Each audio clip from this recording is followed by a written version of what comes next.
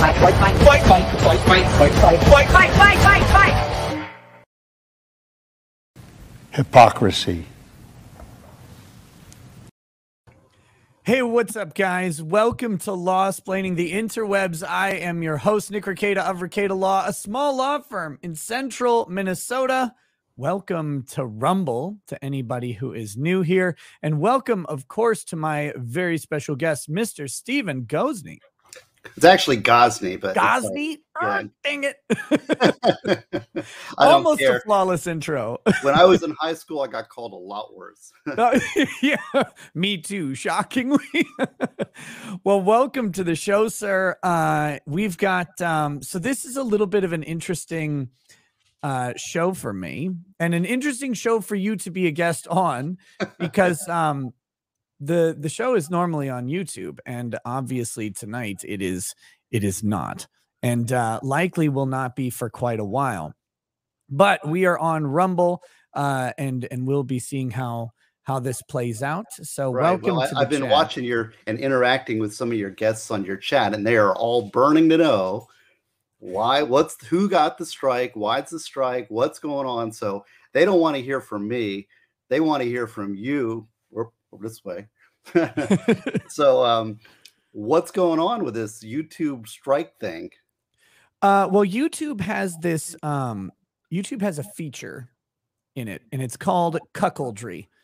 Uh, I don't think that's quite the name, but let's go. It is- let's go it with is it for now. tonight. It is tonight. Uh, that's where that's where YouTube sits around and watches other people make YouTube a bunch of money. Oh. Uh, and then what they do is uh, make decisions with some loose set of terms, uh, and they make them mostly arbitrarily and often incorrectly that someone has somehow violated those terms. For me, in this case, I am not yet aware of what exactly I have done wrong. Um, you're on I- double secret probation. Yeah, th- well, this is actually the norm. So uh, I, I want to bring people into this world of like YouTube content creation specifically. The normal part of this is you will receive some sort of discipline from YouTube, and they won't actually tell you the exact reason. What they'll do is they'll say, this particular video violates some segment of this policy. And for mine, let me pull it up. I, and I have an I have an idea of what this is about, but I don't know what specific thing uh, it is. And so I was I was talking to a friend of mine today about and trying to like explain this. This is like when you get pulled over by the cop, right? And they say, "Do you know why I pulled you over?" Which you're familiar with this question. Oh yes, yes.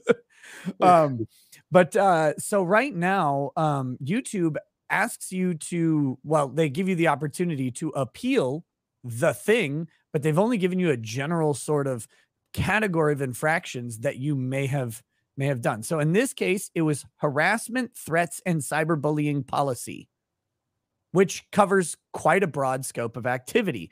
None of which I have done, by the way, to be very clear. Uh, I have not harassed anyone. I don't know how I could harass someone who voluntarily comes to watch my content. Now, is this initiated by some third party, like like Mr. Duncan that you had on the other day? That I had the painful experience of actually watching.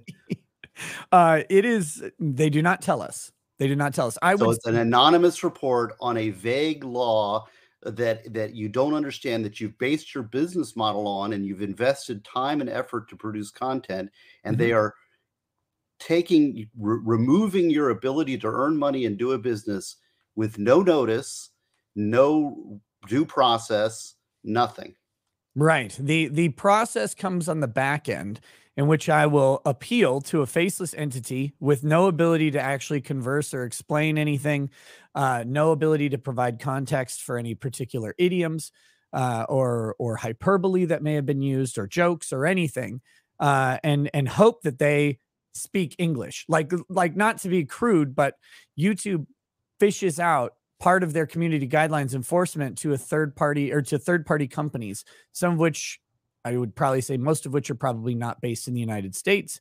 And uh, and so that poses a particular problem when we come to the use of the English language um, or any language, right? Like if I were reviewing Brazilian content and I just had a Portuguese dictionary, it wouldn't do me very good if there was some sort of turn of phrase that was unique. what kind of Portuguese content you're looking at.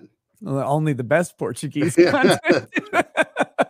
But but they they have this review process and then the appeal process. And so you never know who is reviewing or appealing anything. And you mentioned that it's an anonymous report. It may have been a report. I think in this case it was likely thousands of them. Um, likely thousands of reports organized by a particular fucking weirdo on uh Twitter. Um to in an effort to remove my ability to speak because they didn't like what I had to say.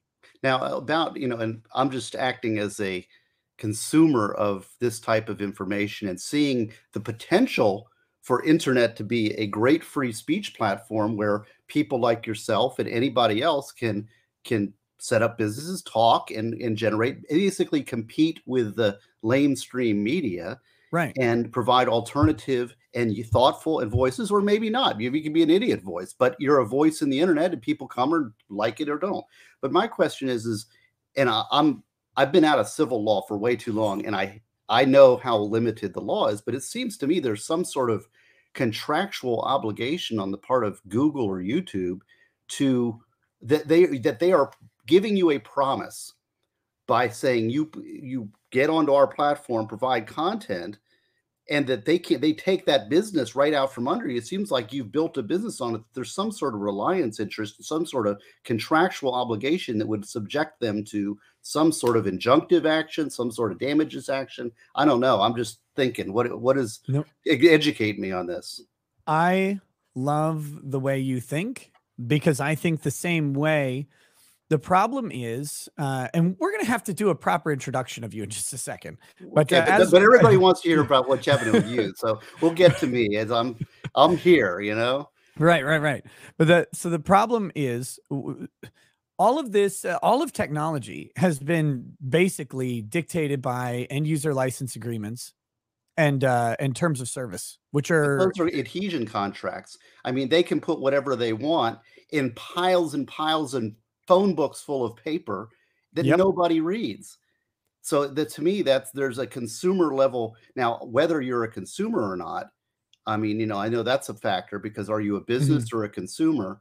You know, in some ways, you're a consumer of this right. product that they're Yeah. offering, and that gives you added rights. And adhesion contracts are not enforceable under certain state laws. Now, I'm not sure you're Minnesota, right? Right, but all this is under California state law, I believe. Well, even Uh. more lefty and liberal and consumer friendly, I would think. You'd think, but see, there, there's they're also very protective of tech because tech is where all their money comes from to fund the courthouses. but but you've got long arm jurisdiction statutes. You can sue them from wherever you want in the jurisdiction of your choice. It would seem to me. Possibly. Now, I don't know if I'm the right guy to sue or or whatever, but what what I think is this. You you pointed out something very important. These are adhesion contracts. Now, uh, for the benefit of the chat, an adhesion contract is a contract by which someone dictates one side unilaterally dictates the terms, and it's a take it or leave it sort of option. You can contract with us if you do this. You don't you have maybe the illusion of negotiation, but no real negotiation power. You can't go to YouTube and say, I want a 20% or I want you to take 20% of your super chats and not 30%. They just won't ever modify the contract. So you come up, you agree to their list, and then you come in. And, and they're actually kind of non-discerning on that. Now, adhesion contracts are supposedly disfavored. I mean, that's what the law says. That's what the Supreme Court says. They're disfavored contracts that should always be read against the drafting sophisticated party. In this case, that would be YouTube. YouTube has billions and billions of dollars. Everybody coming to the contract comes as they are. Most of them are not billionaires. So they come in as unequal parties, and that's why it's supposed to be read favorably. When you combine this with, there's another theory of contract law uh, that some states have, and I believe California has one. It's an implied covenant of good faith and fair dealing. Mhm. I have not seen the implied covenant of good faith and fair dealing wielded as a sword against a big tech company in any meaningful capacity yet. But I am waiting for the time when some enterprising lawyer of some sort decides to go to town on this adhesion contract with the good faith and fair dealing clause, uh, uh, implied clause of good faith and fair dealing, and says the courts need to start enforcing these contracts as if they are promises from the tech companies because they do make a promise. You can use our platform, you can participate in our service if you do these things then they get all of the power of enforcement. There's no arm they, they get a unilateral decision that you you didn't do it. There's no arbitration. There's no neutral mediator. There's nothing that is normally present in a business contract. Because if if you're in a business contract a traditional commercial contract and someone uh breaches you don't get to just decide that they breach and stop performance. I mean, you can, but they could, in theory, sue you for your lack of performance. You have to sue them or you have to negotiate and, and do more business, which is often the proper solution. YouTube and these other tech companies don't have that. And I'm waiting to find some way in which we can uh, get that. And, and I have a feeling that when that lawsuit happens, when the right one occurs and someone actually prevails, it'll be because of good faith and fair dealing. That's what and I think. There's I've got lots of see one of my problems is that I'm a creative guy. I'm very high on the creativity. You ever watch uh, Jordan Peterson on the Big Five personality traits? Yeah. Um, my my main trait is I'm like 99% disagreeable. and I know also, this one. and I'm also 99% conscientiousness. So I'm extremely and conscientiousness generally determines person or political stings. So I'm very conservative, but I'm also 80% openness. So I'm, sure. I'm I tend to be extremely creative, and lawyers generally are not creative. And so I have a trouble sometimes communicating my creativity in some way that that is effective, right? Because I, am seeing all these ways that you could come at them, like a declaratory judgment action an injunctive relief, something like that. Like your business is being affected now, you go for emergency adjunctive relief based on something. I don't know. I'm just, and you get a forum, a friendly forum, and a state forum rather than going to their home turf. Right. Um, and, you know, I'm just, I've got lots of ideas, but anyway, I'm just throwing stuff out. And I and do you have any other information for the chatters because they they want to hear from me. They don't, or they want to hear from you, not me, on this topic. So, is there any other information that we haven't disclosed that you can disclose? Yeah, I'll I'll, I'll say uh, I'll say exactly. I've I've told you guys what I know about the strike. I will also say the strike was on the video that I did pull down. I had preemptively pulled it down, um, but YouTube does does actually allow strikes on videos that have been removed. If they've been uploaded to the platform, they are susceptible to strikes. I don't know who or if anyone has reported the stream or not i would assume thousands have due to the uh due to the online um what can, target. can, can you just generally describe that video what it was that you, you took down and why? Do you, do you know oh it was, uh, it was a long live stream and and there's a point in question where people on Twitter have suggested that I said I sh- that I said someone should be put up against the wall and shot in the head. Oh, okay, that was the one that Duncan was complaining about for right. so long, and and you were saying that didn't happen at all, right? Correct. I got you. I, and I don't know. I mean, who, yeah. to me, and, there's a, there's a big free speech issue here. You know, in right. I'm a criminal lawyer. Assault, you need to have the present ability to imminent to immediately enforce that threat. So if you say Nick, I'm going to go kill, I'm going to kill you right now. Well, I'm in Florida. that's right. Like, it's not a, that's not a real assault because I have no present ability to carry well, out that threat. Maybe you borrowed one of Trump's nukes though. I have the nuclear codes, right? I haven't changed. They're beautiful codes. They're wonderful codes. Wonderful. Joe doesn't know what to do with them. No, um, no, you're right. And and I want to be very clear though, because this this gets lost and this can often get lost in the free speech uh, especially from a criminal defense attorney, and and I did criminal defense of terroristic threats as well. Um, I never actually made that threat though. Like I, I want to be very right. clear. It's not even close. There was never any. First of all, even the the the if we went with the quote that they used where it said that they should be shot in the head, that's not a threat. That's a statement. But I never said that anyone should be shot in the head because I don't actually believe in political violence in any way. Uh, I think people should be, um, you know, dealt with by proper authorities when they violate laws. But that's that's really the extent of it. Okay. Um, so that that being said, I don't know if that's actually what the strike is over. It is entirely possible that That's YouTube has to. That's what kind of what kind Right. of business is this? It's, See, it's a- you know what it is? It's a- infuriating. it's a monopoly. And here's another idea because to me, there's treble damages in attorney's fees in, mono- in antitrust actions, and states have antitrust statutes. So to me, Google and YouTube is a, a trust. And ultimately, not only am I for a, anti- vigorous antitrust enforcement against big tech, I'm also for um, and private suits, which people haven't gotten wind of. I don't know why. There's treble damages and attorney's fees. I mean, come on, that should be like flies coming to, you know The- what? I think um I think YouTube or Google is a scary target.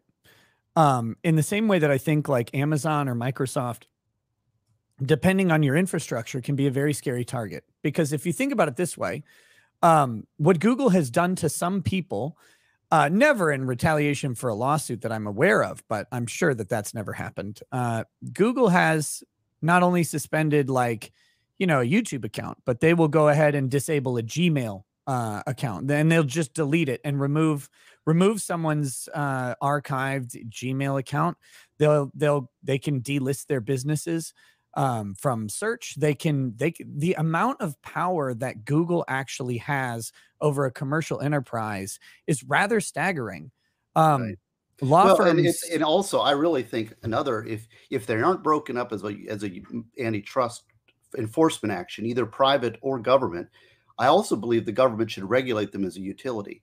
Because, for example, they don't like you because you're a conservative, right? right. So, so does that mean you can't have a phone? Can you? it- Can they cut your electric off? Can they cut your water off? If they can cut you off of speaking to people and interacting with citizens, fellow citizens, that to me is a utility function, and they should be regulated just like a utility. I mean, and that that's kind of my thoughts. I've been I've been thinking about this stuff for a lot, and I don't have any great solutions, but but this unchecked corporate power over the citizenry, you know, and one of the, we haven't talked. I guess we can go to inter- introductions, but politically, you know, I'm very much a believer in the individual. yeah. And uh, you know, and uh, Republicans say, "Well, we're for big business," or Democrats, "We're for big government." I'm for none of that. I'm against big government and big business. I'm for the individual rights. I'm called a classical liberal, the constitutional rights and this sort of thing. And when you've got big corporations and big entities threatening individual freedom, to me, individual freedom should govern and the entity should fail. I agree. And one of one of the one of the really good solutions I've seen posited by uh, someone who's fairly smart, Clarence Thomas. Um, Yeah, I have lots of stories. You know, I've met him several times. really? Yeah, yeah, he's uh he's well I I know him actually I'm I, his I don't know. I uh, his son is a, it was a friend of mine. Oh, okay. We went to um it's kind of it's kind of complicated. My my best friend Uh-huh. who's in the Secret Service went to VMI with Jamal and uh, they were friends and so we used to have dinner all the time and uh, Jamal and Sakina is his wife are beautiful people. And uh, and so I got to know him and I got to meet his dad a couple times. And and to me that guy has had more influence on me than any other jurist. And it's Mhm. funny because we had Rehnquist speaking at our graduation. I don't remember anything he said. But but but Thomas said some some things to me that I just always resonate with me and really formed my views on a lot of things. And a brilliant guy great autobiography by the way. Um, but and a funny guy, very down to earth, very humorous, and um, and so anyway, yes, I, I'm a big Clarence Thomas, is probably one of the greatest jurists we've had on the Supreme Court. Yes. Yeah, You know, he's he's phenomenal. He used to get so much flack for being quiet, which is interesting because they really got mad when he started talking. Um, But one of one of oh, the he things, did his talking in in writing right? And he writes very, very well. very well, very Um, thoughtful, and he's very interesting, interesting thinker. Yeah, And one of those interesting thoughts came up about um, about this subject actually, and and uh, I guess uh, in in regards to like this section 230 and and the ability of corporations to shut people down and to censor speech. This might have been in um, I can't remember what case this was from, but it was pretty recent. And uh, what what he suggested was that there may need to be a time where we do some where we apply a standard similar to the common carrier standard. right. And- no, for sure. And common carriers is beautiful thing where uh, we as a government, in exchange for some sort of uh, protection for a business, demand something from the business. We go, okay, we will protect you from defamation lawsuits. This is a common carriers, uh, or, or no, this is what they did for telegrams was we will protect you from defamation lawsuits by saying you can deliver defamatory messages so as long as you don't know the message is particularly defamatory. You don't have actual knowledge of it. We will eliminate constructive knowledge of defamation. You would have to know this is defamatory. Typically that would mean there's a court order on this language of some sort some sort of lawsuit that someone could provide proof and in exchange for that anybody who walks through the door, you have to do business with them. You don't get to determine what speech you're sending. You transmit their speech, and we will protect you from that. And the interesting thing is, back in 96, we actually did that for the internet without the obligation of them to provide uh, to provide for every customer. And that was foolish of the government, but it's easily remedied, easily remedied by any act of Congress to just go, okay, if you want that Section 230 protection, uh, you must service all customers. And if you don't service all customers, you're not getting 230 protection, which means that you don't get to ban people for the type of speech that they post. Uh, and and that uh, outside of particularly illegal speech, child pornography, of course, we don't want people posting child pornography, even though they do on Twitter all the time. Uh, Twitter's really? a cesspool. Twitter's Twitter and Facebook are the two largest purveyors of child pornography outside of the FBI. Yeah, right, right. I mean, well, um, the FBI does it for sting operations, but oh, I mean, the FBI they hand out child pornography like it's candy. It's kind of gross. It's really oh, gross. I don't know. I don't deal federal. I don't deal in uh, federal criminal law. I do state criminal law. But if you ever want to lose your soul, just uh, like go on the sex offender registry, find someone with a federal child pornography charge or whatever, and then read the you know like the the affidavit. Uh, oh no no no! Believe me, stuff. I've had to. Believe oh, you probably had... yeah. You, I'm sure you've dealt with this. Let's introduce you. Oh my God, Steve Gosney, right? Steve Gosney. Yes. You are a public defender in the most dangerous state in the world, it according to the newspaper. it's well, there's not. It's not too far off. We are. Uh, yes, I'm in Daytona Beach, although I work for appeals in um, 13 counties of the fifth district. So there's five district courts in Florida. So Florida's split up into five population groups. So we have 13 counties of that. And that includes Orlando, Melbourne, Seminole. Now they've just realigned coming up. This is care nobody cares about this, but they're they're going to make a sixth district, and I'm gonna we're going to trade Orlando for Jacksonville. So um, is that a yeah, good trade? I don't know. It's all the same to me. I don't care.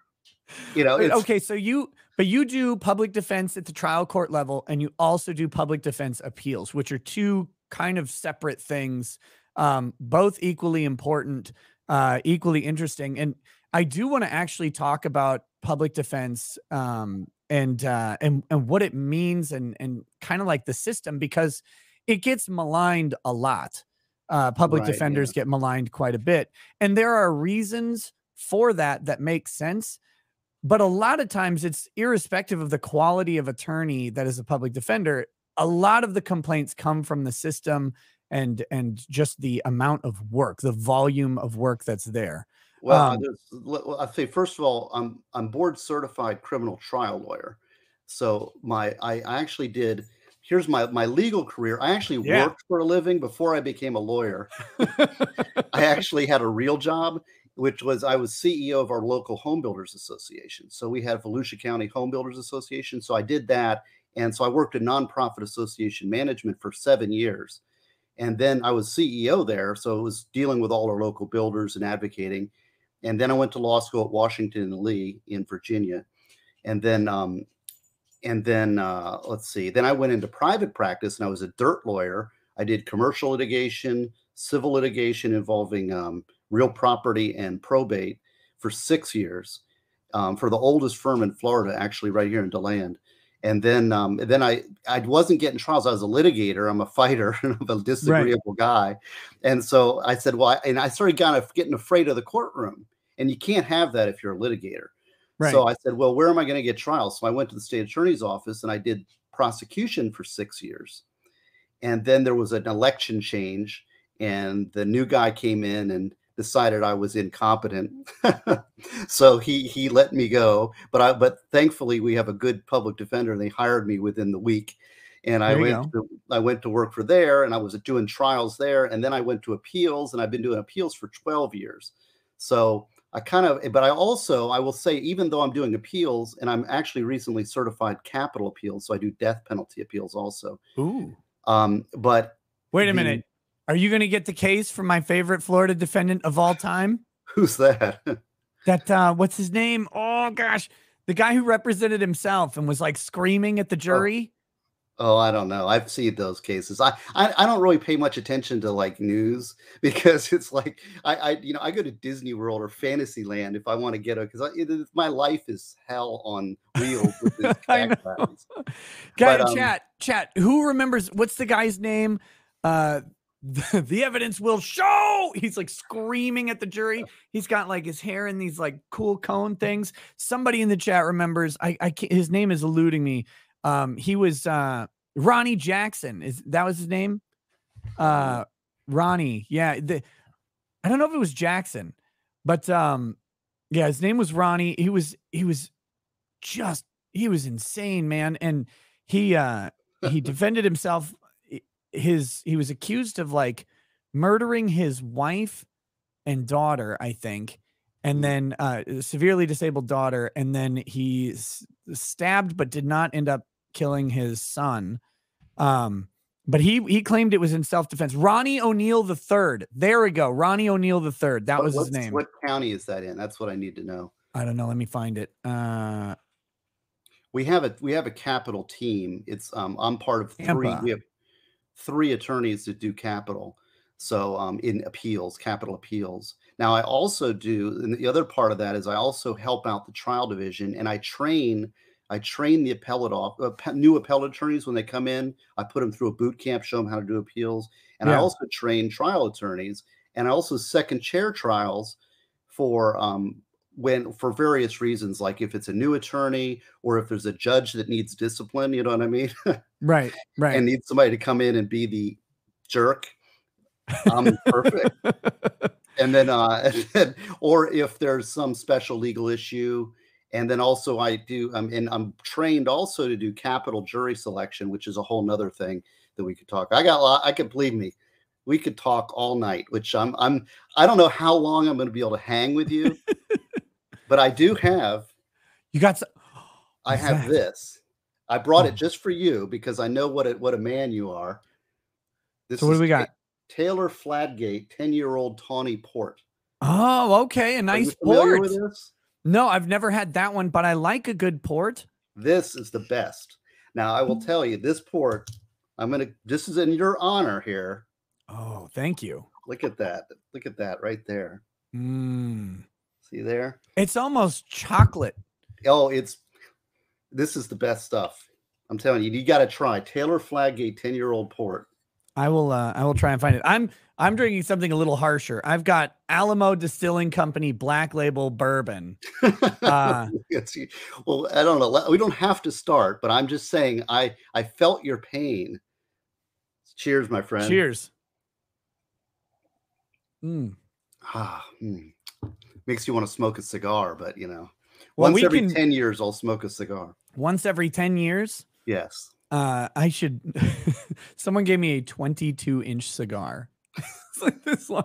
It's great, but no. Uh, that would be. So wait, you said you're in Daytona Yes. area.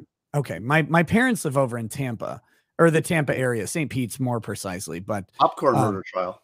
yeah, uh, yes, Curtis Reeves. That was great. You that's the first time you were on the show, right? We were talking the Curtis Reeves trial. Uh Right. it was me, you, and uh Mr. Branca. Right. Oh, uh, and, oh, in fact, I need to grift. You're Oh, I do too. We both do. Well, let's grift because I, I am not a grifter. My wife, I'm such a head in the cloud. I don't know how to make money off this stuff at all. I have nothing to promote ever. but today I do. Yes. Yes. and I'm promoting the same exact thing you are. So Okay, well, let's do it, baby. Yeah. You want to do it? You want me to do it? Well, come on, let's Yeah, go. I want to I want to see what you got. Okay, well, and I don't see. I'm going to screw it up though because I don't know how to grift. Okay, Branca has hired me to teach his law, his criminal law class. Yes. So, so I'm going to be starting September 7th, which is my birthday. I will be doing the first class of law of self defense law school, and I will be teaching criminal law and it's no no BS politics, no leftist indoctrination, real criminal law, real examples. And we were going to talk about this appeal because my client has given me permission to talk about it, and it was a big victory and all. But We don't have to. Oh, there it is. Look, there it oh, is. What a you are awesome. and look, here's how you sign up: lawofselfdefense.com slash Nick. That's right, guys. Uh, so I, I, mentioned this on the other stream, uh, the stream yesterday that was on that was on YouTube, bagpipes play in the background. Uh, I mentioned it there, but um, it's uh, every day up until the, the official launch is Saturday. Uh, but every day they're releasing another video, kind of a promotional video at lawofselfdefense.com forward slash Nick. You can check it out, get more info as things progress. On Saturday, everything goes live. You can sign up. These are these are real courses in law as they would be taught at a law school with way less pretentiousness, way less lunacy, and and way less politics injected into them. This is where you can go and just kind of get those fundamentals of law. If you if you're interested in this field, you can learn them and learn them uh, in in a way that will not cripple your your ability to uh, produce income and will not cripple your income. Because I don't know if you guys know this, but if you go to law school, they limit the number of hours that you can work while you're in law school too. So they make it even harder to pay for it uh, because you can't work at the same time. But with this, this is just for kind of for real people to go and get those fundamentals and learn the language of law, learn the study and practice of law in a way that is uh, that if if you're not looking to become a lawyer, uh, you can you can kind of build your knowledge base here, and it'll help you understand the legal system for yourself. It'll help you understand the legal system if one of your friends or loved ones gets into trouble. You can say, "Hey, I've I've heard something about that. You probably want to seek out a lawyer, or maybe you know, uh, give them a little bit of a heads up on what they're expecting." all of that stuff that everybody wants to do. And everybody asks me, how do I do this? Where do I get these resources? Here from people who aren't lame. So well, go. This is, this is also more. It's this is much more advanced than almost anything. It's a basically designed to be a real criminal law class, as first year lawyers will take, but even better because yes. you're not going to get the politics. I'm going to teach it, and it's going to be based on practical examples. I'm focusing on the things that matter, the things that maybe matter to you as a consumer, but also the people that are interested in trials that watch your channel that might that want to watch like criminal law trials and we're commentating on stuff we're they're going to get real in depth on some very interesting issues like we've i've done a whole segment on the right to uh, remain silent and the fifth amendment and miranda with examples of real life examples and uh, and going through it in a methodical way in ways that i don't even reveal to anybody except our little office because it's so high top secret stuff because if i if i let out what i have to teach on this this if i could the state would get it and they'd bomb me you know what i mean like yeah. because i have a way of like here's the 13 different ways that you can lose miranda rights and i have it right. all charted out well i don't put that out to most people because i don't want the state to get that and know how to beat my arguments right Right. But you're going to get it in this course. You're going to find out exactly how useless Miranda is. it's it's so like it it is comically useless. It's comically it's great. Useless, yes. There's um, so many ways to blow it and lose it and get out of it. It's it's practically useless as most of our rights have been whittled down to the point they're practically useless. But mm-hmm. I will give you a lot of it's it's consumer level stuff, but it's it's high level. It's not going to be I'm not going to be treating. There's going to be a test at the end. You get a certificate. This is full 14 modules, and it's going to be packed. So I, I tend to like educate with a fire hose. Yeah, you know I mean, like you know, take it as fast as you can. But it, it's great stuff, and it's all sorts. Of, I can talk forever, and you're going to hear at least 14 modules worth in this one. so there you go, guys. That's uh, that's and you're just one course. I think they're launching with four, right? I'm I'm not sure what else he's doing. I'm grifting on my sign up for my criminal law class. Yes. so sign up for the criminal law class. Criminal law is the most interesting. Are you going to skimp on sexual assault? Probably. No, it'll probably it'll probably be focused. I, have got a, lo- a whole thing, a sequence going from overview, how to read a case, how to read statutes, how to apply that in real fact scenarios. Um, we're going to go through a case step by step from arrest to indictment to mm. trial, opening, closing statements to appeals, in, this including this Kelly case, which we we could talk about. Um, we're going to go through crimes of violence. We're going to go through murder. We're going to talk about the death penalty. We're going to go through. It's going to be a whole arc of fascinating topics. No, that sounds that sounds fantastic. So there you go, guys. Lawofselfdefense.com forward slash Nick.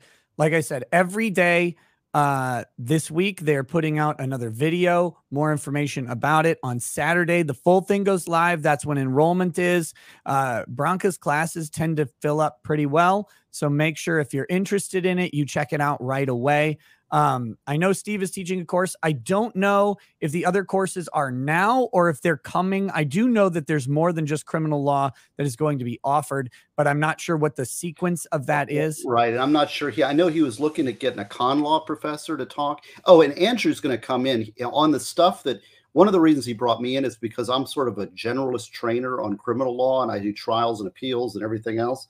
Um, and so he was thinking maybe I'll be more of a generalist. But when, of course, it comes to self defense issues, uh, he's going to come in. In fact, we've even had a discussion because there's a uh, a video, YouTube video about why you should never talk to the police. yep. And uh, and that's one of my homework assignments. And he's like, I have comments on that. So I said, well, come on in and you you can comment on it in on the in the class. So so he can already hear his comments. I can hear him. It's like, well, you know, most of the time this is right. However, in a right. self-defense situation, like no, but it's it that that video you're talking about is from Rutgers University. It's a great video. Everybody should watch. It's it's like one of the best hour and a half to two hours of video you can watch on the law that exists. But that being said, as with everything on the law, that video is incomplete. So having someone like Andrew come in and offer a little bit of clarification and explanation in his areas of expertise is going to be great. I know th- this is the best part. Like Andrew's hiring the people. Andrew's a good dude. You're a good dude. You know the people teaching this class are going to be interesting, experienced, and smart people. And you know that because he said that at some point in the future I could teach a class. And I politely said, We'll see. what would be your area of expertise to start grifting online? could you do Here's a, how to do, do YouTube law. yeah, suing YouTube. My experience. Oh my goodness. No, I would like if I was going to teach a class, it would legitimately the the class I would probably teach would be limited to uh Fourth Amendment specifically. I would I would teach a Fourth Amendment um constitutional criminal procedure class probably and I would focus heavily on uh, Fourth Amendment in the modern age. It'd be an elective. I wouldn't want to teach like uh, a a general class because they're too big and I have too much ADD. But on that issue, on privacy, on how we lose privacy immediately in everything that we do, on the uneven application of privacy laws, uh, when we talk about criminal stuff and oh well you talk to a bank once in your life therefore we can get everything you've ever done financially that's fine. But uh, in these other areas you have privacy no matter how many other people you rope in it's really weird. That's the type of stuff i would want to talk about. That's kind of that was my uh, final my long writing project as a as a law student and i still have so much interest in the field of in particular things like digital surveillance because uh, what what used to happen is a police officer had to follow you around or or track you in some way, and now uh, then they had to get search warrants to put crap on your car like a GPS tag. Now they don't even really need to do that because they have all these other systems. They have cameras just placed around town that take pictures of your license plate and make a digital ledger of where you go at what time. And and I like to me, if I did that to someone, I would be stalking them. You, you want to hear the, the latest? What I heard today, I was actually training our misdemeanor trial division today, um, and I'm doing it today. And then next Thursday, we are doing like uh, trial boot camps, what I call them.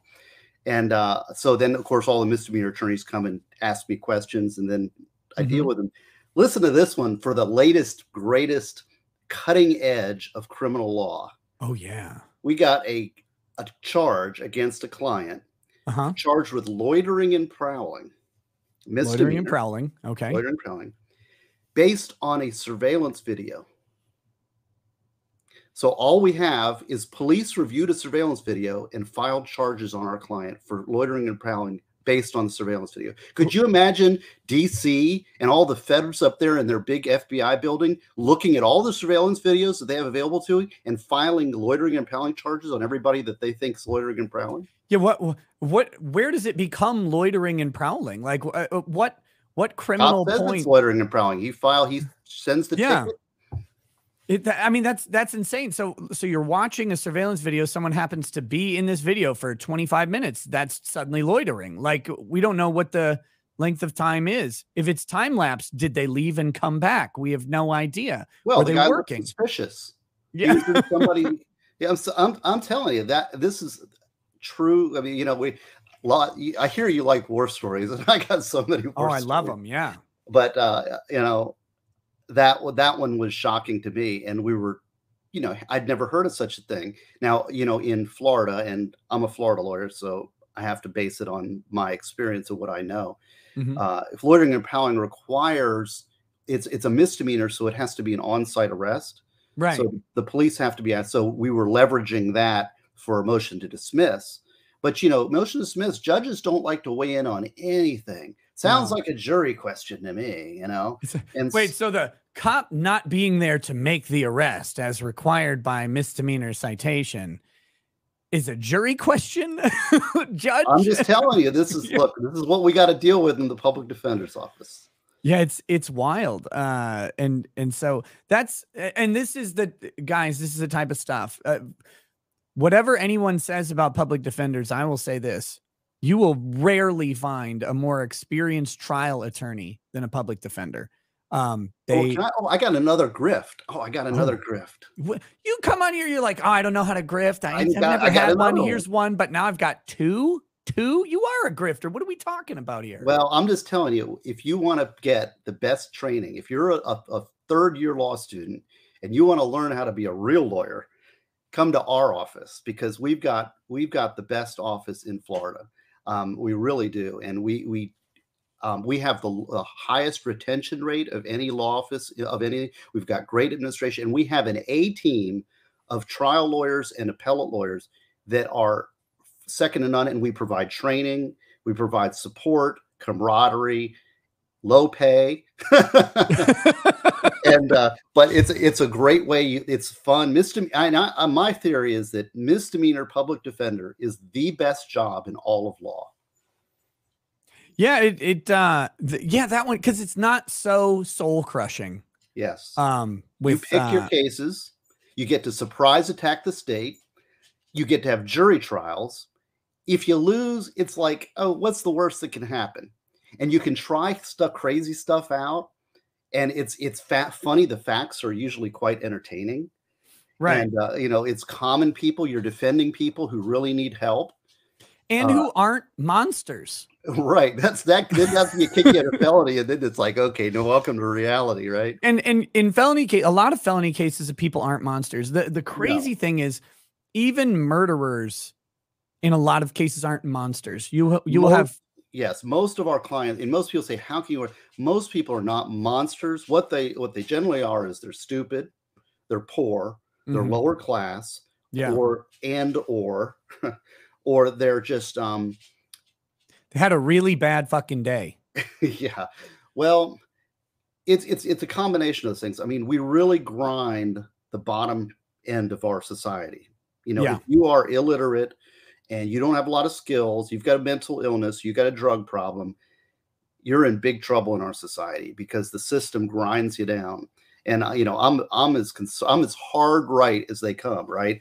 But you also as a christian i believe in the the we have an obligation to protect our brothers right? And the, Yeah. our people within us. And you know the person that gets nothing the person that gets no sy- sympathy in this society is um, a late middle aged white guy living on the street who's drunk and who's homeless nobody cares there's no resources there's nothing That's me in 15 years.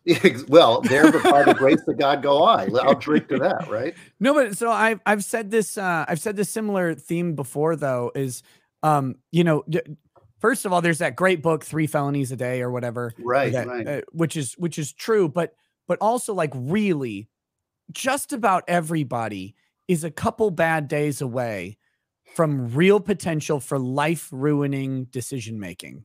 Um, often involving alcohol, drugs, some sort of temporary or permanent depression, some sort of set of events gets you to your low, the low that you didn't think you could get to. All of a sudden, there you are. Now, how do you cope with those? How do you cope with those things? Lots of people drink, they'll turn to drugs, they'll turn to some sort of other illegal activity like prostitution or something to try and get away from the situation they're in and then that brings them into various dangers where they can they can be driving a car and run over someone. They can uh, they can get involved in some sort of violent fight over a drug deal. All sorts of weird stuff happens when you get at your lowest. And the people that i've run into who have commit some pretty bad crimes most of them really this is the circumstance they got desperate they got in a bad place and then a thing happened but then, I mean, there are truly horrific people as well. like there, let's not rule very, them out. That's a rare exception. I mean, most yeah. of our people are, and there's a street kind of thing. I mean, like I couldn't live on a street; I wouldn't last a minute, you know. But I, I can operate in the courtroom and I can operate in society. But a lot of our clients, you know, they're they're right on. You know, if they're living on the street, you have a lot of interaction with the police, yep. and the police generate crime. I mean, they they're like, oh, you're under arrest, and you you know, like you're, you're interacting with the cop, you're facing going to jail. I mean, we had I had first appearances a while back. We got we have to cover first appearances like twice a year. Right. Hate that duty, but anyway, but it's kind of interesting because they're all lined up and they've just been arrested and they're all coming down off whatever they've been doing, coming on down on. And a lot of people are just homeless, especially in Daytona when Bike Week comes around or Race Week. They sweep the streets from the homeless people and right. they all get arrested for trespass. And so they're all lined up well, we had a guy arrested for trespass, and he's in with his buddy, and they're both homeless, middle-aged white guys, drunk, and um, and the guy got well. You want to plea out, plea to trespass, get five days in jail, right? Right. Just to get you through the the uh, tourist season, and then and then his buddy comes up. He's like, he had a worse record, and so he says, "I'll give you ten days in jail," right? Or actually, it was the guy got the first guy who got the ten days. So the second guy comes up. He says, "Oh, my buddy got ten days. I don't want five days. I want ten days because I want to get out with my buddy."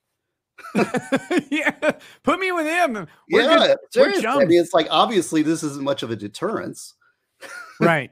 No, and it, and it, it for a lot of people it's not a deterrence, and some for some people it's an upgrade, uh, or or it's an option for an upgrade when they choose it. Right? If you're on the street for a long time, sometimes being in county can be kind of nice because you don't have to fight to get food. Right. Um, but yeah, yeah, it's it's an interesting place to be, and people should definitely, again, if if you're a third year law student looking to do some good uh, internship, check out uh, check out Steve's office because that's a place where you can get a lot of really good experience really quickly. Um, and and it's you you won't get it anywhere else. I mean, you go to you go to a private law firm, and sure, there's all sorts of cool benefits to being being a private lawyer. But one of the hardest, nastiest parts of it is generating leads, and then not just generating leads, but collecting on money. And if yes. you're doing petty you crime, mega grifter, and I am not a grifter, and I I never was. It was like you're either a rainmaker or you're a worker bee that when the phone rings at 2 a.m. in the morning on Sunday, you're up, you're working on your motion, right? Yep and I and I and or and you're putting in 2,500 hours a year, right? I mean, and I've never been good at either one of those things, but I I love I love I'm passionate and I believe in the I believe in individual rights and yeah. in, in our system and really the fundamental flaw across the system and let's just be honest here is the reasonableness of people across the board and I think we have lost our society or is losing a handle on educating people to be reasonable citizens. And so that it reflects itself in juries, in state attorneys, in judges, in everybody in the system and the citizen, the people who are arrested, everybody populates the system. And all of a sudden they're ideologues or they're not rational or they're unreasonable the system will not function. The system will fall apart when the citizenry gets to that level. And I, I mean, we see that a lot, and it, it, that's uh, that's what scares me. Although, you know, who knows? I'm I'm just observing from my little keyhole, right? which is which is sometimes all we can do. Um, let me address a question from the chat. I've seen it pop up a few times, guys. Uh, I I'm streaming exclusively to Rumble today sort of a, a test slash experiment I'm doing. I will be back up on Odysee, Rumble and Odysee on Monday's stream. Just a reminder that tomorrow I'll be out with my family. Uh, we are going to camp for the weekend. We go every Labor Day and uh, and have a good time at uh, at a Bible camp, and that's where we'll be. So um, tomorrow night I will not be streaming. Monday will likely be the next stream. That should be up on Rumble and Odysee. I'm just trying a Rumble exclusive stream for the night to see how that goes, see what that looks like, and and see kind of the, what the reaction is. But I'm hoping as the the 14 days, the 14 days that YouTube determines I cannot work uh, progresses, that I will have uh, more and more people coming into the checkout Rumble, checkout Odysee. We'll see how that goes. But for tonight, it's Rumble only um, as the the first stream of my band. I, well, I'm, last, on, I'm a I'm the first guy, the exclusive Rumble. You are. You well, are. I, and I I hate Google, so I'm perfectly happy. and in Google fact, I, deserves you, it. And I, you asked me about like, should you want to cancel? But I'm like, look, uh, I like doing this stuff, and I'll come on again if you would have me. But the other thing is, is that I don't think that Google should enforce on who you have on your channel. You know, if I'm gonna say, well, I don't want to be on here because you know, you know, how are you going to grow a channel like Rumble if you don't actively feed it, right? Right. Well, and that's uh that's that's what's coming. Um, I'd been I'd been kind of holding off for various reasons on on doing Rumble stuff. And I know there's a bunch of people who are really smart uh, who have talked about growing a channel, but there's there's practical realities to having a channel the size that I have and then promoting alternative technologies. And let me just suggest very simply, it's always about money because my the broadcast thing that I do is a business. It's how it's my primary income. It's how I make money. It's how I feed my family. And so all of my decisions have to be around that. And so what you don't do, and I'm I'll be very candid about all this, you don't just give to Rumble what they want unless Rumble will give you something back when you have leverage to negotiate. So, uh, but with that said, I'm also getting really fucking tired of YouTube censorships. So, regardless of what happens with the YouTube strike, regardless of what happens with Rumble, there's more Rumble exclusive content coming, and uh, and less YouTube uh, prime as a primary content coming. Um, because uh, I'm I'm tired of it. I'm tired of being jerked well, around. I think the closer we get to elections, and the I mean the the leftist censorship uh, it's uh, going up. It's going to go up. Yep. Is is is just going. It's getting. It's rolling. It's starting to get worse and worse, and uh, that's they don't want to hear what you have to say. They want to shut you down. And conservatives, we want like we want to hear more speech. It's like okay, go watch the Biden speech. In fact, you should you should be made to watch that Biden speech, right? Where he's standing the, in front of Marines and the, the one he just did.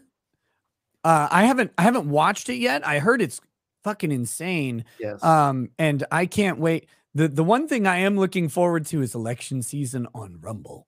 That's what I'm really looking forward to because my election season on YouTube was full of uh full of potholes, right? Oh, be very, very careful. Walking around, you wouldn't want to bend an axle, saying the wrong thing, supporting the wrong person or the wrong idea. And uh I'm I'm fully willing and fully ready to uh to start talking about all these weirdos uh, with with with unhinged language. Steve, well, I'm a I'm a fan of unhinged and unrestrained language. I've heard this, and I've I've watched some of your unhinged rants, and they're quite entertaining. Although I must say that as a public servant, I can't participate quite as much in the ranting no. as you.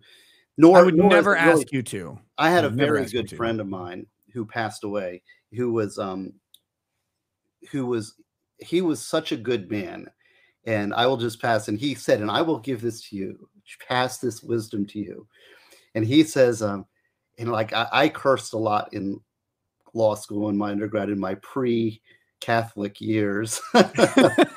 and uh, and he would look at me, and every time I cursed, he'd get pain. He'd go, oh, and then he says, you know, Steve, I'm very concerned. You know, you're you're cursing a lot, and I'm really concerned about your soul. Now, if I said that, I people would be like, "What are you talking about? Who do you think you are telling me what to say?" Right? But he had this way of being so loving. My friend Derek was such a wonderful man, and so he he told me this, and I, and so I really have tried. I really try to to because that is a flaw in my own mind. I think it, but just because I am thinking it doesn't mean I need to say it.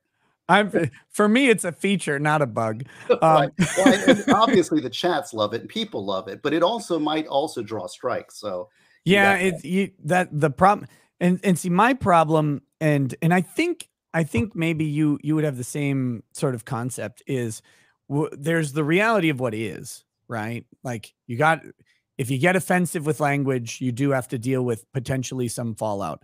But then I go to the idealist and say but you shouldn't Right. You shouldn't ever have to deal with any anything other than someone going, "I don't want to listen to you. You're an idiot," and walking away. But, but you believe in free speech, right? I very much believe in free speech, That's true.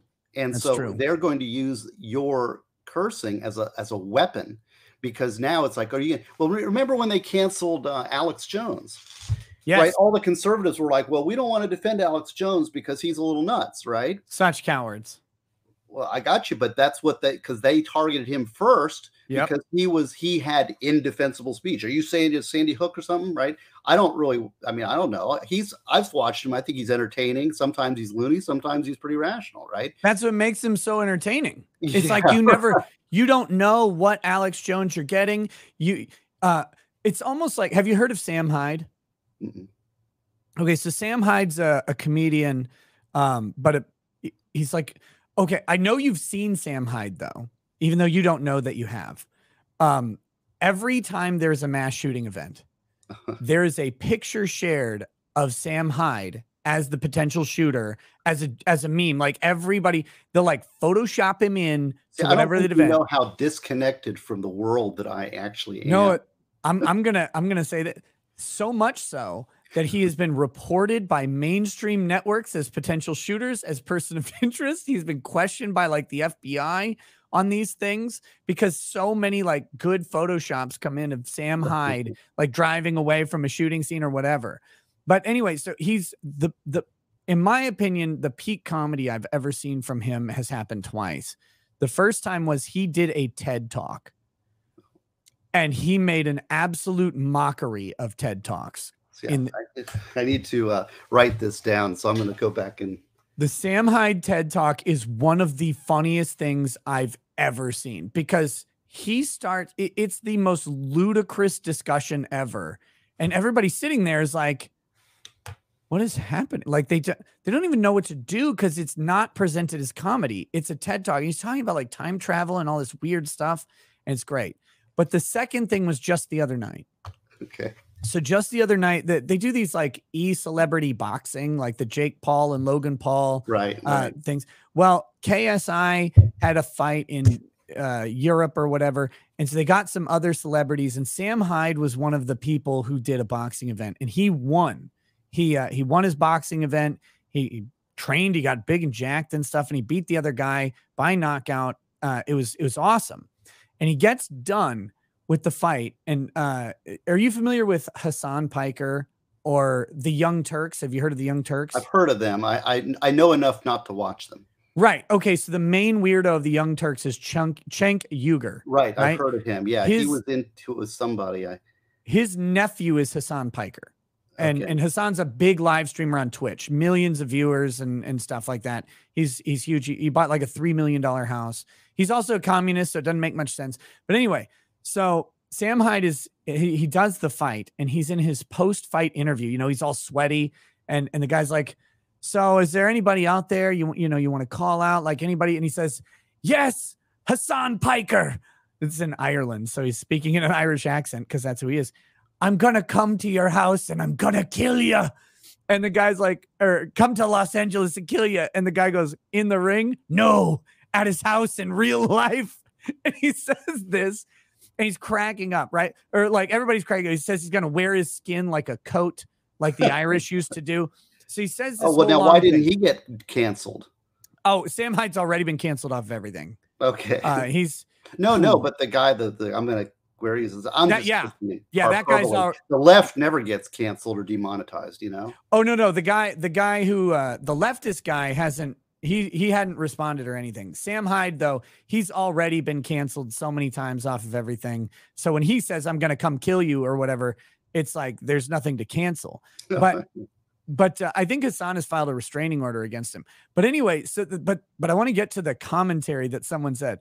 The scariest thing about Sam Hyde is when he threatens to kill you, you don't know if if it's a joke, if he's serious, or if he'll kill you as a joke. but but that's uh that's that's language and that that's the whole like place that we've gotten to now is like it's pretty obvious that what Sam Hyde was doing was a complete joke. Like he's he's not threatening on all of the world stage to go murder someone at their house in Los Angeles while speaking in an Irish accent, suggesting he's going to wear their skin like a uh, like a coat, like the Irish used to do, or the Celts, or whatever. Um, but but What's like that guy, it- that cabbie guy, red cabbie or copper cab or something? You ever Copper? Cab, yeah. Yeah, He- there's a, there's a guy that's kind of like that, isn't he? Kind of nuts. You you're like I'm so detached from the world. You know about Copper Cab? well, I, I've watched um, what's his Bald and Bankrupt and Harald Baldr, these travel vloggers. okay. Yeah, I don't know. And so that guy was on there. I'm like, who's this guy? Because he was so angry. So I don't. Yeah. That's why I know there's some. And I did have. A, I Okay. have an 18 year old son too. Like, we, in fact, I was teaching. You're talking about craziness. Um, I was teaching the the the misdemeanor trial attorneys, and somebody uh, somebody had fed me about the Chewbacca defense on Oh, South right. Park. So I brought up because there's different. Like the way I try a case. This is I don't know, just random thoughts shooting in my head, right? That's all my show is. So. Okay, well, and so he was talking like I like to focus on what is the issue. The issue is duress. And so you got some cop t- talking identity. You're like, no questions, no questions, no questions, right? Until you get to the issue that you care about, then you're like, you pound them, right? You say that's Right. the issue. I don't care about any of this other stuff. Jury, pay attention to this issue. That's my that's the way I try a case, right? But that that's not the only way. There's other ways, and some of them it's called the chaos theory. It's like throw Mhm. everything up there and say, oh, there's reasonable doubt everywhere. I don't know. Look at all this stuff. And then there's the Chewbacca defense, which is a subset of the chaos theory, which is a South Park reference. So I had to watch that. I looked it up and I'm like, oh, that's pretty funny. But the, yeah, the chaos theory is is remembering that you've got jurors who are normal people who who don't care about a lot of the the nuance of law and get bored. And well, I get, my, my friend, um, one of our attorneys in our office, Regina, she's a master of the chaos theory. You know, she comes in and she gets emotional. She's like, what's going on? This is crazy. And, and she, when I was prosecuting, she beat me more than any other defense attorney, you know, and I'm trying to keep, cause it's like, I'm trying to put everything together like a, like a work of art and she's throwing sand in the gears and it's just messing everything up, you know?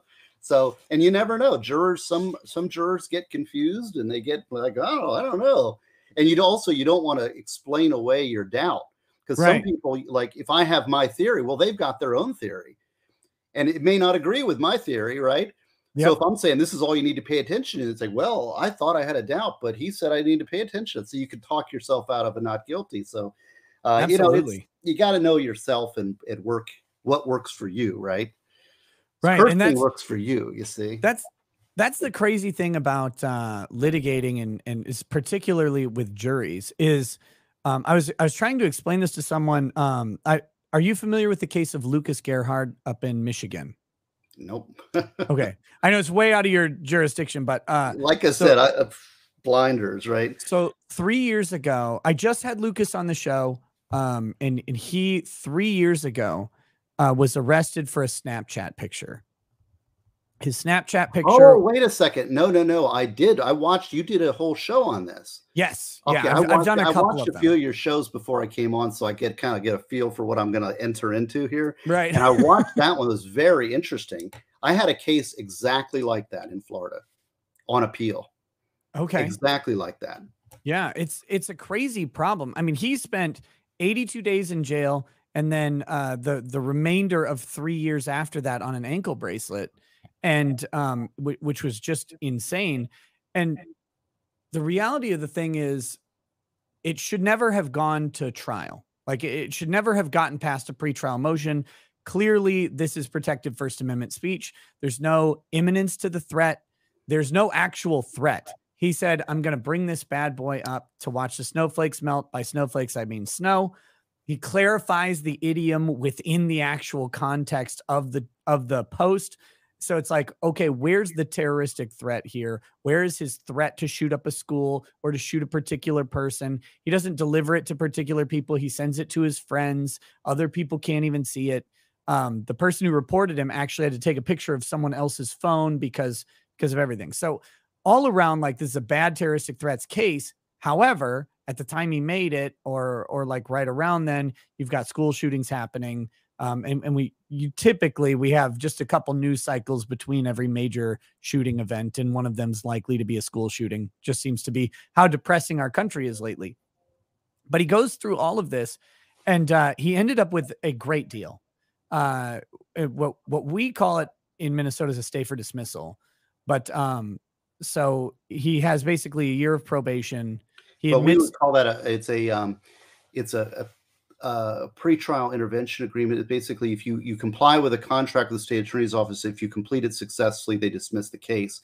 right. And that that happens a lot, and that's a great win. They should, if they had ethics, they'd just drop it flat. they should. But but they but that affects their stri- crime stats, and because you're you know you're guilty because we don't want to have stats that look bad to us. That's the way the prosecutor's office thinks. So that's what they're doing there. I had this exact case, but my guy was convicted and was it was PCA'd on appeal, meaning it was affirmed without an opinion on appeal. And the law in Florida is just like that. And the guy, all he did was post a picture of his gun and said, "It's gonna, we're gonna have a fun day on Monday." And he posted a picture of his AR, and then he's terroristic threat. And you know It's now like, he's what, convicted what felon. threat? Where's the particular nature of the threat? Who's the target? It's If crazy. could- And- people and- are so paranoid about these school shootings but you know but are we really serious about it i mean the thing is is that the problem is mental health Yes. and we can't have a discussion about mental health it's like we fail on that in every regards and uh and like if if there was a guy you know i really sad because i wish there was a good um, I wish there were good leftists, or maybe let's say liberals, good liberals on the other side. I want a functioning too, because I'm I'm not I'm a Republican, but I'm like I'm a conservative. I'm really a classical liberal, right? And I I have a lot of friends who are I'd say on the liberal liberal side, Right. but the people but the problem is is we can't have a discussion about it's like for example what we do about mental health and guns because you can't trust the other side to be dealing in good faith and that that so we all lose because we can't have these rational discussions and that and they're still trying to shut us down right i don't yeah. No, know it's, Rant. it's i'm ranting see you're getting me ranting you're get fired up.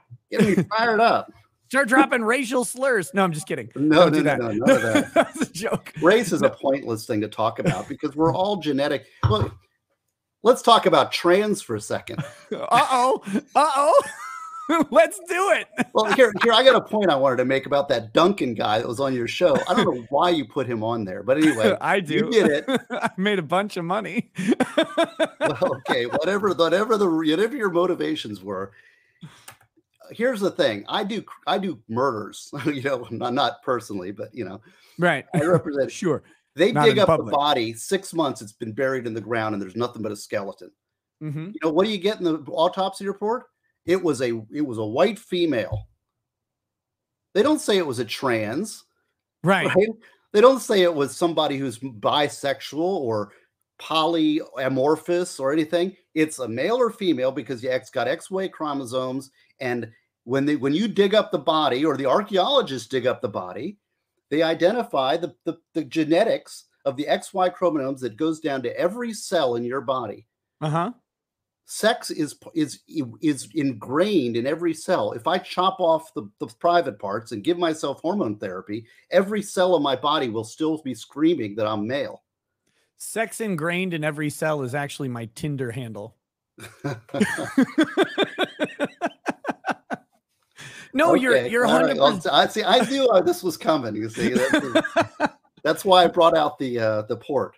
No, the, you're 100% right. And and it's like this this is a thing this is what's so crazy because I know that the the brigade against my channel, which um is is probably the cause of this, the, the most likely cause of this recent strike, is because I'm framed as anti-trans, which I'm not. I don't care what you do to your like I will disagree. Right. And and maybe like if you asked me, like, you know what? Uh like Steve, you come up to me, like, Nick, I think I'm a woman. I'm like, eh, I had a look at you.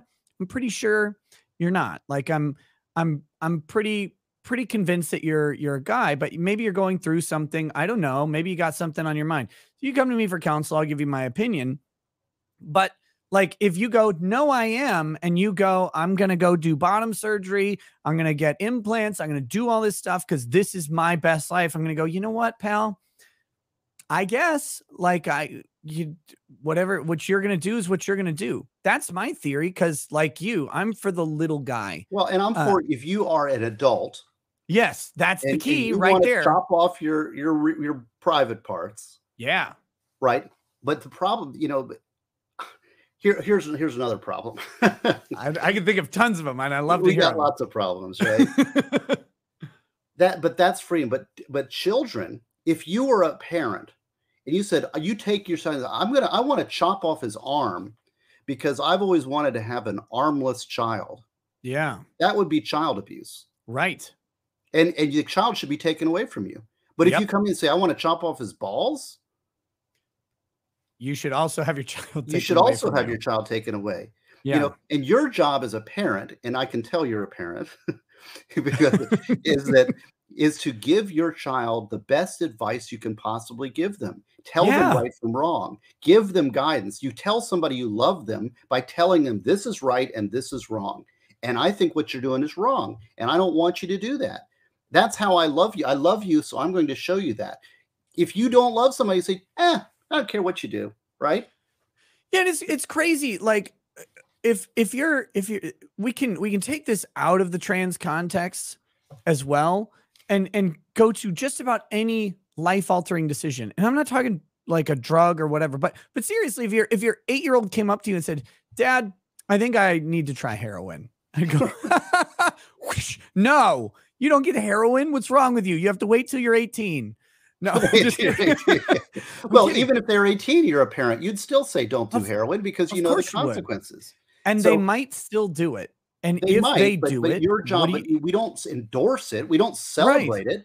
Look, I'm gonna, you know, you Yeah. see these, lefties out in California that are bringing. I'm so happy my child is trans. It, you know, and you talked about the DSM. It's another issue that I that I have a bone to pick with Duncan. is Yeah. that is that uh, he talked about the DSM four and the DSM five. Okay, the DSM four defined uh, trans transgenderism or gender dysphoria. It defined it as a mental mental health issue, right? right. They Yes. took it out of the DSM 5. Okay, well, how does that work? You know what that is? That's a bunch of lefty psychiatrists sitting around a room in a committee saying, let's decide to take this out for political reasons and shove it down everybody's throat because we're in a position of authority and we're in a group and now we're the big organization and you got to listen to us because we're the authorities and we wrote the book. And they are corrupting mental health because the DSM, so the DSM 4 was wrong all this time, it was wrong. It was just incorrect. It was just incorrect. And now we have all this you- wisdom that we've derived from where? It's just a committee that voted. Could you sick of it. imagine? I, I really, that DSM 5 is a political document. It was not vetted, it was not done properly. There's a lot of problems with the DSM 5. Oh no, So- I, I fully I fully agree. But um I I think gender dysphoria is actually still in the DSM five as well. Like I think he was wrong on that point. Um They, but they but did alter, they did alter the DSM. And I, I don't delve into that. So that's mostly trial division sex offender stuff. So Yeah. and I stay far away from the sex offender stuff as I can because that's why that's why I delve in murder and death. yeah. because I don't like doing sex stuff. No, Um, it, it'd be like it's it's crazy that um dealing with people who chop someone up or eat someone's face or whatever is far less soul crushing than what you deal with in sex crimes. well, you know what it is? It makes me very sad because as a parent, you want to protect these children and they're being put in a situation where they're being victimized and not protected. And so my your parental instinct that's part of being a human being when you have to watch videos it's horrible because you your natural reaction is to want to protect them Um, and that's horrible. But I, will tell you, murder stuff, all this stuff, we talk about public defender problems, it weighs on your mind, you know, having to watch crime scene videos and stuff. Oh, yeah. Um, you know, and I don't, I, I try to limit my exposure to that as much as possible because those images live in your head forever. And yep. so the less images I can put in my head like that, I mean, there are things that right now we're talking, I'm thinking about some images that I had to look at in murder cases that will never go away. And some of them, I mean, really make me cry. It's very sad. The victims. Now, that doesn't mean that the, the accused murderer or the actual murderer isn't entitled to the, the fair trial and right. rights and that's our job as defense attorneys to defend them and that doesn't mean that means put the state to their burden of proof make sure they have a fair trial, give them the rights they're due. But you know, if the process works and p- guilty people get convicted all the time, no, you know, and this is a big mistake, and I, am gonna, I'm gonna lay down a marker here with you. yeah. Get it? Is that uh, people always talk about people got off on a technicality? That never happens, at least not in Florida. Now, um, no. maybe it does in some of these crazy lefty jurisdictions where Soros prosecutors, what happens people get convicted on technicalities all the time. Yes. All the time and and people don't understand. They come in they think oh you're just got some magic wand and trickery and they're going to get off on technicality. Like you know what the percentage i did a paper on this what the percentage of winning on appeal getting winning means some meaningful relief on appeal in florida in my jurisdiction is uh, I think you sent it to me, so I'm gonna not answer. Okay, well, but let's it's, look that answer. It's abysmally low. What What do you think? That means some relief that would be some meaning, like a new trial, a reduction in sentence on appeal. What is the chances? Let's get let's give some let's give them some chance to come back. I know I got some more stuff I wrote down. Oh, I, uh, I, got a good case. You like good case stories? Real quick, I, w- I want to complete one analogy though. Okay, go um, ahead. In in regards to the trans thing, and again, like the like the duty of a parent. Mm-hmm. Um, are you familiar with a with a with an adult film actress named Sasha Grey? She was in the news a couple years ago, like in the normal news a couple years ago. Well, my left... wife would say no. okay, so Sasha Grey is an adult film actress or was an adult film actress. She was in the news because she tried to be a school teacher. The problem was all the dads kept showing up and recognizing her. Um, yeah, having there was a lot of parent teacher conferences. yeah, and they they like they recognized her and and they would make like comments that might border on inappropriate or or whatever um because of her prior career. The reason I bring this up is because if you're Sasha Grey's dad and she's 16 years old and she says, You know what, dad? I kind of want to do stripping and porn when I turn 18. Your job is to say, No, that can ruin and impact your entire life. It can have long term consequences. You might make good money now. You might make good money know, uh, when you turn 18 for the for a couple years, but eventually, like you'll leave that livelihood, but it will have lasting impacts on every other decision that you make, not to mention the physiological realities of uh, something like 99% of porn actresses and actors have an STD that can be a lifelong condition. Well, the problem is is that people like um the the happiness really comes eh, we're lying to people. The culture lies to people and says yes. this is the key that money is going to give you this happiness or necessarily. When you're ruining the real path to happiness which is establishing a relationship having children having a family living a good ethical life this having is a very offensive. career right? I mean those are the things what matter to me is that i got a great son who's going to college and and that I've been a good dad and I've got a good wife and I've got a happy family. I mean, uh, those are the things that matter to me, and I got a nice base. no, but um, we're going to answer some of your the questions on the percentage. The actual answer is 0.6 percent. That's six out of a thousand. Some of them knew that because they probably have seen me talk this elsewhere. But and of the 1,700 cases that I looked at in that paper, there was one that went from guilty to not guilty. It's it's insane That's how hard it is year, to a year block of time in 13 counties in Florida, and all the appeals that we had 1,700 criminal appeals in our district. One went from guilty to not guilty, and that was because they were convicted of a credit card theft, and it was or they had a gift card and they were using a credit card, and it was some credit card statute or something that was un, it was overbroad, It was kind. It was something that they were prosecuted on the wrong statute. Now that's why the Kelly case we're talking about is a it's a huge win because this is the first case I've ever had that actually walked somebody off of out of prison.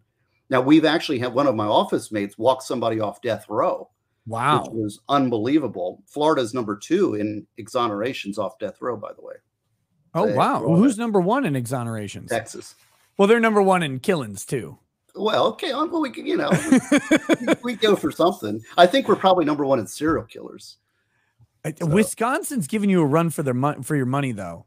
Wisconsin's yeah. got Wisconsin's got a, a crazy murder crime. Like Wisconsin's the Florida, Florida against. Wisconsin any day. no, I'll, I'll give it to I'll give it to Florida. I'm just saying Wisconsin is like the protege. They're like watching Florida going, oh yeah, how do we kill people in worse ways? Yeah, well, we're a good example. You know, we had Aileen Wuornos was convicted. That was in our district. Mm-hmm. Um, and uh, we had Gerald Stano, who was who killed maybe 60 people, who kills people right across. I've had four murders just within 60? eyesight of my office in the last five years. Jeez. Yeah, I mean, you should find a fact, new office. I can see if there's a double homicide we're defending right now that I can see the crime scene from our from my office window. Damn. Uh, our, yeah, one of our one of our appellate attorneys witnessed a murder last week.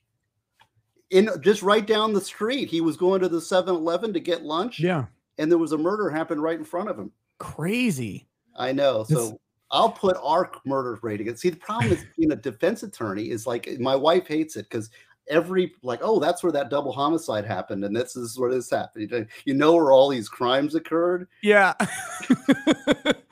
Honey, we're gonna stay at this hotel. Why? Ghost hunting? We had another guy get run over by a car in our parking lot of our office yeah. Anyway, was that intentional or was that accidental? Oh yeah, yeah. It was. There's a there's a bar. There's a strip club bar area near our office. oh my God! You you work in heaven. This is amazing. No, in the daytime it's fine. At nighttime, what it has about nine or two o'clock in the morning, right around now, people start funneling out, and they've all been drugs and high. And they've had all their interactions and unsupervised adult drug interactions, and yeah. they, they pour onto the street and get uh, nuts. I'm trying to get more of those. I'm going to come to your area and have a bunch of unsupervised drug interactions so you can defend me. no, no, no. You don't want to. If I'm your lawyer, you're in big trouble. oh yeah, because you're in the appeals side, so I've already yeah, lost yeah, yeah. at that point. Um, no, it's it's uh, yeah, it it is something. But the thing that the thing that annoys my wife the most is when we're sitting there watching any TV show that has any legal stuff in it, and I'm like, nope, nope, nope, Nope. Yeah, exactly. I can't watch it, it, It's so, and there's always like they always have these cops and they're chewing bubble gum, and the guy's sitting at the table, and the the defense attorney's right next to him. He's like, "Just say you did it. Say you did it." And the defense attorney's like, "Excuse me, objection." Is like, "Shut up." Yeah. Answer the question, right? Yeah. I'm like, what is this? This is so stupid.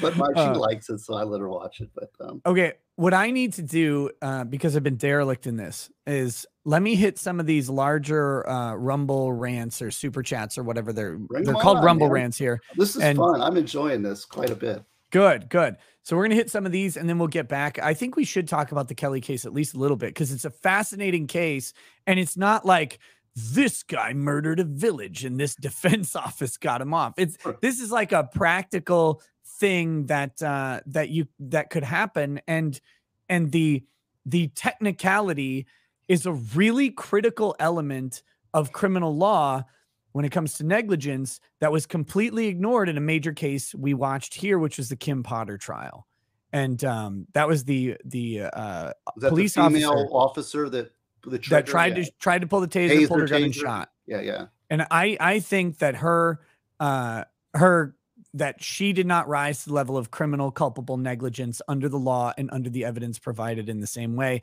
I don't think she's going to get relief on appeal because I don't think she's going to bother with the sentencing that was given to her.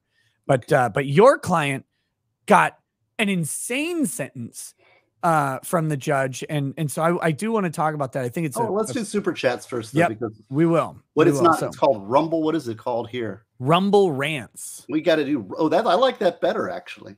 So Rumble rant. Uh, we've got Mike Svoboda. He says, "Good to see you on tonight. Sad we have to put up with protectors of evil. YouTube management goes on the wall." right next to all the other pedophiles and groomers. uh, Wait a second. That's not real. what I, I, can need to- laugh. Doesn't mean I'm agreeing. I'm just laughing. That's all I'm saying. if I start doing more shows on Rumble, maybe I'll have maybe I'll have F slur Friday where I answer every Rumble rant with an F slur just because. I don't know. I'm so tired of this. Like I'm so tired of the censorship and the the walking on eggshells thing and people getting so damn upset over a word that has no direction. Because that's the thing that kills me. Like if uh, I, I was in an argument with someone because they were mad about something I said, and and uh, it was it, they called it a slur, right? It was not a popular slur. They they called it a slur, and so I and I was like, "What is your problem?" And they're like, "Anyone who uses slurs is racist, bigoted, whatever." And I said, "Okay, so anybody who uses a slur in any context." And I'm like, "So Chris Rock is a bigot?" And they're like, "Yes." I'm like, uh, uh, and like Dave Ra- Chappelle's a bigot. racism is so overused and so beat into the ground it's basically meaningless and you know Right. i don't get offended by anything i'm, I'm very very rarely am i offended. I mean it, it takes a tough. lot Yeah. because i mean it's like what are you going to say? Who do you, who i know who i am. I know Right. what i am. And it's like i don't you know whatever you say that's your opinion. That's just your opinion man. Exactly. Exactly. Oh dang it. You reminded me of something. I'm gonna say it in just a second. But yeah so i i they're like and i'm like try this. Just go outside with no one around and say the n word. Just say it no one around no one listened to not pointed at anybody just say it. And are you a big and they're like i would never do that. I'm like why? Like you you clearly don't hate. You clearly don't mean anything. There's no one around to even hear it. So just saying the word cannot, by definition, you cannot be hateful doing this. You have like it's But just the a demand word. the demand exceeds the supply the demand of actual racists exceeds the supply so they have to create and it's also an effective slur within the political society and all the politicians want to do is divide us from each other and and it's a weapon that's being used against the right right now and anybody and- and you can dismiss oh you're i don't have to listen to you because you're a whatever. I'm going to put you in that box so i don't have to actually deal with your thoughts you know because people have gotten Mhm. lazy it's just i've been going to offload my thinking process to A- msnbc Right. And the, but the crazy thing is, I would take people putting me in the box so long as it's not a company or a government putting me in the box. Like if if you want to, like tons of people every day, I'm sure they. we're Who's in a box guy? right here actually like i'm in the box you know? We're framed up nicely. But I'm sure people click on my show as I'm screaming about something and they're like, I'm going to put this guy in a box of people I don't want to listen to. That's fine. That that's what we all get Yeah, to I don't do. I don't listen to those shows, so maybe that's correct. But Yeah. but the fact is is that I don't want to censor them. They can say what they want over in their world. Exactly, because somebody else wants to hear it somewhere, maybe, or nobody does. It doesn't matter. Like all of this stuff is, uh, all of these people are are predicating their decisions on what people should want to hear, with no consideration of what people do want to hear. And I want to hear I want to hear the racist rant because that tells me who they are. Exactly, and maybe it's funny. It can't- No, Chris. Rock is hilarious. he Bill is. Burr is hilarious. I mean, those guys are funny. And I would hate to have a world without humor. Me too. Me too. Well, because I'd I'd be on the wall then. That's wrong. Infinitely base says engagement metrics for the engagement metrics god. Thank you. Brulahem, you were painting on stream, which is precisely the type of thing Hitler would do. Susan was justified, sir. Yeah, Thank Hitler you. was a painter. He was. He painted Warhammer minis. He also he also liked uh, he was also a vegetarian. You know that? Oh, no, I didn't know that. Oh, see well, I think Hitler ate some kind of meat. And he and he also and then also he was uh, he did love dogs too so anybody that loves dogs must be just like hitler That's true. I think that's actually true. Actual Boomer says, How about some griff for the Griff Lord? Let's make this a profitable move th- for the whiskey drinking lawyer. Hey, thank you, Actual Boomer. I like that idea. I fully agree with it. I endorse the chat giving me money. Go for Big Guy 911. Welcome home, Nick. Did you catch Hitler reincarnate declaration that all MAGA is clear and present danger? What a wonderful time to be alive. That's the Joe Biden speech. I did not catch it yet. Someone right? i've sent seen it to me. have you seen the stills though I I've only seen one picture from it, and it was not like a. It was like an incidental picture. It it's like, like, a there, good it's one. all red, and there's Marines behind him, which is weird in a political speech. And he, it's very, it's very Leni Riefenstahl, and it's also, um, I, I- I'm, it's disturbing, but he is trying to instigate a backlash. He's Yes. trying to create violence because they're going to lose these elections, and he's trying to say, "See, I told you. Look, those MAGA people. There was some assassination or something. They are they are asking for political violence. In fact, my my running political theory. Whenever I re- watch the news and I listen to the left and what they're doing, trying to destroy. Basically, they're trying to destroy the country by everything they're doing. And so I that's my running theory. So it's like, okay, he's trying to get he's trying to undermine the country, destroy the constitution, and this is one way to do it. That and it explains all the actions that they're doing. Why are you Yeah. destroying the the the uh, the dollar with the inflation? Well, you're trying to destroy the country. Okay, why, Yeah, why are you creating racial divisions between people? Because you're trying to destroy the country. I mean, really, it, it fits almost everything that they do. Why are you bringing all the what, letting the wall? Can people just come in and uncheck borders? Trying to know. destroy the country. No, no, it's 100% right. And it's to to foment conflict amongst the the mat like the this is we we we have a system that is resistant to aristocracy and nobility, but for the noble and aristocratic classes, the quickest way to keep the masses from killing them was to get the masses to kill each other.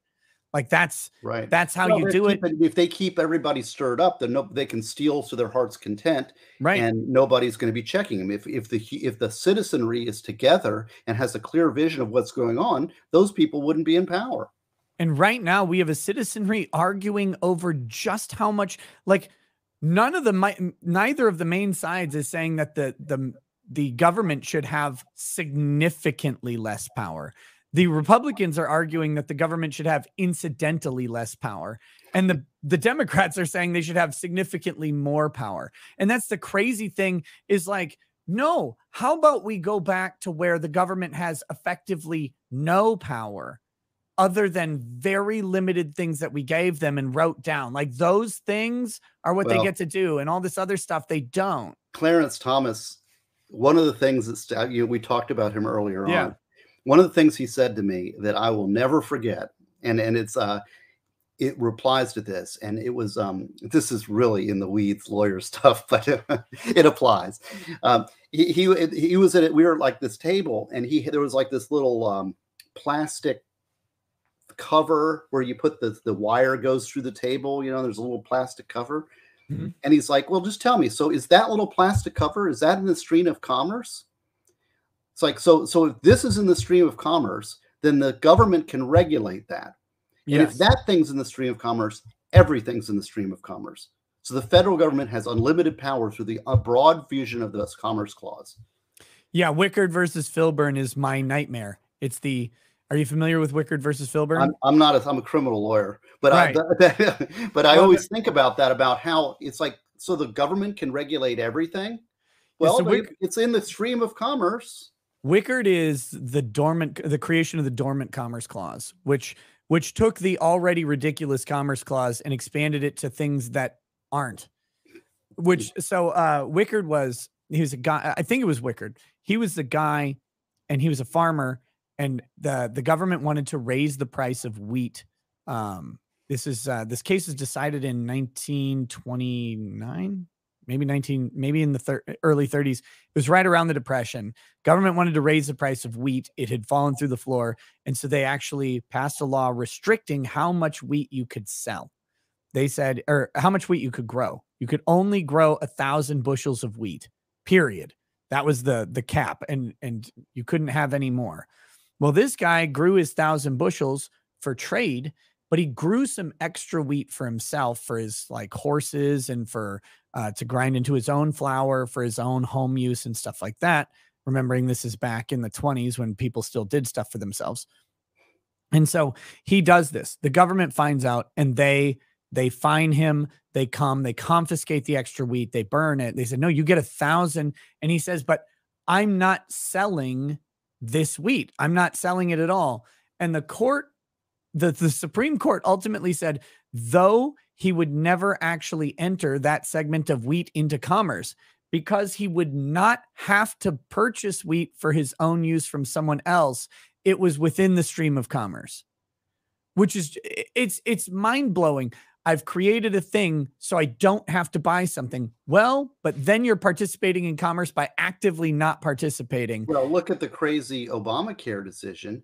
Now that was thought of as a tax, but it was originally thought as stream of commerce. It your yes. failure to purchase, your failure to act is acting.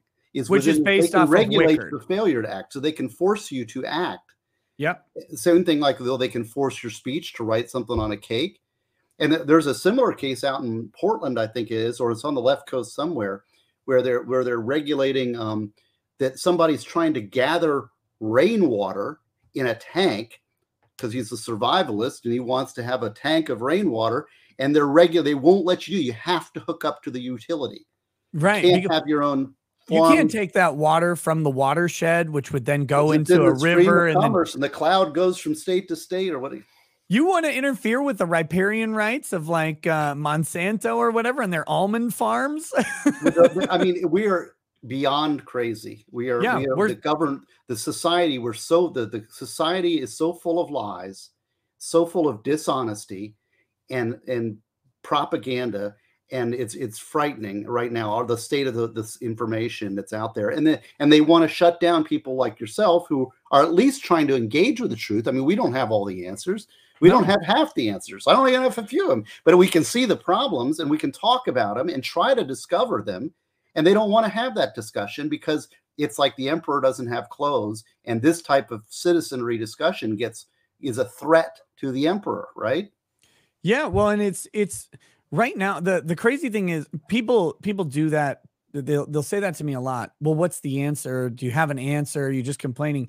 And it's like we're not at answer level yet because right now most people walking around today don't realize that there's a problem they they legitimately don't recognize the fact that uh that the government can force you to buy a product from a private company as a problem. They don't recognize the fact that Kelo versus the city of New London exists, where the government came in and took houses from people and gave the property to Pfizer.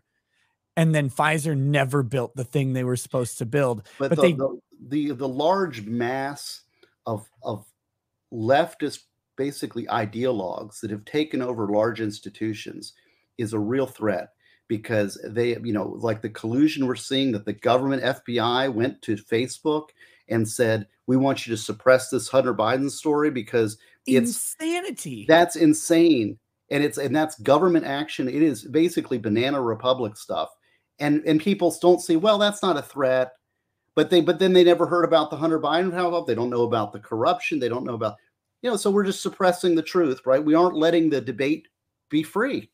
Well, that and and on YouTube, I had to say it this way, but uh, that was the stolen election. Like whatever the whatever the results of the any voting machines or anything, I don't know. I don't fucking care. Here, it was stolen. The vote machines took it all because YouTube can't stop me from saying it. Vote machines were stealing everything, stealing babies, stealing votes. They gave Joe Biden babies to sniff and an election to win. So I don't know. But but the real theft, the real theft was precisely that Hunter Biden story. It was a collusive and collaborative effort by media entities to suppress this thing. And now we're finding out that the but government was involved in that. Story. It was the right. cavalcade of March of anti-Trump stuff and no no shining a light on any kind of democrat wrongdoing or any kind of he could hide in the basement and everything's given a pass and everything that Trump would sneeze wrong, and he's a Hitlerian Nazi. I mean, he's a human being who has flaws and he has policies. I don't have many I, flaws, but my flaws are truly tremendous. They're wonderful. That's a pretty good impression, I must say. I'm, I'm impressed.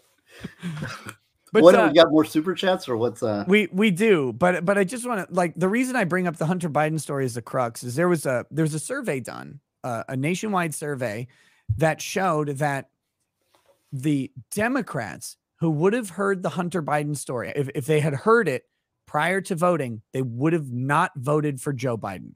It doesn't mean they would vote for Trump. It just meant that they wouldn't have voted for Joe Biden. And it was a sufficient number in the swing states to change the election. Like that story was that story coming out according to this survey, which surveys have, uh, you know, margins of error and everything, but outside of the margin of error for this survey, that was enough to to completely change the outcome of the election. And it's like, and it was just, and now we're finding out that the government was involved in it, which makes to me, I'm I'm not sure why Facebook hasn't already been sued as a quasi state actor. Uh, well, on, a lot of big issue. law has been taken over by the left. That's and true. It takes big law. It takes big law to sue. Most big law is hard left, and so you get th- those entities don't want to sue big entities. It's big government is the friend of big business, and Republicans need to learn that big business is not their friend. That individuals, liberty and freedom is the is our friend, and that's what we need to preserve. We don't need to preserve Bill Gates's hundred million dollar house. And it's like, well, he earned it, and all the we have all these justifications. Yes, but when his power with his money and his influence over corporate media is such that it threatens individual freedom, then that needs to go. That power needs to go because right. individual freedom is way more important than some theoretical business control. The guy's going to be fine. He's not going to be hurt antitrust works and we need to be much more invigorated. Whenever I want to get friendly with a leftist, I talk about antitrust law because generally they're pro antitrust and we agree on these things. You know, a lot of liberals do not like big tech either or big business. So I think we have common cause on that ground. The problem I have is when liberals talk a lot about antitrust and then they don't they, like they carve out YouTube, Facebook, Google, and Twitter not, and stuff. Not the ones I've talked to here. I, I mean, mean, you've I've, you've got blessed liberals then. I've got what? Blessed liberals. Blessed who at least you know. who at least have a modicum of consistency because a lot of the ones I run into, they're like uh, suddenly they're the they're the most free market capitalist things ever when it comes to censorship on big tech. They're like, no, private companies could do whatever they want. I'm like, no, they, we haven't had private companies able to do whatever they want since 1870. What are you talking about? You can't, you cannot, you cannot even come close to saying that anymore. Oh my God. Uh, and and in some ways that's good, right? Like in we I don't want corporate towns anymore. Like I don't want that. You know, I, we have well we, we uh, let me just throw it. When I was in um I, I did I did radio shows here for a while. Yeah. Um, we had a Marc Bernier show, which was a local. Um, he came in after after Limbaugh, and so I was a frequent guest there. I've Actually, heard him before. Have you heard Limbaugh, or have you heard uh, Marc Bernier? Yeah, I, I can't remember where I I think Daytona back when Beach. I was I think back when I was listening to Limbaugh, Marc Bernier filled in for him once or twice. Okay, could be. Anyway, I used to be a frequent guest with him. He was a friend of mine, and uh, we used to do politics all the time. This is this mm-hmm. is fun because it's not just law, you know. But um, and uh, where was I going with that? Now, I now I lost the train of thought. I mentioned corporate towns, oh, and that's no, no. I was going to tell you one of the, the my my rules I developed with talking with listeners, and you know, we're communicating with people. They call in on the call-in show is that if you're going to talk with somebody on the other side, there's got to be certain ground rules. You have to say, do you believe in truth? Do you believe in truth? Do you believe there's an objective truth? Is there a right and is there a wrong? And is there truth and is there falsity? Because if you don't believe in those things, then we can't communicate because you're playing a political game. And then also, are we both seeking the truth? Right. Right. And are we engaged in it? And then also don't engage in ad hominem attacks. So if you oh, I'd come, fail. You know, but if we can come up with those ground rules, then we can talk across the aisle. But a lot of times, people they use they use language as a weapon, and they don't. They're not seeking the truth. They're seeking to win political points, and they're they're also they are also uh, this. They want to call you a name. They're looking to call you a name. Oh, you said a dirty word. You're a racist. You're a bigot. You're a homophobe. Right. Or whatever. There's no productivity in talking with somebody in without that. And uh, you know, a lot of the um, and also when I'm engaging with people from the left um, a lot of have you ever read uh, C.S. Lewis's Abolition of Man? No. Absolute must read. Um, it, it, talks about this is a little. Where I'm getting you know this is ranting time, right? This, this is, is what this is about. This is what this is what the show the show like I have an idea of where it will go, and then it goes like this, and that's what I want in life because the, for me, uh, just as a personal thing, the the thing I find joy in is hearing people's stories and hearing people's thoughts. Um, and and so getting getting to that place where people are telling me about their life experience that I don't have, or a story that makes me think about something in a different way, that's all I want to do. And Mm. and so I I love this. That's Okay, good. and I well, think that's what entertainment really is. Is well, it's not, but it's it's also this is meaningful stuff. When do you ever get to have moral discussions with anybody? Mm, You know, uh, we live in this society. Never anymore. Can't, can't talk about politics. My, my friend Derek, who I love and who passed away, he used to say, "I care about you. I love you as a human being." And those are important things. And it's my incumbent because I love you. I want you to be right in the moral sense. And I, we- those are important conversations. to oh. Derek sounds very offensive. Oh, he was great. No, he was. Everybody loved my friend. He said he was staunch Catholic. he was staunch Catholic. Oh, Yeah. right. What was his? Do you do you know his uh, confirmation name? I do not. Oh, that's a good Okay. question. I don't. He was one Are of wait, are you are you Catholic? I am. I'm a convert. Okay. Did you? I so I was raised Catholic. Uh, Mm-hmm. so I I don't know the convert thing. Did you do the sacrament of confirmation? Yes, yes. I went through something called RCIA, Right. which is I don't even know what that stands for. I, I was kind of raised nominally Pros- Protestant Sure. and kind of was not really had a faith, didn't really have much faith. But during my exit from the state attorney's office, put me in a real hole. yeah. and uh, it was a real there's a there's a it's a long story i could tell That's a, another story for another day maybe but um going in that hole sometimes there's things that are bigger than you and i needed help to get out of that hole because when we're young we think we rule the world we don't we are strong and we everything but sometimes you got hate in your heart and you got to let go of it but you can't. And so i was brought out of that hole by a miracle or whatever and god gave it to me. I says well this this is something's right here. So i went through uh, i went through the whole process and uh, became catholic. So but anyway What's your talking about? confirmation name? It's- stephen with a ph and i did that so that because not only is saint stephen the first the first guy with a head on the chopping block which is me but also if they screw my name up it's right either way There you go. Mine's Ignatius. oh Saint wow, Ignatius. ignatius now the- Patron saint Ignatius? of uh he was a patron saint of taxi cab drivers and hearses. get out of here Uh, he's actually like his story is phenomenal. Um, he walked with a limp because he had a he had a disfigured leg, and um, they tried to like saw it off, like saw it down, and he uh he didn't do any like anesthetic. He just he just sucked it up like a man. See, and you are a glutton for punishments that thing some days, some Well, days where, I where- am. where are we going with? Oh, I know it's ab- abolition of man. I wanted to get back because you Yes, got to yes, read yes. abolition of man because what it talks about is basically we're all sort of there's a pyramid, kind of like a Maslow hierarchy, but it, you have everybody's tribal, and we have our tribal allegiances, and that could be family, you know, racial, country, whatever it is, but that's sort of a foundational human thing that is all part of us.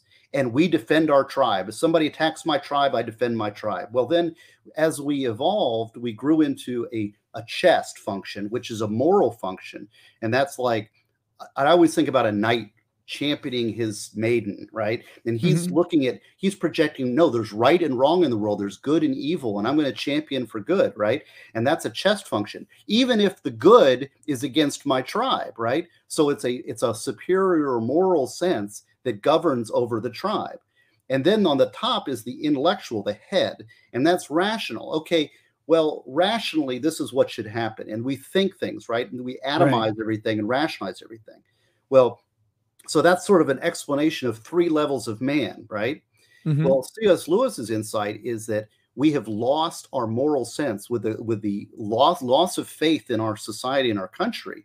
We've lost our faith, and therefore we lost our moral sense and our chest sense. And so what you get is is everybody's intellectual Yeah. until they're confronted with something that they can't that that disagrees with their intellectual framework, and they don't have a moral sense to fall, so they go right into tribalism. So when you're talking with a, the lefty, and all of a sudden you say, "Well, what about this? What about this?" And all of a sudden it's like you're you're a bad guy. All of a sudden you're on the other team, and that's a tribal response because they devolve right from that. That's right out of C.S. Lewis. He wrote that in the four, late 40s. and he's um, right. He's, He's 100% exactly right. And so the answer is when you're talking with people of who have lost their faith, don't address them on the intellectual front. Address them in the moral front. Address them from right and wrong. Is this right or wrong? Is that good or bad? Is that right? You know, address it in, in a moral sense and that would then they because they don't have that. You need to develop that, bring it out of them. So that's the way you bring people into the world of good, right? I mean, this is Yeah. I don't Which know. I'm just, I'm just to giving you a debate tactic for uh, t- talking with your and for the chatters and the watchers and all about how to deal with people who are you're disagreeing with. Well, because we have a different fa- set fact set. We've watched Mhm. Fox News or whatever, and they're watching MSNBC, and so we're disagreeing intellectually. But the are we disagreeing morally? So Yeah, flesh that out. Don't debate on this level because you're not going to. You know, it's like uh, Reagan said. It's not what they. It's what is it? Um, it's not that they don't know anything. It's what the, it's so much of what they know is wrong. Yeah, for me, uh, checkmate. I don't watch anything. Um, like I just my my compass on this stuff is uh, in in in the United States is based on what they wrote down, and also I have a I have a firm hatred for Marbury versus Madison, uh, which which bothers a lot of lawyers, which is good, and it always should. It, but if I'm bothering lawyers, I'm in a good place. Yeah. But um, no, I, I hate the fact that the founders gave us a way to amend the Constitution to suit our needs, and we just decided right away that judges would do it instead. That's what bothers me about Marbury versus Madison. We handed so much power to the Supreme Court to effectively write amendments into the law. I mean, look at Roe versus Wade and just how long it took to dismantle that absolute catastrophe of a decision. And I mean, it, it, it and what I I had a debate on this uh this guy named Destiny stream. He he reached out to me. Destiny's a he was he was a very big Twitch streamer. He got banned from Twitch for for being transphobic, even though he's very left. But he he's he was taking issue with some of the trans uh, women in sports stuff. Um, but uh, so he invited me onto a debate, and he's like, uh, "I've got three other lawyers. We're going to talk about Roe versus Wade. Do you want you want in?" I'm like, "Sure." and so it's basically me versus two and a half is, is how it came out. Because one guy was like half on the side uh, of of like babies actually maybe are protected by the constitution somewhere. And then the the other the others were not. Their ultimate argument as was the argument for roe in general was well the supreme court decided it in roe therefore it's the correct decision that should remain. And it's like and and I I brought up the I uh, um in the later part of the discussion I'm like stare decisis is informative but should not be controlling because if a decision was bad when it was made it should be reversed now out of hand. If we determine that a decision was wrongfully decided it should just go. And they're like what no the stare decisis factors say blah blah, blah. and i'm like i don't care what the factors say I care about the fact that if something was opposed to the Constitution when it was decided, we should go, this was opposed to the Constitution and still is, and just remove it rather than go, well, but is it convenient? Is it this? Is it that? What are these? No, I don't care about a four part test. Well, you are If you are was- very much in the Clarence Thomas wing because he Oh, doesn't yeah. believe in stare decisis. Right. It, That is right out of what he would say, and that's um. stare decisis is value to me and and i yeah i've seen this in his opinions too is that smart people figured this thing out in this way we should listen to what the smart people said but smart people are wrong with frequency sufficient to say they might be wrong now and if they're wrong then they're just wrong and well, and the Supreme Court has been wrong. The Supreme Court has caused more problems than it solved. They love to wave the flag of Brown versus Board education and the, the whole racial uh, thing, but uh, you know, the they were Supreme wrong on that has issue been- forever has been a problem for a long time. In fact, it caused the Civil War.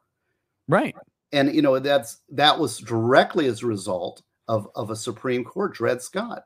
Mhm. And if you want to read a if you want to read a good decision from the Supreme Court, go read Taney's decision in, in Dred Scott. I mean, boy, talk about a, a judge who thinks he's going to solve the world's problems with his pen. Okay, I'm done with this slavery debate. I'm going to fix this once and for all, and I'm going to write. It's an air. It's the most arrogant decision, typical black robe judge stuff. You know, this kind of goes back to something I deal with a lot. And uh, you know, one of the things as public defender, I'm also I represent them legally, but I also am their counselor. right And and so a lot of it is just you know, go forth and don't sin again, right? but a lot of times I'll get people, I'll get my clients, and they'll call me, and they're you know I get the appeal and they've been convicted and they're in prison or whatever and the family the family will call me and I have to say they say oh I just I just believe in the system and I have faith in the system and I'm like I don't have faith in the system. Yeah. I mean I, I, that is that is idolatry. You are placing your faith in the wrong place. Faith is to be placed in God alone. And do not the, the system is evil and flawed and filled with evil and flawed people and it's corrupt and it's it doesn't work. And i have i mean i don't have any faith in the system. I mean and and that's that's terrible to say. You know my mom likes to get she gets on me all the time. She's like how you know you're a lawyer. You should believe in the system. I'm like i'm a lawyer and that's why i don't believe in the system faith, faith is placed there and a lot of our problem another problem in our society and we're going to solve all society's problems here tonight yes is um is idolatry, and idolatry is not a golden calf. You know, idolatry is placing your faith in something that where it should not be placed. A lot of times people place it in the government. They place it in science. They place it in rationality. They place it in power, in money. Those are all idolatrous places to put your, your faith. Your faith, yes. there's only one place you put the faith, and you choose it it's a it's a leap of faith and you choose it but it's ultimately irrational and that's the chest function they, the, and the rational brain hates that but you cannot have morality without faith and your faith is somewhere because you're making decisions at all times and some you you have a there's a right and wrong decision making process in every right. decision you make and that morality exists where you place it you may not be if you're unconscious then you need to examine yourself because it, you're putting it somewhere where it shouldn't be. If you, I've chosen where I'm putting my faith. Where have you chosen to put yours? That's my no. It's it's it's a it's a it's a great uh it's a great synopsis because people have this idea that uh that well i'm an atheist therefore i make all of my decisions rationally. It's like well one no you don't. For first of all i've met you. You don't make decisions rationally at all. But second, you we seek some guiding principle, whatever that may be, and you can call it rationality, but your rationality is always formulated by some set of what is correct, and and you you choose where that goes. That's 100% right. There, there's this guy, his name is like Mike Hargood or something. He's super liberal. He's ultra mega gay in a lot of ways. Uh, not not not uh, sexual preference wise. He's just like, but they he was on a podcast and God, I wish I knew what this podcast is called. The first season was so freaking good, and then it devolved into typical typical like super liberal stuff within church, which really bothers me. Like when it when it gets overtly political within the church, either way, I get annoyed. Mm-hmm. Um, but he's a guy who's like a physicist, he's a scientist, super rational guy, and he cannot explain why he's a Christian. He can't do it. He's like, but uh, when he was at this really bad point in his life, and he wrote a book about it, but he was sitting on a beach and he he was just sitting on a beach meditating and the tide actually like he kind of just zones out and the tide comes in and goes out and he wakes up on this beach and he was surrounded by like all this seaweed and stuff and everything, except for a circle around him. He was protected from the tide. Is is the the best way? He's like, I can't explain it. Every rational part of my brain has tried to figure this out. I can't do it. And so that's how he was brought to faith because he there is no rational explanation for this. He does not rationally, he cannot rationally figure out God or anything like that. But he knows that he sat on that beach and he knows that nothing touched him for hours while he was tranced out meditating. And he should have died, like he should have drowned or been awakened or something, and it didn't happen. And uh, his book is called Finding Faith in the Waves or Finding God in the Waves, which is a play on that incident plus his physics background. But, but like that's, that's the kind of thing that uh that that you're like talking about is that there there is this thing that you cannot and will not be able to explain. That's faith. Well and it's a mistake to think that you can prove god or is establish faith through rationality. And that and the and the the mind and again cs lewis talks about this the mind is jealous and the rational brain is very jealous of anything that it can't explain. Yes. and it likes to atomize faith but faith is at a completely different level. You can't explain. Explain to me good. Explain to me evil. Explain to me love. If you have a child you love your child. Well that's not rational. Yeah, it doesn't make any sense at all. doesn't make any Because sense. sometimes Why they're little that? bastards. right yeah. And they're crying and screaming and colicky babies. I mean I, if your baby's colicky boy that's i mean you know that's a very it, it hits you at a primal level that you can't Yes. explain and men are really bad and i've had oh god this is this is a problem with being a public defender you know it brings up bad memories about child abuse cases Yeah. about young men who kill babies um, you know, who are basically colicky. They're colicky babies, and they they don't have the mental ability. And that's a men male female difference, I think. I mean, I, um, females are much better at carrying it in, with infants, and and men and boys are not. And we and we get and that baby starts crying. And it's Oh. like, what are you gonna do? And they shake them and they kill them Yeah. and it and it's not it's just it's like they can't handle this like i mean the and what people need to learn is just walk away you know put the that's baby what I yeah. Well, that's that's what I'm saying. People people often eh, hey rackets. Uh, my wife and I are about to welcome our first baby. What advice do you have for new parents? I'm like I don't know, but I know this. I know this. Put the baby in the crib and walk away. The baby will be crying in your arms. You won't be able to figure out what's going on. Sometimes baby just needs to cry. If it's crying in your arms and it's going to be fine crying in your arms after 30 minutes, it's going to be fine crying in a crib after 30 minutes. Put it down, go rest, go Right. get your, you got to collect yourself because because you Otherwise- because you're like Yeah. i've got it this is a problem here and i need to solve it and then what happens and i mean i've had multiple cases like this where young men are left with infants and they hurt or kill the baby because the baby's crying and they don't know that they can just walk away if the baby's been changed they've been fed they're, you've held them and they've cried and none of that's working you can put and you're starting to get angry you got to put, put, the down. baby down and walk away Yeah, and it's it's crazy because uh, people think of child abuse and they and and like child children getting injured and, and even killed, and they go, these people are monsters, and sometimes they really really are, but there are times when they really aren't. It's stress, it's lack of sleep, lack of education, lack of training, and then this baby will just not stop crying and you have to just put it down because all of this other stuff is working against you. And it's like these people don't set out to hurt kids. They have no desire to harm this baby. Oftentimes they really like it.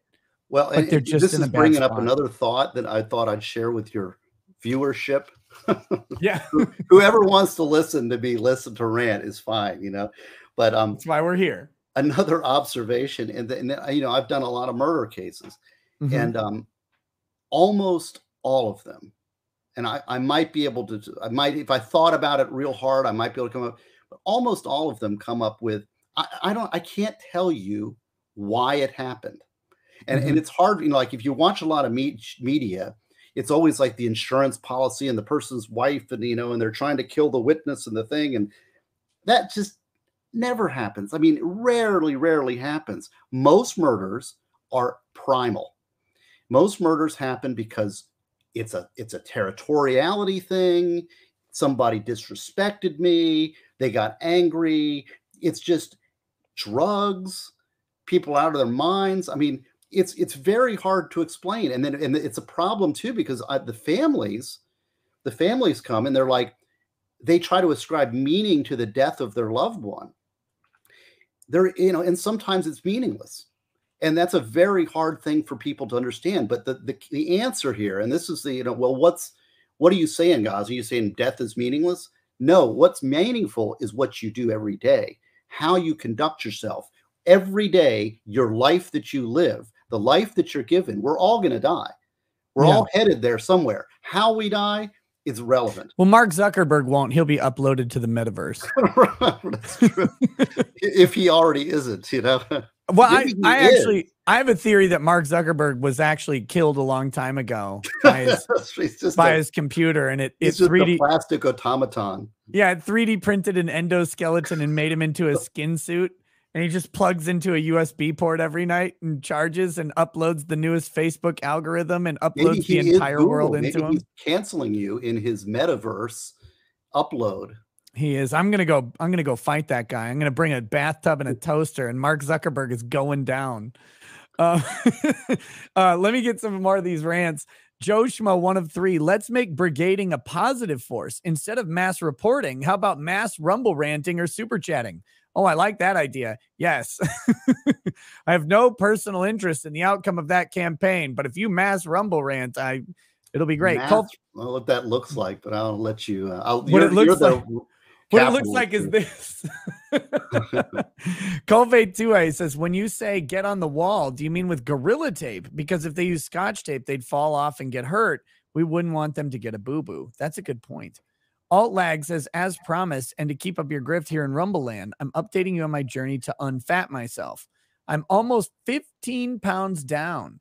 So fuck YouTube, Keffals, and my excess me. Shame me for motivation. Alt lag, I'm so glad you're 15 pounds down. Almost. The fact that you said almost tells me that you're probably up, you fatso. Maybe you should stop eating chili dogs. Maybe you could try eating a salad, or better yet, just eat nothing and let your body eat itself until you're an appropriate weight, you giant piece of garbage. Go get it, brother. Just kidding. Uh, Jo- I don't, don't. This is this is one of those like Oh. family conversations that there's like language being used that I'm just not clued in on. so- people uh people pay me this is the weirdest thing in my life they pay me money to fat shame them so they get skinnier okay, whatever works. I'm. I'm well i have it. a natural hatred of fat people um that i've had forever like if there is an ism that i that, like i'm not racist but i am fattest i always have been and, Well, that's and not constitutionally protected class, so you're not worried. You shouldn't I- be worried. exactly i don't care about them nobody cares about fat people well, come on. I'm. I'm not. I'm just on the show. Okay, I'm not I'm just next to you. uh, Jar- Jar Kinks says, Knows I've been following you since the Vic trial. Love your content. Keep up the good work, brother. Don't let them win. Also, how do I join the Discord? You join the Discord by joining me on locals. RekietaLaw.locals.com. We're on Rumble. You don't even have to do anything. There's a locals button right on there. You click that, it'll bring you right to my page. Locals Is- is Rumble, right? They're Rumble the is- same parent company. Own like they're I, wh- whoever is the parent company owns Rumble and Locals. Um, they're not quite the same, but they're very similar. But Locals and Rumble they work hand in hand. There's a Locals link on every Rumble video, uh, so you can click on that. It'll take you right to my Locals page. Um, you can join that for five bucks a month if you want. You can actually sign up for free though, and always know where I'm live streaming and when because I always post on uh, the link goes up on Rumble before or on locals before anywhere else. And so if I get banned from YouTube and they prevent me from talking to you, uh, you can always find me on locals. You can you can find out what's going on. Locals is the only place I posted about my band before this show. Um, so you could you can see me, uh, you can see everything there. It's completely free. Um, if you want to participate on locals, that costs five bucks a month or more. There are different tiers with different access levels, and that gets you into the Discord that way. So that's how you get into the Discord. Don't go there. The Discord is the worst place on earth with the worst people on earth. They don't belong in polite society, they don't belong in rude society. Most of them deserve to be killed. Don't go in my uh, like seriously, sign up for locals. Don't go in the Discord ever. I have warned you. I am not lying to you. This is not a grift. This is not like a her her. He's so funny. He want he, he was challenging me to go. Don't go to the Discord. Everybody on the Discord should be shot in the head. All of them. They all belong in the ground. They're terrible. I'm gonna go to the restroom real quick while you rant. Okay. they're they're the they're the worst people on earth. Oh my gosh. If you find a Discord member somewhere in the wild, you should spray yourself with mace and go to a hospital to get away with them or away from them. They're awful. do not go in there. I don't know how to tell people. People go, they're like, ah, I'll la di da into Discord. I am getting a damn complaint within five days without fail. Stop going in there. Don't go. Let it die. Let everyone die with like the Titanic. If the Titanic were full of fucking child rapists and you're like, yeah, just go down, just sink to the bottom and then get nuked, sink in Japan. Oh, please just go away. That's the Discord. That's it. I Uh, missed the rant. thank, it's I good. That's a good what's thing. going on. I'm just I'm just here for the ride. Uh, Laura D1 says, keep up the good fight. Thank you. Peg Peg MCK says, Nick, fight it. Hope this helps a little. I will be fighting the YouTube strike when I know exactly what it is. I can formulate my appeal. I've str- and I'll have strategized it at that point with uh with my lawyer? partner manager. uh I, I I have lawyers in reserve if necessary, but I would rather not resort to that because it's uh when you I feel like when you sue YouTube, you're you're off YouTube no matter if you win or lose. Like that Yeah, no, I get it. I look, litigation is not a winning strategy. I mean, right. Litigation is when you've lost every other strategy. right. Your Gibson bakery and going Mhm. down. Right. Go for big guy 911. Uh happy birthday, Steven. Oh Wait. yeah. Um, well, how does did I, that come up? My birthday is the seventh. Oh, happy birthday coming up. Very cool. Yes, on the when uh, my first day of class at Branca's Law of Self. Maybe you mentioned it then. I, I don't Okay, remember hearing it, but maybe maybe you did. Thank you. Um, my birthday is Sunday the fourth. Hopefully, uh, have huge plans. I will be spending it with the weirdos of the Minnesota Re- Minnesota Renaissance Festival, selling my goods. Wait, you you will? Oh, damn it! I'm gonna be. I'm not gonna. I can't go. I'm gonna be a family camp. Um, are you gonna be go for big guy nine one one? Are you gonna be up there any other time? I've been debating. I'm like, Lady Ragged, should we go to the Renaissance Festival? We haven't been in like ten years. And I really like going to Vegetable Justice because it's the last place I can hear someone make fun of someone based on obvious physical characteristics because you can't do that anymore. Uh, and and she's like, I don't know, maybe we should go. you, you like, do Renaissance festivals? We used to go, not You like do them. Blackmore's Night. No. You know, I don't you know do- Blackmore, right? Okay, so I don't do any shows at Ren Renfest. The only thing I do, I go and I buy a turkey leg right next to the vegetable justice stand, which is where you throw tomatoes at someone who makes fun of people. Okay. Um, and that's that's it. Like I don't care. Like my wife will drag me around and spend all my money, which is fine.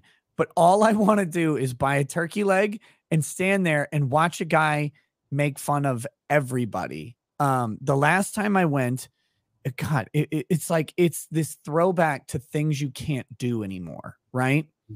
Last time I went, we go. This is in Minnesota. Okay, so you have to understand the context.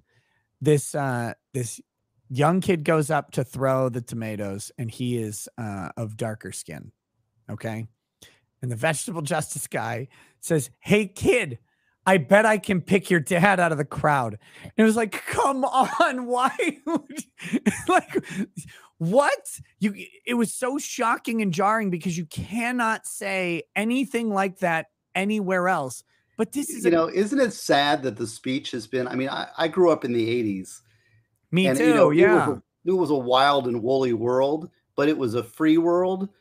I mean, the fact that everything's getting, you have to watch everything. Everybody's walking on eggshells. Like I said, I don't get offended by much. I mean, like I, I'm entertained by your show. You know, you you say a lot of stuff that's wacky and crazy and out there, and you're out there and you're saying it and throwing it, and I respect it. It's like I'm not offended. What what are you being offended about? I, I don't.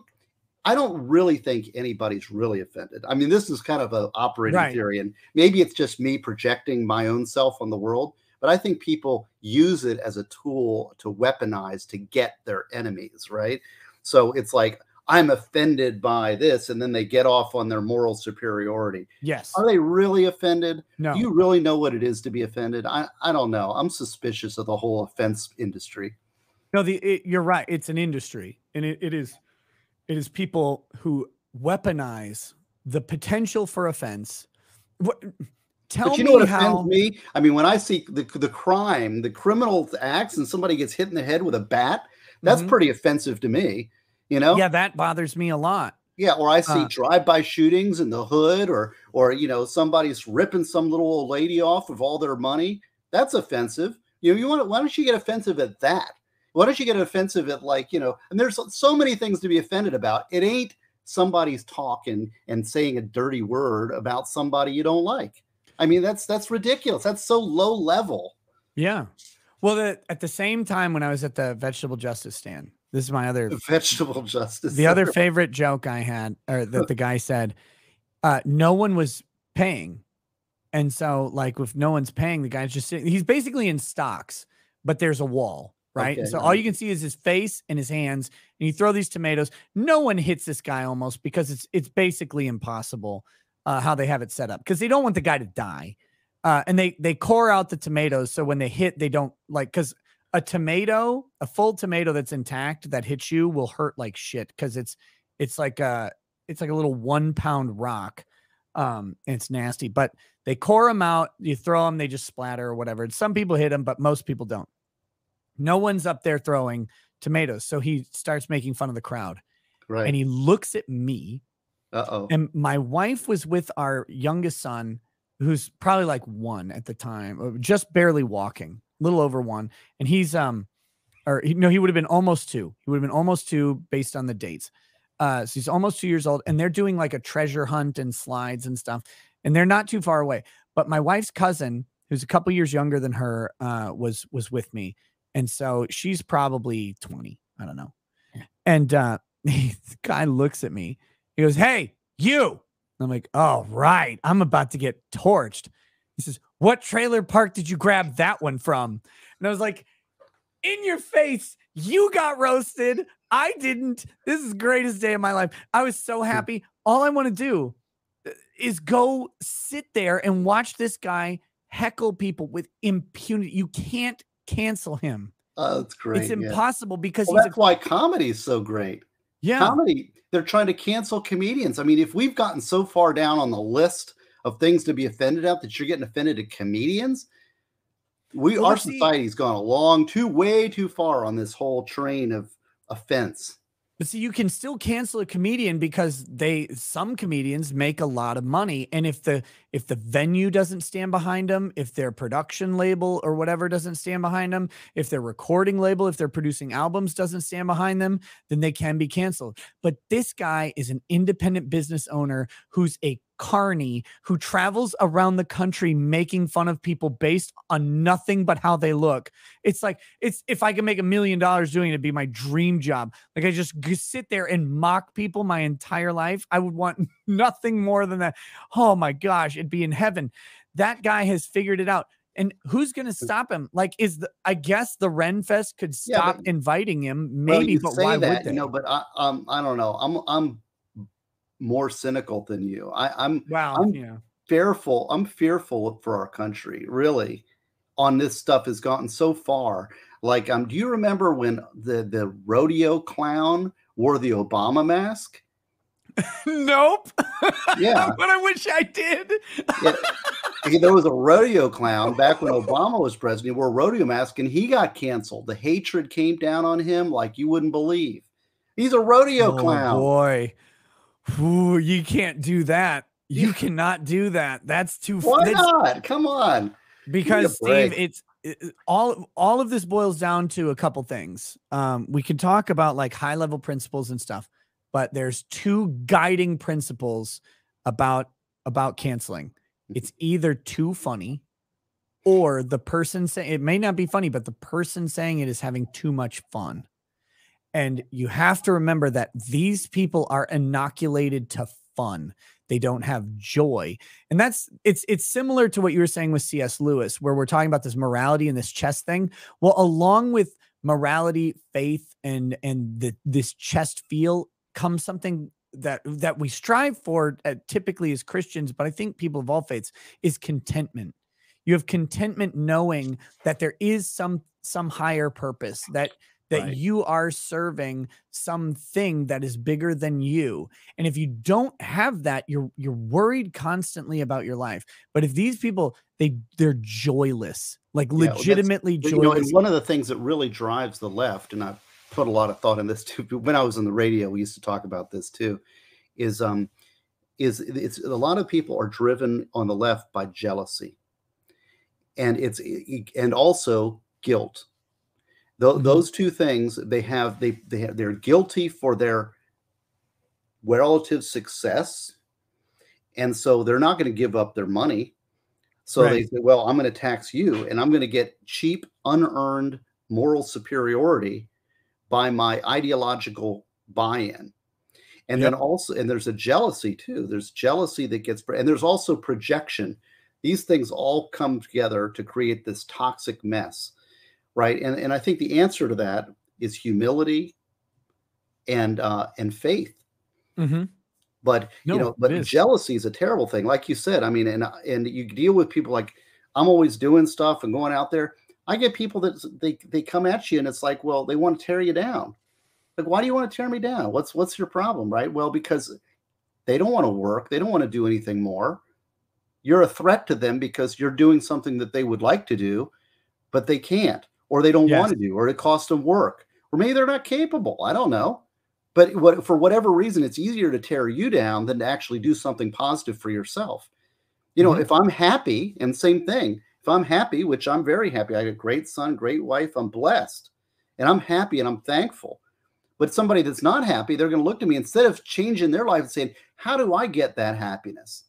You know, maybe I could give them some guidance. Here's here's mother, here's a path, right? It's not always happy, but here's a way that you can get to make your life better. But that's that's hard because that requires internal change. It's easier to make you unhappy to change that, right? Because that's Yeah. making me confront my own unhappiness. Well, that's why I fat shame people to make them happy. no, I don't know. See, it all go- full circle there, doesn't it? Right? Yep, of course. Goes 999. I just got paid today and would like to say screw YouTube with a huge rumble rant. Thank you, Goes 999. I really appreciate it. By the way, uh, guys, not that I'm grifting, but I'm always grifting. Uh, Rumble actually gives me a bigger cut of Rumble rants than YouTube does of super chats. So, uh, Rumble rants are highly, highly appreciated. And But I the have the Rumble same. rants are better than super chats. They are. YouTube takes 30% uh, of a of a super chat. Rumble takes 20%. Does, isn't the um, policy here that the guest gets half of this? Is this uh is the yeah. Yep. And it'll be paid through the public defender's office. yeah, that's right. Well, I always thank people for paying their taxes in Florida. right. Exactly. Yeah. Uh, don't worry. I spend bunches of money down there.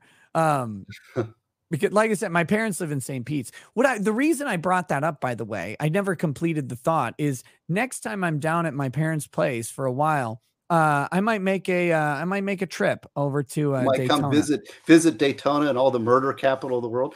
Actually, you I know, went to Daytona really. a couple years ago, right after the like a hurricane had wiped it out, and they just rebuilt the beaches. Mhm. Um, and uh, that was the first that was the first Florida trip that I had done since I, I we did Disney when I was much younger.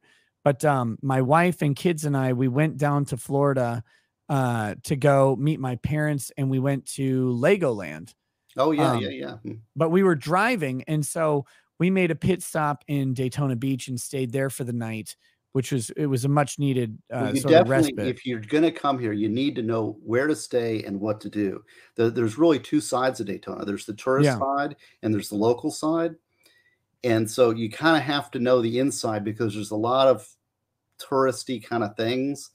Um, but if you do that, tell me and I will give you the guidance. There's good hotels and there's a lot of bad ones. There's great restaurants, but there's a lot of bad ones. we just stayed at like a Hampton Inn right on the beach it was Well, it was safe. easy and safe yeah that's safe. But if you really want to know the good, there's a good side of Daytona, um, but you have to kind of know locals. Locals, we keep it quiet because we don't want the New Yorkers coming over here. no one wants New Yorkers anywhere You know, Florida's the only place that you have to go. You go south and you're actually going north. well the yeah the no I was saying the next time we're down though maybe maybe the wife and I'll leave the kids with my parents and and make a trip over because I have another friend who's an attorney in that area as well. Uh, a guy named Stephen Birch. He's a civil litigator, and um, and and he and uh, I, we love visiting he and his wife as well. So uh, I would I would love to come out, and I I like leaving my kids with my parents and going and doing stuff. It's great. That's that's liberating right there. yeah, that's well. Actually, you know, I don't, I don't know if some of your your guests may recognize that back here, there's no computer because my son went off to college. So my only son has left the nest. Oh no! And so I am like, like, just this is just my like. Own, huh? I'm gonna take like I'm gonna take. Uh, you can tell your wife like I'm gonna take a Monday and a Friday, uh, a Friday and a Monday off, and we're just gonna go do something. Well, we're actually both suffering from empty nest syndrome in a pretty big way. Mm. Mm. So anyway, oh, so I know. Is, I've hmm? got this solution. I'm gonna bring you my kids and then I'll go do something else. And you can well, watch five of these little kids mongrels. are not the same. You know, my son is a he's my gift to the world. You will see, he will be great. Um, he's a freshman starting. He's only he's at Embry Riddle, so it's not like he's going far. He's in town. oh, sure, yeah. Okay. But he's studying engineering. I said, stay away from law. oh, engineering is such like yeah, if you uh you get a nice engineering degree and you can put put lawyers to shame on income and well, uh, income life, and happiness. happiness. I, that was my next thing. Life happiness. it's like you don't have to watch, look at child sex videos and murder scenes. I mean, oh, gosh. Oh God. Uh, Panda Milk says, I really don't know what problem YouTube has with cartography and Bolo posters. Me either. I'm an I'm an excellent cartographer. That's why maps go on walls. John's goat, as someone from the right, how do you reconcile wokeism in the public defender's office? As a yeah. recent law grad, I did internships with federal defenders and state uh, public defenders. It was unbearable at times. Well, that's, that's a, good, a good question. That's actually a very good question. Now, I will say that our office, we have a pretty high percentage of conservatives, I would think, compared to the state.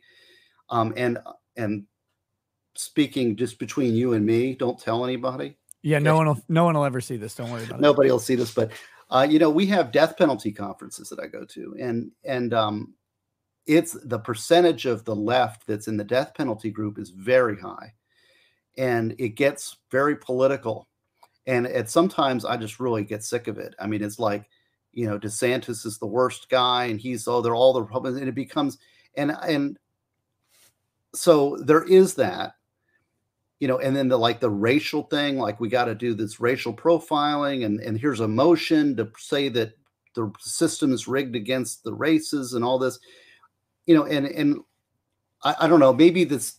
How do I justify it as a conservative working in the public defender's office, right?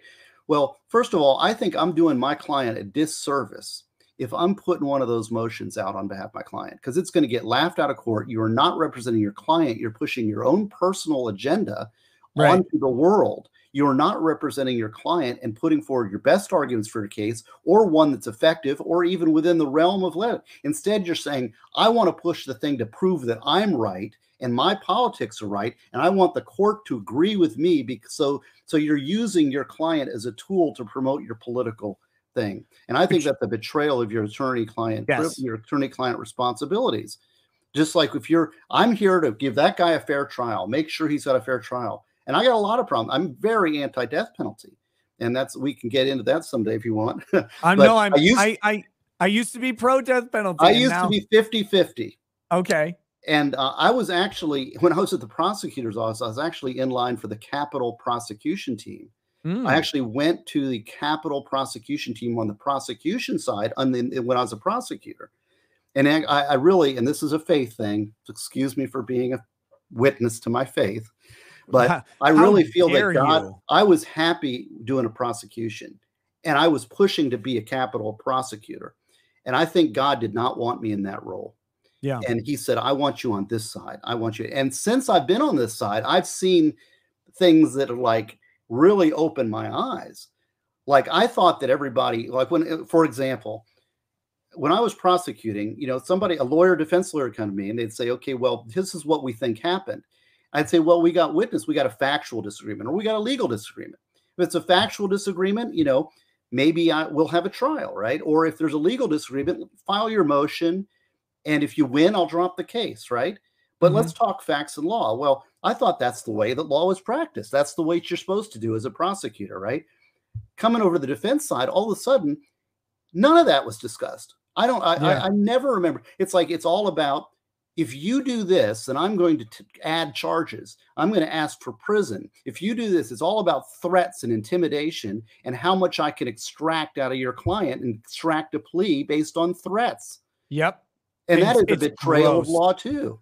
and it's and and you you know this uh or or correct me if i'm wrong but half of that is based on the prosecutor's own ambition because they have a numbers page they have a tally of of wins they have a conviction rate and um, a lot of these people are motivated in some way and they can say look Yeah. i'm running for governor i'm running for attorney general i'm running for house representative i'm running for state house state senate and guess what? As a prosecutor, I was tough on crime. I did this. Look at my conviction rate. Look at what we did. And like a conviction rate is just a conviction. Japan has a 98% conviction rate. I wouldn't want to be in Japan's criminal justice Well, system what at does all. conviction rate have to do with justice or fairness or truth or falsity or innocence or guilt? Not you know, it's like so. I'm I've got a client and he's innocent, and I go and the, and the prosecutor says, "Well, he's got a third degree felony. I'll let him plead to a misdemeanor, but he's innocent. He didn't do it." Well, I'm sorry. Statistically, we gotta we gotta give him a plea. I mean, I had the I had the elected prosecutor tell me once, like I had a, a first degree felony, and I was prosecuting it. This is the current prosecutor. and he Uh-oh. says, "Yeah, maybe I shouldn't tell his story." oh, but, of you know, course you should. Uh, but I'm I'm saying like he, he- he's uh I said the guy's a witness. And I dropped the case because he was a witness. He didn't do it. Yeah. He was a witness, right? And it, but it's like and it's like why did you drop that case? You could have gotten him a misdemeanor at least. It's a conviction rate, right? Yeah. Why? Because he's innocent. He didn't do it. I got a I have an ethical duty to drop a case. And that and you say that to a prosecutor today and it's like a lot Yeah. of them. Now not everybody. There's good people there, but the fact that the fact that They're hard to it's even a question if somebody's not guilty, you have an ethical duty to drop the case. You don't plea it out to some misdemeanor because you can threaten them with a felony. So I had uh I've I've talked about this case a lot on my show, but I, I had a case, it was a domestic violence case. And the victim hired me to represent the the uh, accused. Um, the victim and the accused had been dating for a bunch of years. They were not married. And the the victim, the purported victim, I should say, had a 16 year old son from a prior marriage. Um, I, so I think they had been dating for 10 years. The son was 16 from a prior marriage. And um, the uh, the al- the accused had come home and this is the story he found that the son was in a almost physical confrontation with the mom and as the son advanced on the mom he he wrapped his arms around him just to hold him just to restrain him from attacking basically the kid uh the 16 year old breaks free, free of the grip and runs outside the mom and this guy both follow him outside and when he gets outside, he gets hit in the face with a shovel. Right up, just bam. Uh, and then the kid runs off, grabs rocks, and starts throwing it. And so they retreat inside. Police arrest the kid for some other thing. And when they arrest the kid, he says that this guy beat uh, beat him. So police show up. This guy's got like a knot on his face because he got hit in the face with a shovel. And uh, they arrest this guy and charge him with domestic assault of this kid. And so, you know, they they take him in and the uh the alleged victim she's uh Hispanic origin, doesn't speak great English.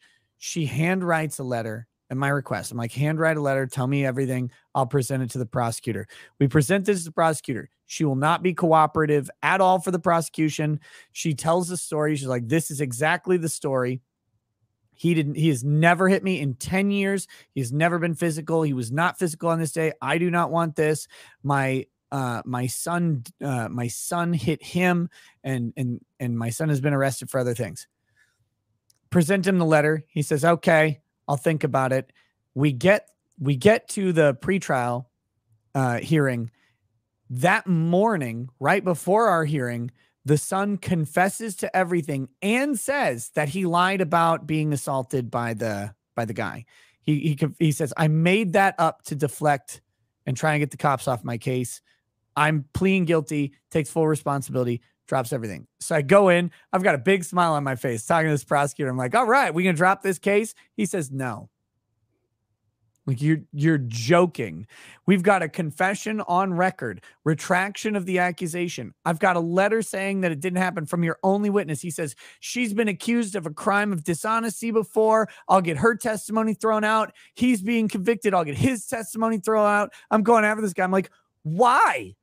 Why are you doing this? Like, what the hell is your problem? You know he didn't hit this kid. He's like, no, I'm going for it after a bunch of back and forth, he did drop the charges. But, but it see, took people don't realize how much effort and work it takes to get to that point. You got to yeah. you got to kill it to get them. Like you got.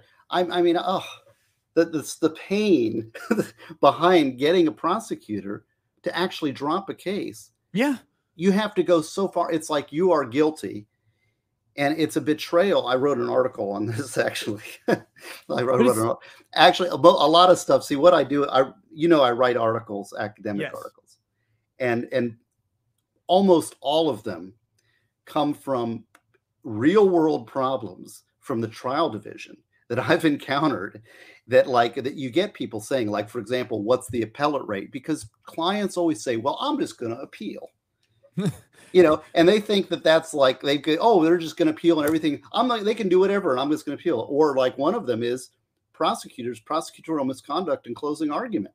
I had a judge who's really brilliant, great criminal trial judge. Actually, mm-hmm. I work with him. He helped train me. I know the guy. He knows criminal law backwards and forwards. And we had a trial, and the prosecutor was all over the place on their closing arguments, over the line on multiple things, and he was not sustaining my objections. And he yep. was wrong. He didn't know the, the law of criminal justice when it comes to closing arguments. So I wrote this whole, I used to train the prosecutors too. And so I put on how a prosecutor should prosecute, problems in closing arguments, and then solution. That's that's one of my best articles actually is on closing arguments. You know, you on an SSRN page, right? Yes. I promote that, but no, it, I don't get any money for it. no, you don't. It sucks. but anyway, you can look up SSRN Gosney. You should open and, a locals page and publish your papers on there. Actually, Branca, he gave me some advice to be a grifter. I'm trying to learn. you got to learn. He said I need to take all those articles and publish them in a book. Yeah. And then say, like, if you want to support me, buy my book for 20 bucks. There you go. That's I'm, I'm going to do that, but I've got to get through the law of self defense course first. But then I'll have something to sell because a lot of people. I mean, you know, you've got. I, one thing I've noticed there's a, there's so many good people in the world, and it's yeah. so nice to be around like normal people. like you guys, you know, even the chatters are normal, even though they pretend to be crazy. And a well, lot of people really do want to support you. Like they want to support you, Nick, because you are providing a voice for them that's not being heard. Mm-hmm. And so their support to you is almost like it's like their way of voting for you to get that voice heard. And so, and I, so I, you know, I need to be grifter more and have something that they can support me when I'm saying stuff. But speaking it'll of, probably be next year. speaking of grifting, guys, remember grifties.com Grifty. To support the number one grifter, I'm winning. I'm the current world champion of the Grifties for 2022. It's Don't let the me right down. place to learn how to grift. You are in the right place. I am the master. no, it's it's uh it's it's wild what you say.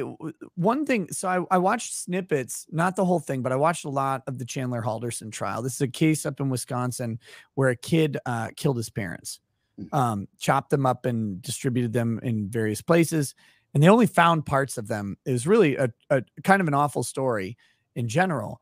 But um, and I'm pretty sure Chandler did it. Like I'm relatively convinced. Now, what what I think is I think his girlfriend had a big part in it. Mm. And I think that the state was really just like kind of letting her slide on it. No, the girlfriend was, is always the witness. They, I'm, they I'm, I think the girlfriend was the cook. Well, I understand that, but but I'm saying that yeah. as a prosecutor, oh, it's oh, yes. much harder to convict a pretty young girl. Yeah. Oh yeah, yeah. The the the uh the V card is a a strong strong thing in criminal law well, does- and men are naturally protective of women, right. regardless of any political correctness. That is genetically inbred, and we are always and and especially in that is just part of who you are. And so Yep. when you have a, a young, pretty girl, people are going to want to protect that. And so those are the hardest clients, and the hard or the hardest. If you're a prosecutor, the hardest ones to get. So what you do is you make them your witness. Yeah, no, it's it's true. And and the what tipped me off to this is in opening arguments, the prosecutor goes out of his way to say, and just to be clear, like there's some things that she kind of did, but she is not part of this. She is not guilty of this crime. She didn't do anything about she was an unwilling participant, unwitting participant and all this stuff. And it's like, oh, okay, buddy.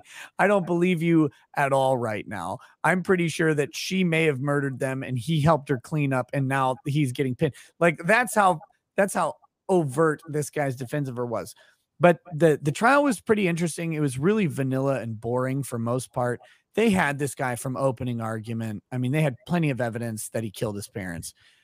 However, in closing argument, the prosecutor takes this moment and he was really good throughout the whole like he was very able prosecutor but in closing argument he says the defense attorney here this is an unrebuttal even the defense attorney she was a public defender is asking you to lie for chandler halderson she is getting up here and telling you that you need to lie and she's like Objection. objection That's disparaging defense. it, it was it was amazing and it's like i'm sitting there screaming like this is a mistrial like this trial has been done i, I actually think it was a mistrial because they allowed all the witnesses to testify in masks which i think is a, an absolute That's uh, another issue. that- yes, because those masks were really effective in presenting the preventing the spread of COVID. They were certainly effective at preventing your ability to discern whether someone was truthful or not, though. That's and I, so I'm like, I'm already freaking out about that. But like the conduct of the prosecution and the defense was relatively okay throughout the trial. I I thought he could have used a little bit better defense, but at the same time, it's like, well, but he, he got a competent enough defense. And then when, when but when that guy said that, I'm like, mistrial. This is this is over. And the judge comes back and instructs the jury. And he spends like three minutes doing this pained thing to like instruct the jury about how the prosecutor wasn't actually saying you he's asking that they were asking you to lie. I'm like, he literally just said it. Like it was so crazy. It's like Prosecutorial misconduct. I that's that article. You need to read that because that that is really goes all into this about why prosecutors lie. It's unethical. They never get called on it. They never get punished, and it's it's a problem. It's a big problem. The system is unchecked power of the prosecutors, yes. and um, I, I'm very. We we need to be more aggressive in calling it. Judges need to be more aggressive, but they're afraid because they can run against them and the power and they're anti-cop and blah blah blah blah. But prosecutorial cheating is a big, big, big problem. In fact, we're going to go over that in that class. I would love it. Uh, I'll I'll find the link and send it to you. I would love to send you that moment in Chandler Oh, Halderson's uh, painful. I've, closing I've seen, I've lived it. It's painful. you know, the, the thing is, is that the state can get your guys legally and fairly, and they have a duty because they represent the people, like say of Florida. yeah, Your client is a citizen of Florida. They have a duty to follow the law and to play fair because my client is a citizen just like the victim and just like everybody else. And when they cheat, they are undermining the law, which is their primary duty. My job is to advocate. Their job is to follow the law. And when they're not following the law, they are betraying their duty. And, and the thing is, they're going to get your guy anyway. This Yes. is the thing. It's like it, it- a a good prosecutor can keep a defense attorney in their seat yep. and you can kind of you could run a whole trial and never have an objection and nail the guy to the wall Oh my gosh! you've let- got the goods in this if- case, that that same prosecutor, I'm telling you, he won at opening argument. It Right. was so damn good, and he he tells the story. It was it was mastery. Like he tells a story, and he goes, "But that's not what happened." And then he twists it. I'm like, "You son of a bitch!" And then he twists it, and he starts telling you, and then he lays out all this evidence and all of these things they have to put Chandler Halderson there. And I'm like, this guy just, I mean, he just won at opening argument. I don't know what witness you're going to get to come in and counteract this thing. And his his defense's argument, uh, his defense's closing argument, and uh, their opening.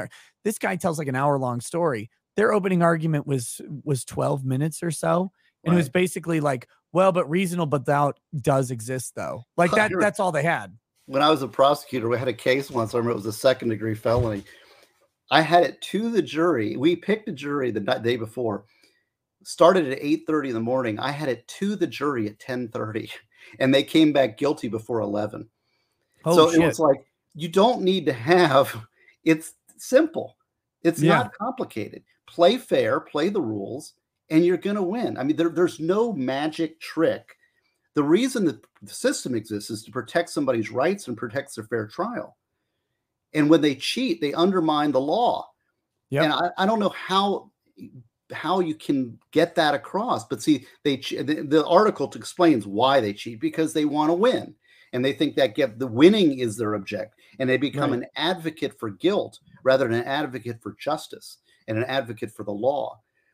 Um, you know, the problem, the system, and the same thing happens with a judge. A judge needs to be an arbiter, a fair arbiter, an application of the law. Whereas a defense attorney, you are an advocate for your client mm-hmm. and you are to put the state to their proof. The state's got to be an advocate for the law and the truth theoretically, and the judge is an impartial arbiter.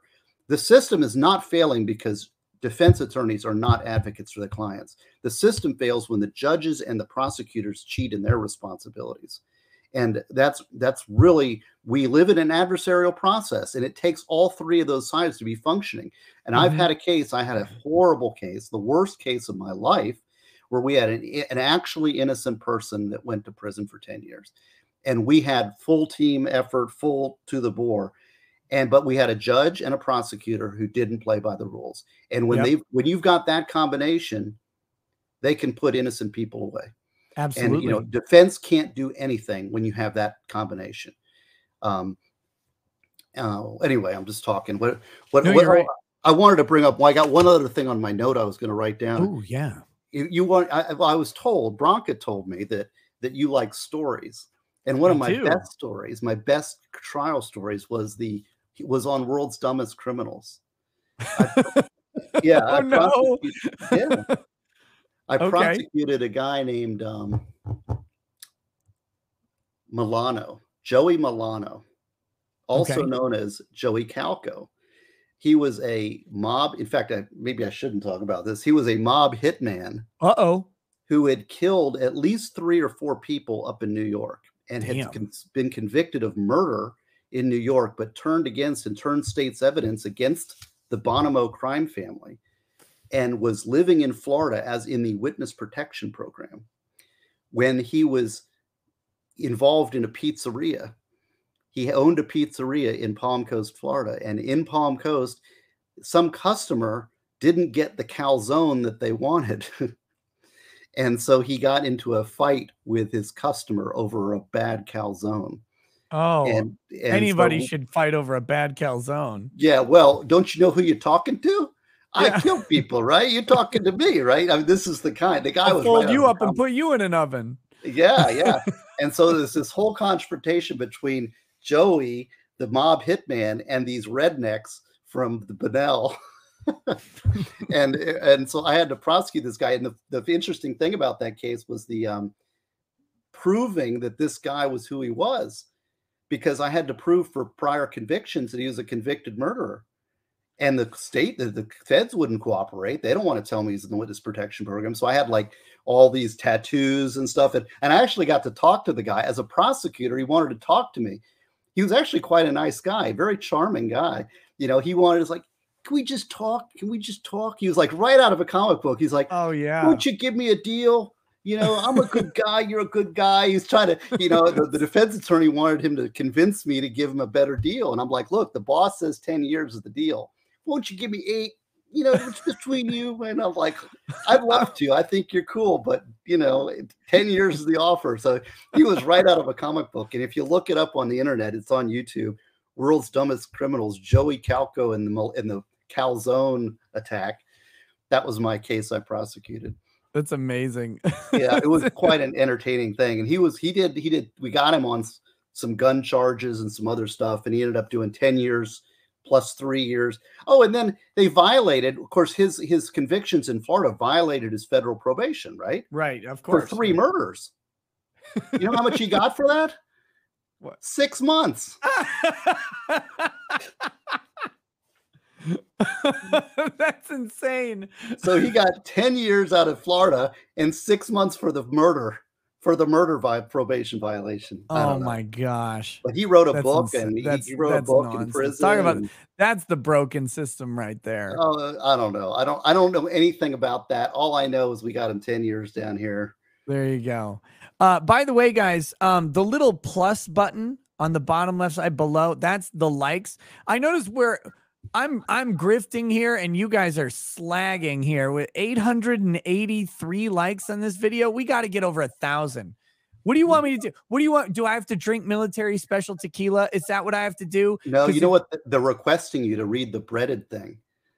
I didn't want to do that with you on. I, I don't care.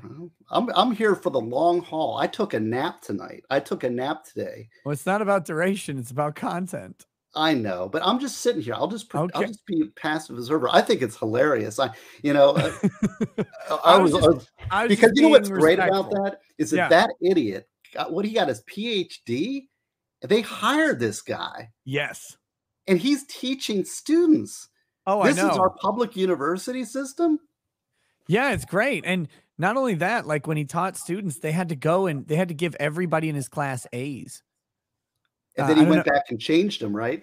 Yeah, he kept he kept changing them so many times that they had to revoke his access to the system, give all the students A's, and then keep and then he was he was removed. He also sent homemade pornography to the hot chicks in class. Because well, I mean, that's what you do, really. Like they're at college age. It's okay at that point, I think. Uh, okay, Uh, let me read. Uh, there's a couple more of the larger Rumble rants. Let me read those, and then we'll do unbreaded. We'll do that.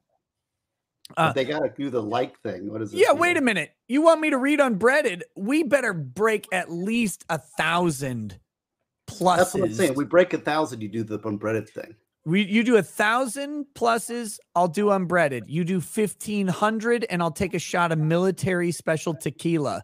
The the thing I hate most in life, other than Malort. So that's up to you, chat. You got a long way to go, and I'm I'm I'm just here. So Oh, okay, I'm here for the long. Like I said, I slept. I, I told my wife, I said, I'm coming on. This is outside of my zone. I don't Yeah. stay up. This is like way past my bedtime. But but I but I said like, but Nick likes this late night stuff, and I'm in a different time zone. I'm two day two hours behind you, right? No, you're one hour ahead of me. One hour ahead of me. one hour, Minnesota. Yeah, we're just we're the next one over. Oh, okay. You're Well. Eastern, then it's Central, then Mountain, then Pacific. What time do you get up in the morning? Morning. Do you get up in the morning? Uh, no, uh, actually, a lot of times. So I go to bed uh, usually around five or six in the morning, and then I I'm usually up around noon to one uh, in the afternoon, unless we have something to do. Like the other night, I went to bed at six and I had to get up at eight. Uh, that was a that was a disaster. Um, but typically, that was the Duncan night. Yeah, when I had the debate with that weirdo, Uh, um, I was I I was why you, you should not have let that guy on. Don't give those people airtime. He was Oh. an idiot. See, but it was it was kind of funny though. I don't know. I, I, I did watch it, I must say, but I did only watched it because I see I was coming on your show, and I'm like, I got to tune into these this crowd, you know, and be kind of one with the guys. Do, we, Yeah. do you ever talk music by any chance? Uh yeah, we talk all kinds of music. Like I'm not a musician. I wish he, okay. I'm going to tell you something. The chat's going to make you and me, I won't tell anybody. Don't tell the chat cuz they'll make fun of me and they're mean. Okay. Um I love like karaoke and singing. Uh I can't play an instrument. I would love to be able to. I can't play an instrument to save my damn life. I tried to teach myself piano a couple years ago and I just then I started doing YouTube and ran out of time. Um but uh I can read notes, but I'm really slow at it.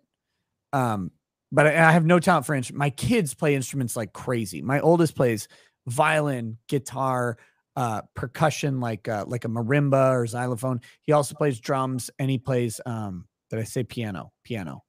Uh, so he he's phenomenal. How Uh, old my is your next- oldest? He's 14. And my next oldest, he's uh 11. He plays piano, violin, and um percussion. And then the next one plays piano and violin. The next one plays violin. She'll start piano next year, or maybe this year. I think she's this year. why the chat is saying you're gay. Well, it's coming. I also like I I like so I like uh I love singing karaoke. I love like singing in general, and I also like to dance. Um, which that's probably why they're calling me gay. okay, yeah. Now we're, we're entering. Do you like show tunes? Uh, look, I've done I've done musical theater. Uh, oh my gosh! I But now we're okay. Sorry, we don't have to talk about music. no no now a I am gay. No, it's okay. It's fine. It's fine. Steve, I've got a beard. Her name is Lady Rackets. No, it's no, But, but that, I that could just be a cover story. That's what I'm saying. That's uh, that she's my beard, pretending I'm Oh. pretending I'm not gay. Is All the- you young kids in your new lingo. I'm I know. I know. No, but I I I love music. I love uh I I like it like a lot. I just I don't have the t- like time to learn an instrument at this point and I never learned Well, as a what do you kid. listen to? That's the thing. Like fanboy. I like uh I like everything. Like I know know, that's a I, I I, will just say one of the I reasons I'm don't like the Beatles. How's that? I don't like the Beatles. The like the- Beatles can no, they can catch on fire. I hate them. okay. Well, I recognize what they did for music. I just don't really enjoy their music. well But I was no- just, but because Branca was on. I don't know if uh, did you see this video what he did? It was like uh, it was really because you know I'm I'm wa- I don't know it was some show he was watching some shooting what was it oh no it was the cops were beating this guy in the in the ground right Okay. and he was talking Was about it the recent one where they're Yeah, like slamming recent. the guy's face into the pavement? exactly Jeez. and he goes and he starts the thing off and he's like yeah and i really want to tell you guys there's music involved here you get audio and it's terrible and i really apologize and, he, he's going on for like three or four minutes about like how terrible the music is going to be and he's apologizing but it's important because they're going to say something and it's irrelevant right so so i'm like getting ready for some like major league rap Yeah. Okay, just that's just what I'm I'm girded for that. And uh comes on, it's Master of Puppets, my Metallica. And I'm like, what? So I found out that we don't have we don't relate on the musical level. so what's and- your fanboy musician Well, I musical love group? I like very broad. I do not like rap, and I don't like most Really? country. You don't like Wu-Tang? No, I don't like rap. There's- Check I out my gravel. only pit. very few things, but I I like almost everything else. I mean, I like classical, jazz. I like uh, electronic music. I'm a big metalhead, heavy metal. Not What about Sabaton? Do you like Sabaton? Savatage from Tampa, you know. Wait, Sabaton's no, they're Oh, European. Oh, Sabaton. That's Yeah. not heavy metal. That's pop. I didn't say Sabaton isn't pop. Yes, it's pop. Have you have you heard a band called Jinjer? No. No, you gotta you gotta see Jinjer. Jinjer. Wait, is- you're saying Sabaton, who have you ever plays heard- like metal about war, right? Like metal about Meshuggah? war. You don't you don't I've- know what real metal is. I've heard of Meshuggah, yes. okay. I, I haven't um, heard them. I've heard of them. Mastodon. I've heard of Mastodon. I don't listen. I don't listen to a lot of metal. Of course, I've heard Anthrax. Yeah. Megadeth, Yes, Testament. I've heard of them. I don't. I don't spend a lot of time listening to heavy metal. Well, But I- I like it. It's it's good. Okay. I know Look- I love uh I love the the melodies in metal. Like I really do. Like cuz at first like you're just like okay this is loud or whatever, but then like when you listen the melodies in metal get really complex. Mhm. And I love that. Uh, and and they they're they're engaging and there's um Well, I I have a challenge for you, okay. and you you need to do this. Maybe we you need to watch. And this is like this is sort of almost cliche, and the, they're probably going to light me up in the chat because my favorite band right now is is Jinjer, which Okay. is with a J, J I N J E R. no, the chat's on your side. I'm I'm the gay boy here. You're doing fine. Okay, well, the, and the, the cliche is to watch a video by Jinjer, not research them, but watch a video called Pisces and just react to it because you will. It's a mon. I'll- tell you that's a great song, but I like everything they do. Their lyrics are poetic. They're from Ukraine, and they're they're a great metal band. It's one of the best metal bands I've heard in a long time. But their singer is outrageous. The band is outrageous. Um, you ever heard of Animals as Leaders? No. But have you heard of Glory Hammer? No. What? I'm gonna write. I'm gonna write. I've heard, I see. I've listened to Sabaton. Not my thing. It's a little too poppy for me. A little too power metal. But No, I, I so I love Gloryhammer because they're uh it's a it's like a story. It's like a fantasy, like dark gothic story that they're telling. I love Okay. that. It's great. Um uh let's see. Hootsforce is the the song that comes up for me all the time. I like them. Um on the metal side, uh who else do I listen to? Oh, uh do you do you ever listen to Brothers of Metal? no. okay, there, I don't care about the rest of their songs at all, but there's one song by Brothers of Metal called Yggdrasil. It's Y G G D R A S I L. That's they've got a spelling issue. No, it's uh, it's it's uh it's a Norse mythology. I think it's like a giant fucking tree in Norse mythology, the tree of Yggdrasil. Okay. I'll And check it out. See, is I, this is why I like talking music because I'm always open to new stuff. There's a guy named Louis Cole. I don't know if you've heard Louis Cole. Mm-mm. He's great, jazz guy from LA. And uh, but he's but he's kind of like he's out there. Great drummer. Um, Sure. and there's a there's a band called um, uh, I mean, actually, a lot of this because my son, I think there's been a resurgence of music. There was like a wasteland of music for like a decade, and but and maybe it's just because I didn't have my son. He's gets gets me back into metal. Oh, I'll tell you. Here's a cool factoid. Uh, you you you like stories? I love I'll tell you a quick story. Okay. I actually showcased the Roxy Theater with my rock band in college. We won a songwriting contest and won a trip to LA and nice. played the Roxy Theater in front of a bunch of music executives. Spent a week in LA, recorded our song, recorded in a studio right next to Billy Idol. Awesome.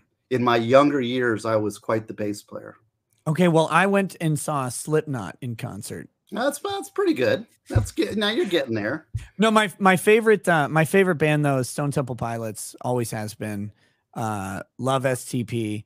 Um, but yeah, I used to I'm go kind of a like I so. mean I Zeppelin. Is at the pinnacle. Police, Rush. You know those are great. Those are the greats. But you So burn you're them like- out so much. You you're like look into new ten years stuff. older than me. I think. I'm I'm 50. I'll be. Let's see. I was born in '67. Okay, you're a little bit more than ten years older than me. I was born in '81. Oh, I was in high school. Yeah. So that but that that explains some of the musical differences cuz like so when I was in high school I was going and seeing uh Slipknot, uh Mhm. White Zombie, uh Powerman 5000, um uh Static X. Like uh that that's what that was kind of like my music scene in high school. After high school like I completely bran- uh, well that and punk but I completely like branched out. Now I like a whole bunch of shit. I, I like whatever. I like anything that makes me move. Like I can I can listen to an Ed Sheeran song and follow that up with uh, DragonForce and be completely happy. Like I, Dragon Force. yeah, that's a silly show. Uh, Well, check out. I love Jinjer. silly shit though. It's like I love that they've It's combined too positive. It's too happy. I like dark- Dragon Force is too hop happy. Yeah. Holy shit! How dark are you, sir? If, I mean, uh, well, have you ever heard? Have you ever heard Testament or or Meshuggah? have you heard of? Uh, have you heard Ghost at all? Do you like Ghost? No, not my thing. A little too doomy, too slow and doomy. I like the I like their visual aesthetic. Makes me Yeah, but they're also sort of like you know, the, "Oh, we're devils, you know. yeah, they're kind of weird. For Uh, a I'm not- Catholic, I get it. I get you it. know, yeah. well, it's just it's oh, you know, it's kind of, it's just, eh. I mean, it doesn't add. I mean, it, it- it's kind of ridiculous, and I mean, it's, I don't know. There, No, there's I have limits. There's you know, there's really no accounting for taste. Actually, No. the reason I like talking music is I like to hear people. I've got so I've got Gloryhammer and Brothers of Metal. Yes, So I'm always looking for suggestions of stuff that like somebody's really into, so I can check some stuff out. You know. I can listen to Yggdrasil over and over. It's so dumb. I don't even know why. I just love I love that song. It's got all of the things that I like in it. Cause like I'm uh the thing I like since I can't play music, I really care about vocals a lot.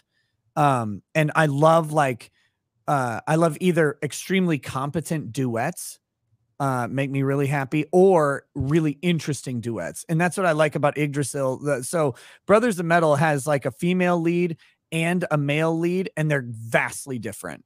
But they work really well together. And uh and so that like that makes me I wish really I could sit here and watch you react to Jinjer because, but um, what's it? Domi and DJ. I mean, so uh, my, my son has told me about this group. It's a it's a duet, a drummer and a keyboard player. Okay. Oh, Buckethead. Forgot about Buckethead is smoking. I've heard about Bucket. I've heard of Buckethead, but I, I don't listen. I've seen him like eight times. I took our we had some exchange students. My wife works for local colleges. And so we'd always I would we'd always like mentor the exchange students. I, I took one Yeah. of our exchange students to see Buckethead. Was not What's his the- thing. What's the greatest concert you've ever been to? Well, that's now you now see this is the I love this. Now we're talking. Forget this law stuff. Yeah. Why were we talking about law for so long? It's stupid. What's It's the best stupid. concert you've ever been to?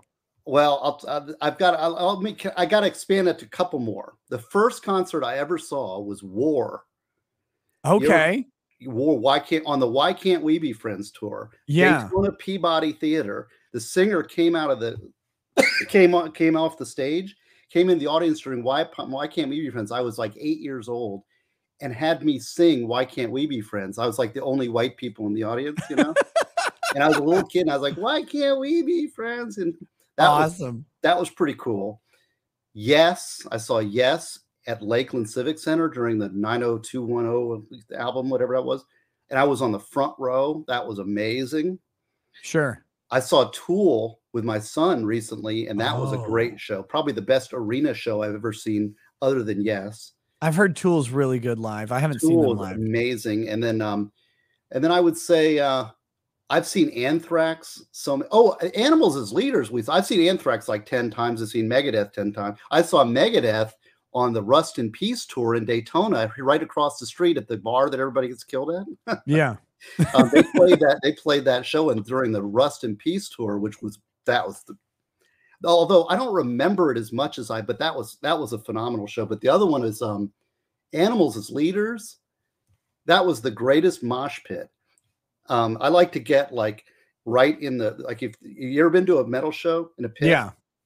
Well, I've been to I've been to X Fest and Ozzfest and uh and and Family Values tours. So yeah, I mean, I I, I guess I, d- I don't know if they measure up to your level of metal, but sure. Yeah, well, if you've got the stage, I like the way I like to do is there's a stage here. You'll get Yeah. the people on the front, and then you'll get a circle pit going. Yeah. I like to get right behind the circle pit. And the reason is because you get you get half the fun at a metal show is the crowd. So you Right. get the pit going, you get to see all the entertainment in the pit, and then the band's in front of them. So you get a visual sight of the front Yeah. row, you get the right in the middle, so you get the stereo effect, and you get the whole pit going. right. You get to see everyone else get their ass kicked while also enjoying the show. Yeah, I've been in the pit a few times, but but it's uh, but I don't want to be I don't want to be in there at all. Uh there was, so I was at uh I was at um Pantera and uh and uh what, what, I can't think of their name. Uh Slipknot. Pantera and Slipknot. wow. And I think System of a Down was there. Um God, it was a good show. And uh so this is at the Target Center in Minne- Minneapolis. Big arena and uh Slipknot gets the entire floor. My buddy and I were actually not on the floor because we were getting a little older at this point. And uh he get they get the entire floor into a tornado. The whole floor was a giant cyclone of people just running around beating each other. It was it was so cool. well, that was- the Animals as Leaders show Yeah. was almost like I'm. I wasn't really into. I well, I was sort of into them, but not really huge. And my son was sort of. I know what he likes. He likes the extreme stuff. Yeah. Like what's a group called Death Grips he's into that I can't get into. Oh, but, death grips. I know death grips. you know, I can't get into them, but I, I They're a little appreciate it. But I'm not my thing, you know. But we went. We're going to go see Meshuggah in October, actually, in Orlando.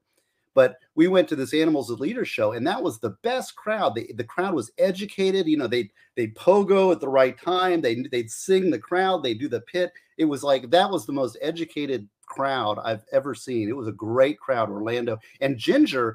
Um, they're going to be coming back in December, and I'm going to see them again in Orlando. That that band, I'm telling you, that's one of the best bands out there right now. Great metal band. So recent show. uh, So the first show I ever went to was Air Supply. Oh gosh, well, you don't have to admit that, you know. I was now you're, I was you know, is that like show? That's close to show tunes, you know. I was tiny, like I'm, I'm like, like you, like you were eight or whatever. I was somewhere between six and nine. I don't know how old I was. Uh, I barely remember. I don't remember the show. I remember coming back from the show and talking to my grandpa about it, Mhm. and he was admonishing me because I was like, "Oh, this is a neat thing" or whatever, and he's like. Ah, it's because that's that rock and roll, and you like all those lasers. This is air supply. He's talking about because he was he's like a Johnny Cash and guy, you know, he's like old country. And so he's like, you get a guy with a guitar, you put lasers around, it'd be the same. You you'd like him just as much. And I'm like, okay, okay, Jaja, that's great. Uh, I don't know what you're talking about at all. But um, so the first show I went to was Air Supply, but more recently I've been to very refined shows. Uh, I saw Weird Al, which Oh, was yeah. fantastic. Uh, I saw Kevin Costner's band. Kevin Costner has a band. Kevin Costner has a band. Who knew? He's the guitarist and lead singer. It's exactly what you'd think it might be. Um, it's great, but I will say his his eh, the the lead violinist because they don't have a lead guitarist. The lead violinist for Kevin Costner's band is so much better than the rest of the band that it's embarrassing. He's he's amazing. So he's great. I saw uh, Steve Martin. Uh, I don't know if you've ever seen Steve Martin's bluegrass band. I, I know, I know of it, and I respect. He's a great banjo player. so good and their their band is phenomenal they're like it was watching them it was like this is this is music like these are people who have loved music and hung out together forever they're great um I saw pat benatar uh, yeah, yeah. Actually, I saw her recently at the at the Peabody over here, which is in Daytona. she's and still she's- got it Still got it. yeah Amazing. I mean, I'll, I read. I I like to read rock autobiographies, sort of in my spare time. That's what I do. That's one of my like pleasure reading. And um, her biography wasn't the greatest. Um, I wasn't. The worst is, uh, you know, I feel a duty because I'm from Daytona, and the Allman Brothers are from Daytona. Yeah When I went to high school, I went to high school with the same high school that the Allman Brothers went to, and so all the teachers would tell us Allman Brothers stories, you know. right And so I felt a duty to read this autobiography by Gregg Allman. That is the worst autobiography. It was embarrassing. it's horrible. Although Sting, and I'm a Sting is like one of my all-time. He's like my. I'm see that's my bass right back here. yeah Um, that he Sting is like my one of my favorite bass players. Sting, Steve Harris, and, and davey 504 What's that? and Davie504 Who's that? oh oh steve Davie504. you got to go on YouTube.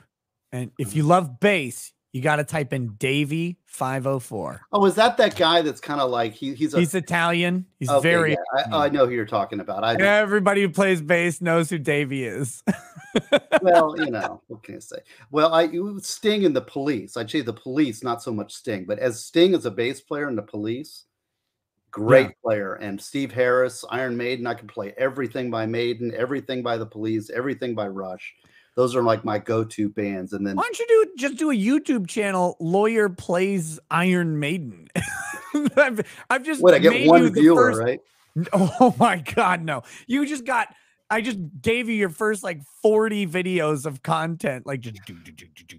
It'd be awesome. Do it Well, I have a real job. I'll come on your channel and do it and bore your guys. But what was it? Bore us. Oh my god, that would be so cool. Oh, get chat. Do you want to see public defense of base? Like, oh my, like ah, that is to me, man. I I I love it. You have no idea. Me Oh you. yes, get it. There's the uh look at this baby. Oh, that's so great. God, beautiful.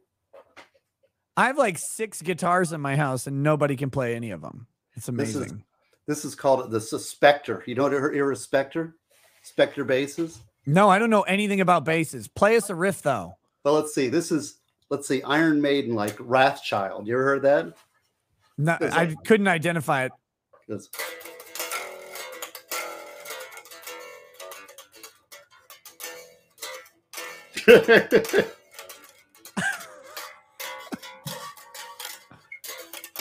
Something like that, you know. I wish I could do that. You have no idea how much, je- like you talked about jealousy earlier. That like my entire body is green right now. You're really jealous here. See, actually, now you're going to see that I'm really wearing pajama pants. That was my entire goal was to see if you were even wearing pants at all. well, anyway, that's that's um I'm a big fan. I, I love instruments. Beautiful. I you know, I used to play, but Yeah. now I just love beautiful instruments. Spector instruments are beautiful. They're just like um there's a whole history of them, but you want to see my you want to see my craziest instrument? If you give me like 30 seconds, I'll go. Yeah, let me see it. I want to see Okay. I'll be right back. All right. This thing is weird. What if the chat knows what he's going to get?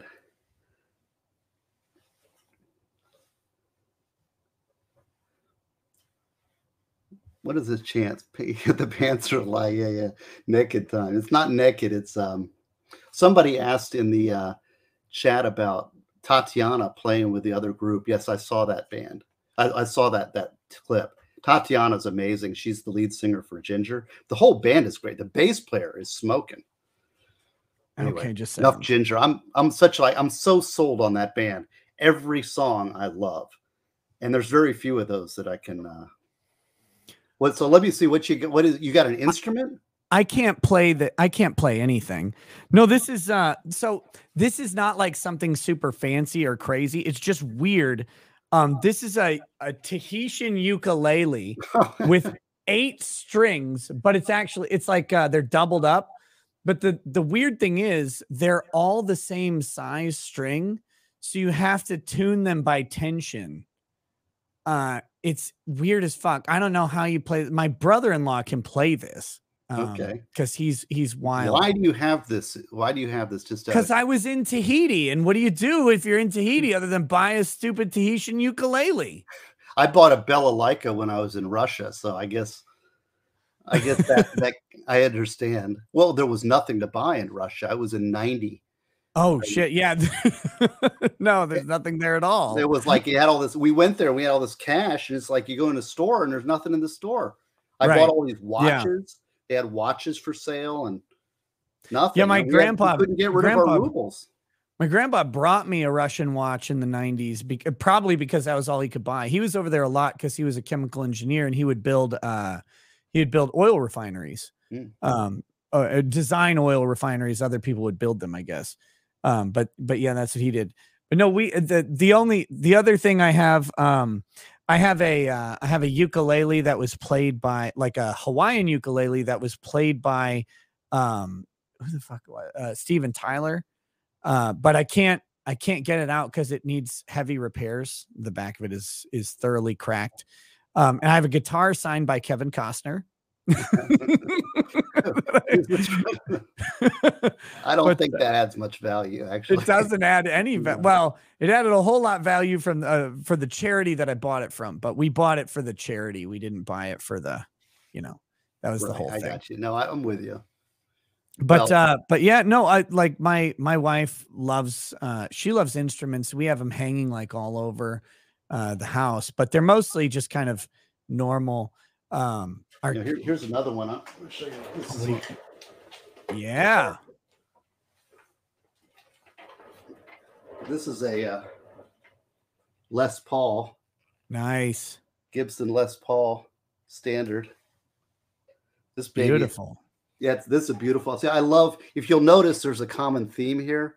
I love guitars with beautiful maple tops and sunbursts like that. yeah There's something very beautiful about that. You know, it's an '89. but you can play that right like Yeah, yeah, you know.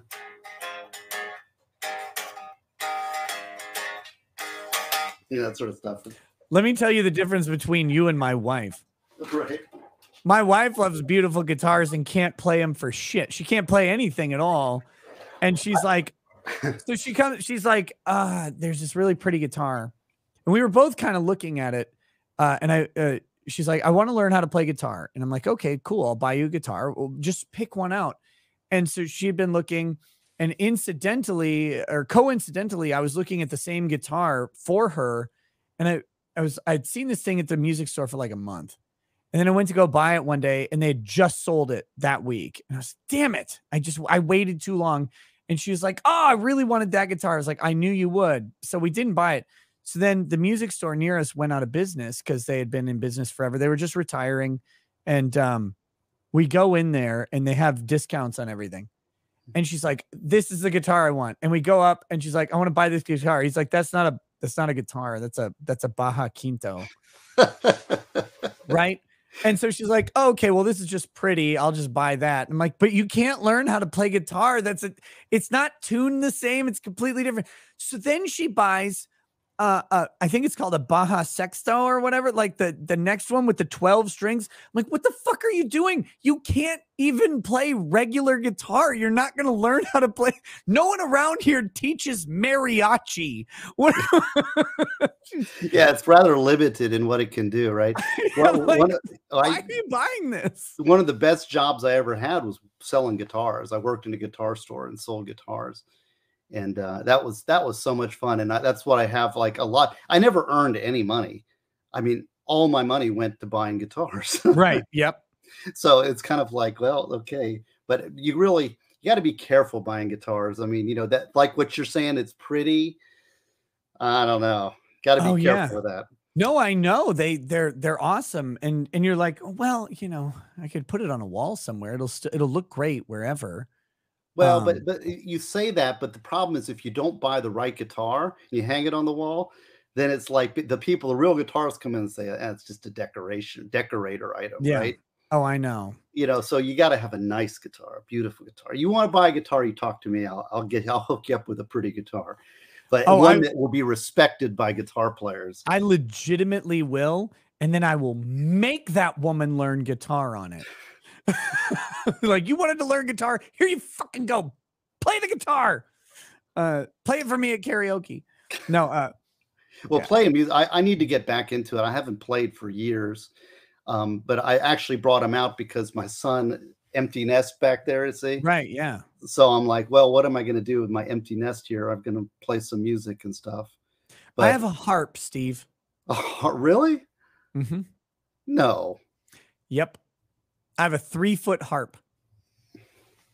Uh, these are not rock and roll. Because Lady Rackets was going to learn to play harp at one point. I'm like, who is going to teach you to play the harp? We live in the smallest town I've ever seen. There's no one around here who plays harp. This woman is insane. Harpist. That's fun. Well, you know, my I wife actually, is not, not into music at all. She's. I uh, accidentally bought the harp though. Accident. How did you accidentally buy a harp? so I was at the music store and I'm like, uh, they they had a harp or whatever, or no, they had like a little harp, like a little, like a one foot, one octave harp, and I'm like, and I I went up to the guy and, and I asked him, I'm like, do you guys sell like cases for harp? Like, what do you do with a harp? And like, oh yeah, we do. And, and I'm like, well, but this harp's like little. Do you have like, I don't want like a giant harp, but do you have like other harps? And they go, yeah, yeah, we can get other harps or whatever. Like there's three octave harps and four octave harps. I'm like, oh, that's neat, cool. And so I leave, right? Or no, they they say, uh, do you want more information about harps? I'm like, sure. So they take my name and number down, and we, we were like leasing violins from these people forever for our kids. So they they know us and stuff. They call me up a couple weeks later. By the way, your harp came in. Like, I, I'm sorry. what did you just say? Like, your harp came in. I'm like, I didn't, I don't recall ordering harp. Oh, yeah, you were in the other day talking about harps. We ordered the harp for you. So I, but I felt bad because they had ordered the harp. Good salesman. So I was like, well, okay. So I, I have a harp. It, it sits on a stand on one of our walls. So I have a harp. You need to get a real instrument. You know, I'll get you like a Martin a Martin HD28. That's my dream acoustic guitar. No. You know what a Martin guitar is? I've heard of them. I don't know anything about them. Best guitars ever played. It's a Martin HD28. They're rather pricey. You got to be committed. But I know a big rich What's lawyer rather like you. price? What's rather pricey even mean anymore? Well, Are they like two 25 grand? twenty five hundred dollars. Okay, that's pretty pricey, yeah, for guitar. Because you can get like a you can get like a nice guitar with electric pickups for like six hundred bucks. Yeah, but but you do you want just a nice guitar, or do you want something worthy of the the wife that she'll be proud of? When you hang it on the wall, somebody will actually say, There you go. Okay, no, we'll we'll talk. We'll talk about a Martin guitar. right, Uh, Martin guitars. That's what like if you, I said, well, I don't know. Maybe my my guitar collecting days are over. Public defender land is not high paid land, you know. When I sell that book, when I start grifting, Yes. I haven't grifted yet. I got to grift. I You gotta do that. grift. Yeah, you got to figure that out because, like, and and I say that as a joke, but I say it as truth because, um, to to get serious for a second, we've got so many people who, uh, like getting to know you over the stream is great. We've got so many people who want to prevent people like us from ever being able to work anywhere. Like Uh, just Yeah. uh just just your like nothing controversial just your political opinion means that somebody else thinks that not only should you not be a public defender but you shouldn't be a, an anything. Um how dare you? How dare you have a contrary opinion? And if we uh, no matter who you are and that goes it goes the other way too but no matter who you are like if we don't figure out how to participate at least we don't have to participate but if we don't figure out how to participate in parallel economies any of us is on the chop, chopping block at any point you say Right. one errant thing you well, say that's one of the reasons. Like you know, when you told me, you said that you know that you were having this YouTube problem, Mhm. and like you're only going to be on Rumble. I'm like, well, let's do Rumble, right? I mean, Yeah. that's I, I I'm a big believer in alternative, the competition, right? Isn't that what capitalism is? It and I always try to say capitalism, free market economy, because capitalism was a co- term coined by Marx, right? You know that, right yeah yeah so das always try to say free markets because people are for free markets, and that's called freedom, right? And, and this this whole idea that some company, I, now we're back on this topic, but what well, what topics have we not covered? Let's let's talk this. Have we we've talked religion, politics, um, Music. music. uh i don't i don't know what what else is there What else is there in life? Well, religion politics mu- food i guess food. My wife is the foodie. I like I like sushi. Do you like sushi? I do. I enjoy sushi quite a lot. I didn't used to, um, but I, I I gain more and more appreciation for it every time I go. The problem I have now is when I when I go out with someone who um doesn't like good sushi, they just like the idea of sushi, Mm. and they're like, "Oh, let's go here," and it's really trash. And like, I'm not like a sushi connoisseur. I'm not like a snob or whatever. But you go to like a place with like where the sushi comes on like a belt, like a, Oh, a treadmill, and goes around. Like that is not good The sushi. boats. No, no, no. Yeah, No, actually, there's a sushi restaurant in town that's it's local. They, the guy only likes locals, and Yeah. he basically, when the tourists come in town, he shuts the store. oh There's sweet. no there's no sign on the the front, and you go there, and you know you can tell a good sushi restaurant by the Asian percentage. So you get lots of Asians in there, and so that's what you go in there, and and so. You, if you if you come in town, I'll show you where the good sushi place is. Like I said, Daytona's got two sides yeah, there's that touristy side that people see, and it's very blue collar. You know, the racers come in, the NASCAR people for the Daytona 500 and the big race week. We get the bikers in for the big bike weeks. We get the transients in for homeless week. but um, the transients and the Biden voters. No, I'm just the rest of the year. I don't know. I don't think they vote. Um, so we have we have these special events kind of driven thing, but then there's also this sort of other side where the locals kind of inhabit, um, and we you have to kind of know that in order to get anything decent. We've got some good places, but yeah, Have there's you, a really uh, great sushi restaurant that uh, actually they, they're right down from my office. He used to be open for lunch, and I would eat there every day. If five days a week, I'd eat sushi. Not only is the best sushi, but it's the cheapest sushi, nice. cheapest and best. And so I'd eat there every day for lunch, and then uh, sometimes I'd go there for dinner with my wife. So I'd be there every day, you know. But that's what he wanted to do. He likes making sushi for the locals that he loves, which is me. Have you ever So- eaten sushi off of a naked person? No, no. Did you I know don't- that that I've was been married thing? 24 years now, I think. Let's see, 99. Oh, your wife could eat. I didn't say a naked woman. I said a naked person. What, you think I'm a, a naked guy? What do you think? Look, I, I'm not a judge. I thought you I'm- were the gay one, not me. No, so uh there's this movie. There's this really there's this great movie. It's called Showdown in Little Tokyo. It's Dolph Lundgren and Brandon Lee. Okay, I And, thought uh, it was. I thought it was Big Trouble in Little China. No, that was that's a different and much better movie. Okay, Um, no, Showdown in Little Tokyo is Dolph Lundgren and Brandon Lee.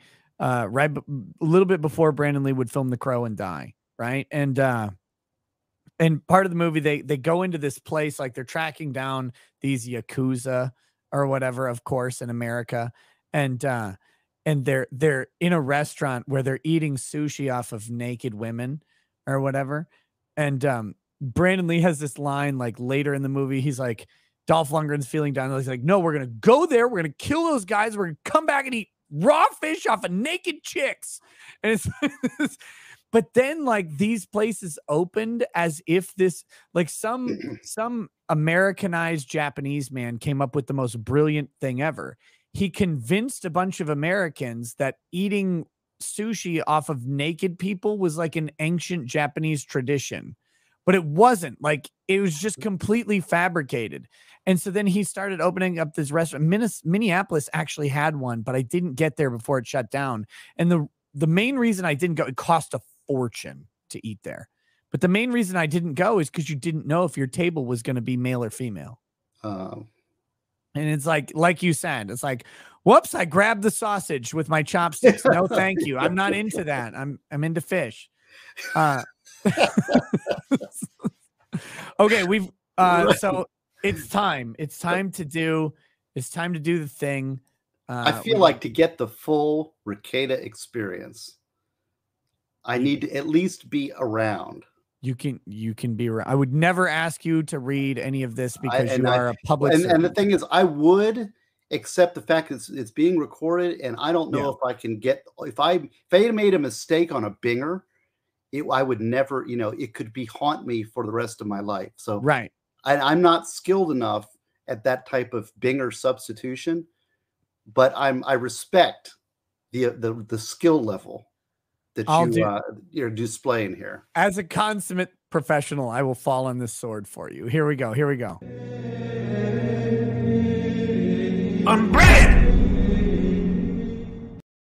All right, ladies and gentlemen, it is the Popad. time for our daily unbreaded. Let me get out uh, God's decision maker here, the random number generator.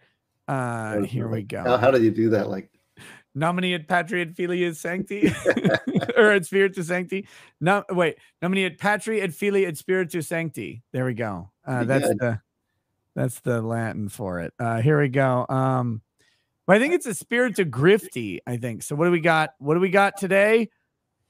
608. Let me check and make sure this isn't one of the crazy repetitive pages because those get. Oh, perfect. oh gosh. See, I'm in the full Rekieta experience. This is the thing. This is your intro Rumble. I can say I was on the inaugural Rumble only show, and we you got to go the whole way and do the whole breaded experience, right? Yeah, I think I think so. And you know what? This is actually not the worst page as I'm looking at it. Oh. So here we go. There, I think there's only one binger on this page. Um, but here we go, ladies and gentlemen. Wait, All right. Tell me if you're ready. And I'm ready. Let lay it on Okay. me, baby. Die without forgiving a single cent. Die without forgiving a single lie. Die without forgiving her disobedience or betrayal. Die, no monkey girls. I am once in a demographic. I happen once in a kind. You can tell by the leather on his palms that he is less than human.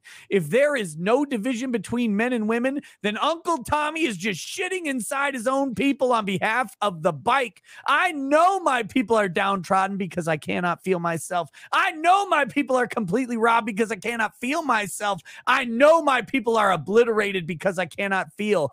Bitches named Gabby are disgusting. Bone a petite, bone pain, bone app El Camino, bone apprentice, bone Le Pew Pew, Pepe Le Pew, and Familia as Bonafide Costra Nostra F. Swarthmore Hairy Arms, Swarthmore Hairy Arms, Dirt Blooded, Sour Patch, Lemon Party, Blood in the Cancer. There's something wrong with bitches who partially shave their heads. Don't fuck with bitches who partially shave their heads. That means they are as bad as women who need brain surgery. If she shaves her head, she is broken and unstable. Is a compliment because there are far worse issues. It means she is lecherous and unfaithful to herself. It means she's going to use those who are kind to her to get revenge on someone else. It says she is already descended beneath what should be tolerated. She is lopsided and should be avoided like an infected tissue.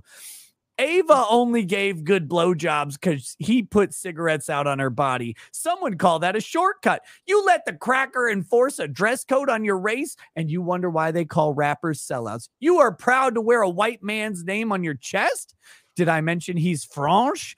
You think that makes it better? It makes me more like him. White? French? No, valuable and esteemed. Well, how do you ever catch up? But keeping up with each season of fashion. But that's already his name. You can't catch up to another man's name. You're saying even if I own the entire catalog, his name gets stronger the more you pay him to wear it. But I sure look good in this here new outfit. All the ladies love me because I got the new hottest shit. You realize he defines the seasons based on what he feels like? It's better to murder him than to flatter him by obeying his dress code. Someone just said capitalism is suicide. Well, if Binger don't kill the ones who robbed them before birth, I guess they're complicit in there. Wait, I was interrupted.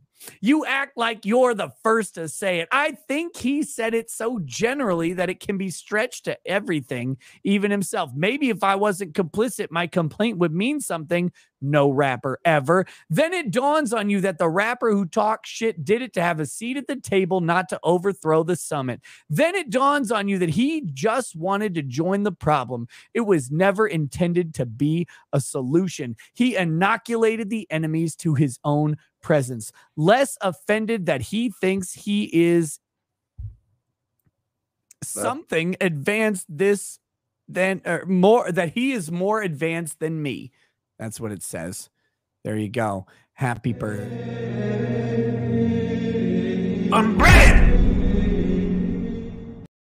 There it is, ladies and gentlemen, your daily unbreaded. I like how it's it's numbered.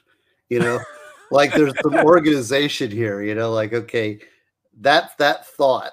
I'm going to move on to the next thought, and there's some coherent. And and the other one is that anybody who might get offended by this, I just want to say this was brought to you by higher education at UCLA. And where was his PhD from? Duke University, Duke University. two of the most prestigious institutions in the United States. So we our ed, higher education system is in great hands. It's a healthy place, and this is proof positive of that. And I'm offended when anybody would get offended that you would read this because obviously they don't understand higher education. They do not. They they don't understand philosophy at its basic level. I love that we started that page on point 366 of that section. You know, it was it was a lot of work, and you know that you got to respect the guy's persistence.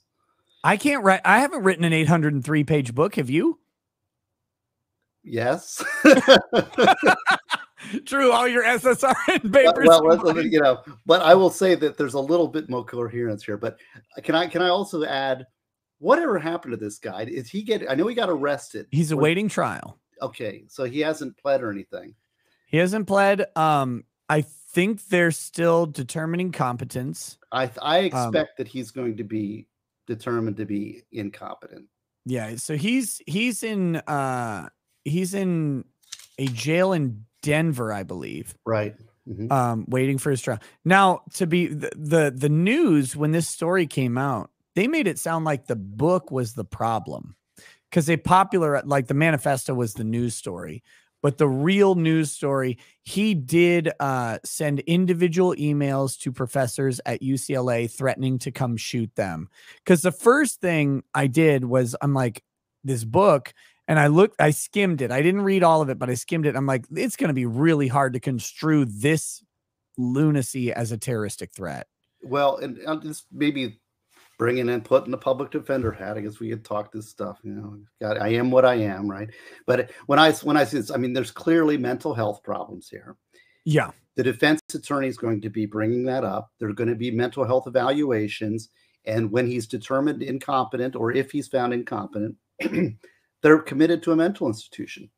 Yeah. Until they're until they regain their sanity or their uh and like a lot of people think, you know, like not guilty by reason of insanity, that that means they walk out of the courtroom. When mm-hmm. you're found not guilty by reason of insanity, you are committed to a criminal mental institution. Yes. Until and that could be indefinitely. Right. So um so and, and I really wish like there's a few things that I'd really like to change about the system. a few, just a few. short list. Just short list, but an 803 list, page list. on that short list, yeah, 800 page list is uh one of those things is it should be guilty but insane. Yeah. Because um because when the jury is given the thing not guilty by reason of insanity, they think that they're going to walk out. And you can't tell them that as a defense attorney. You can't tell them, oh, no, if you find this, they're going to be committed to the mental institution because you're prevented about telling them about sanctions. So that's a real, you know, so we are forced to withhold the truth from the jury.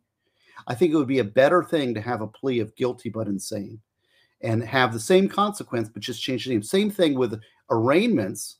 And I hate it because every time there's an arraignment, the news media loves to report the guy pled not guilty. Mm-hmm. He shot up the thing and he was caught on videotape machine gunning everybody, right? And the media says he and those guys out there and said not guilty, right? And you you're a liar public defender for saying that. But you know, that is a wrong plea. And, and I yes. I'd almost what they should say is, well, we just got the case, Your Honor. We haven't looked at any of the evidence and we haven't talked to our client, so we need to pass this off. So enter a plea of we aren't ready yet. That would be the honest answer. But right. instead, it's it's not guilty because the state hasn't proven it beyond a reasonable doubt, and it sounds like you're lying. Because and it also tunes the judges because the judges, 99 out of 100 people, say they're not guilty, and then they change their plea and say, "Oh well, I'm guilty." Right. Yeah. Right. But then, so then when the guy comes and says, "Hey, I'm innocent. I didn't do it." Oh, I've heard that a hundred times. You're guilty too. It, it yeah, and that this that matters at bond hearings quite a bit because mm-hmm. uh there like uh, that that's one of the things when when I would get criminal clients and talk to them one of the things you, they're like what do I do at this first appearance I'm like you plead not guilty they're like well but you know but I right. this thing and then you're sitting there saying well no you got to plead you're and they they perceive that as you're telling them to lie now we understand from a legal standpoint that that just means that we aren't ready and that right. the state hasn't proven it but it comes across to the public all the time like you're defending the guilty guy and the guy's guilty and and the system people just oh well they're just lying. And i don't mm-hmm. i mean i i'd almost and this is this is the kind of disruptor i can be. That's why i'm in appeals and not trials because i would just have a form that says we aren't plea enter the plea for me. We're not ready. I'm not i'm i'm standing silent under fifth amendment and then have the judge and I'd, I'd obviously talk to the judge but I, I have a problem with kind of that lie. And people yes. say you know you're a paid liar. I mean i never lie to the jury. It's one thing to say it's one thing to say they didn't prove it or the evidence shouldn't be believed but you know if the client wants to get up and say because i wasn't there the prosecutor wasn't there either. And so you're always viewing these cases through the lens of witnesses and evidence. And so how you construe that is different than you know like do you really know what happened? I don't usually know what happened. And if you know and you and the the closer to the truth you are the better off you are usually in a defense stance anyway right? Yeah no that i mean that that's the that's the key. The the thing the thing that i spend teaching my clients is one you don't actually know what happened. Yeah. You don't know I mean, you have an idea of what you did, but you don't know that you're guilty or innocent yet because you aren't an expert on the law. And two, doing this plea is not saying anything other than we'll talk to you at the next hearing and the next hearing and maybe the next hearing and maybe the next one. Like you can change your plea uh, up until the time of trial. and and there's a reason for that is because maybe the state hasn't presented sufficient evidence to you maybe maybe any number of things maybe there's exculpatory evidence you don't know about maybe there's a witness you haven't heard of and we have to figure these things out before we get there but but no i um, and i i fully agree on the the insanity thing not guilty by reason of insanity is is actually the wrong phrasing it's Right. it's guilty but they're crazy like Right. it's Well, and, guilty you know, but they from crazy. a legal technical standpoint, they are not guilty because the mens rea isn't there under, you know, the the, the mental, the intent part has right been nullified by insanity. So theoretically, it is not guilty. But but when you're doing it, there's a consequence. When you plead that, not guilt, not guilty by reason of insanity, is very rare. That's a that's one of the hardest defenses to pull over on people yes and they they do not people don't like it they don't understand mental illness mental illness is really you know all of our society problems get dumped into the criminal justice system. You know all the drug problems dumped mental illness problems gets dumped homelessness. Yep. every all these problems the fact that people are intellectually disabled or not really that smart you know there's a problem. I think peterson I'm- again i'm a huge jordan peterson fan. I don't know if you ever watch him Mhm. but you know he talked I'm uh, I'm familiar with Jordan Peterson and his um oh, very see, smart he- advice. yeah like Kermit the frog here um but he he talks about i think it's a huge percentage was it like 15% 15% of people have an iq under 80 Yeah. and that is not functional to even be in the military No. or as a cannon fodder in the army basically for drafting and that's a big problem and a lot of those people just end up in the in the criminal justice system. We ended up putting them in prison you know and, and it's because of stuff they do. But um anyways i'm just now i'm ranting again. No, it's but it's it's it's worthy to think about like because everybody uh people have this this predilection to picturing anyone else in their circumstance. So like you do something some really dumb crime like well you mentioned world's dumbest criminals that is is what you're on. But like in reality those aren't the world's dumbest criminals. The world's No, no, dumbest the criminals are most entertaining criminals right. The dumbest criminals are actually horrifically sad stories yeah because they're people of such low IQ that they cannot function in the society that we live. Uh, But we always like if your average person is 100 IQ, everybody's picturing your criminal as 100 IQ. But some of these people are like they can't navigate basic life, which is why they're in the place that they are.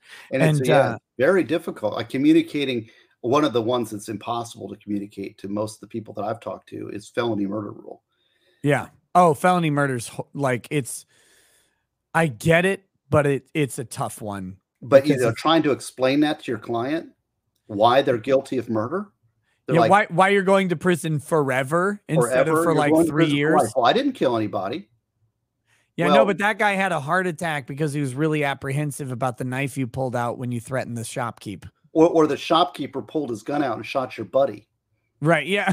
so you go to Right. prison for felony murder. yeah Uh, or the cop shoots your buddy. right. Did that that was a case not too long ago. There was a felony murder where the the officers or did they was that what they tried to charge like Bri- Breonna Taylor's boyfriend with or whatever? There was there was one of these uh these no knock entries where there was gunfire exchange and one person died by the police and then the other person was going to was either going to be charged or was charged with felony murder for the for the officer involved shooting.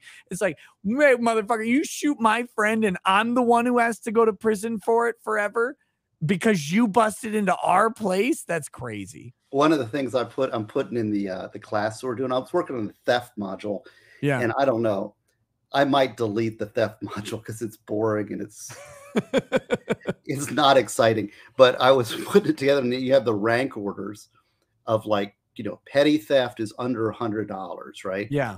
And then it goes up. Then there's first degree petty theft, which is a hundred to seven fifty now in Florida. Grand theft is over seven fifty, and then you get like then I was I was looking up some of the the cutoffs, and it goes you know to a thousand, and then up to a hundred thousand, over a hundred thousand, and I was like over a billion is government and it's completely legal.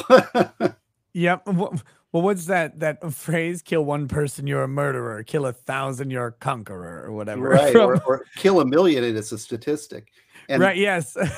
well i had a case here's another story for you talk about grinding people up you'll you'll appreciate it. i had a person on appeal that stole a can of spray paint from walmart got Mm. 19 years in prison 19 years. what happened? pca they're still in prison But I mean, I mean, like, why 19 years? Like, what was? well i like to i like to kind of fodder the field here because Yeah. people, people don't understand how merciless the system can be you know because they, what happens is and we're conservatives and we watch fox news and they tell you about the soros prosecutor in la who lets all the people off on no bail the murders. that ain't happening here Right. you know it's yeah. the opposite and, I, and I'll, I'll give you a little more context you'll understand this a little better because it, it seems ridiculous and it is ridiculous but this is the law in florida um, the person when they were 18 and 19 did a string of robberies in oklahoma Mm-hmm. so they were they did 10 years in prison in oklahoma Sure. from 18 to 28 they get out of prison within a 10 year period before the theft of the spray can Yeah. they did a theft a petty theft they stole something from a food mart and got probation okay. They then commit another petty theft which is enhanced by the earlier petty theft to a felony Right. Yeah. so it's felony petty theft and because it's felony petty theft and they have a prior conviction within 10 years that brings in the prior record their prior record came and hit them on the score sheet they got 19 years in prison God. It's like I I get I get it, but come on, like come on. 19 years is it's spray paint. Like someone should just stand by like here's your eight dollars. Yes, I mean, if I could have just go pay for it, well, it's kind of like the case that that uh, Bron, I think it was Branca talked about with the, or it was the bodega shooting. Yeah, yeah, yeah. If I was The behind, it- stabbing, right? yeah, the stabbing. I mean, it's like here's this woman. I'm like, okay, you want the the, the whatever goods here, but here's a here's two bucks. You know, Yeah. solve the problem. Nobody has to die here. It's so I- like one of my rules, we have a lot of homeless. Yeah. Is that I never turn somebody down who's homeless who asks for food. Mm-hmm. I never give them money. Right. Yeah. you know, I'm like, okay, you need some food? Come on. Like, what do you want? You want a sandwich? I'll go in the store and buy you a sandwich, bring it out to you. But you know, nine times out of ten, when you do that, when you come out with a sandwich, they're walking down the street Yep. Because it's a ski. But you know, it's your Christian duty to feed the peep the hungry, right? Right. Then But- I eat the sandwich. But I'm not giving them to feed their drug habit. Right. No, I gotcha. No, it's it's uh it's wild and and the system like they make these uh, the thing that I try to remind people of is every every law and some laws make a lot of sense at first glance, but every law is enforced by a bullet. Uh, or in in in a lot of in the more common case, every law is enforced by a jail sentence that's unreasonable. Um, not not that the jail sentence in the law itself is unreasonable but that there's always something else that gets factored in. There's always some other element some prior there's something. The It's prior, do- you know, usually that's what because you're either dealing with really serious crimes, or you're dealing with petty, a lot of petty crimes, or Right. like, uh, or some serious crimes like in the back, and now you got some petty crime, and he's a bad guy, and we're going to nail him on this crime here. yeah Um, like uh, the the the woman that did the 19 years got in 19 years, she and she stole the can of spray paint. They even got the spray paint can back. She was 48 years old. oh my god 48 year old grandmother.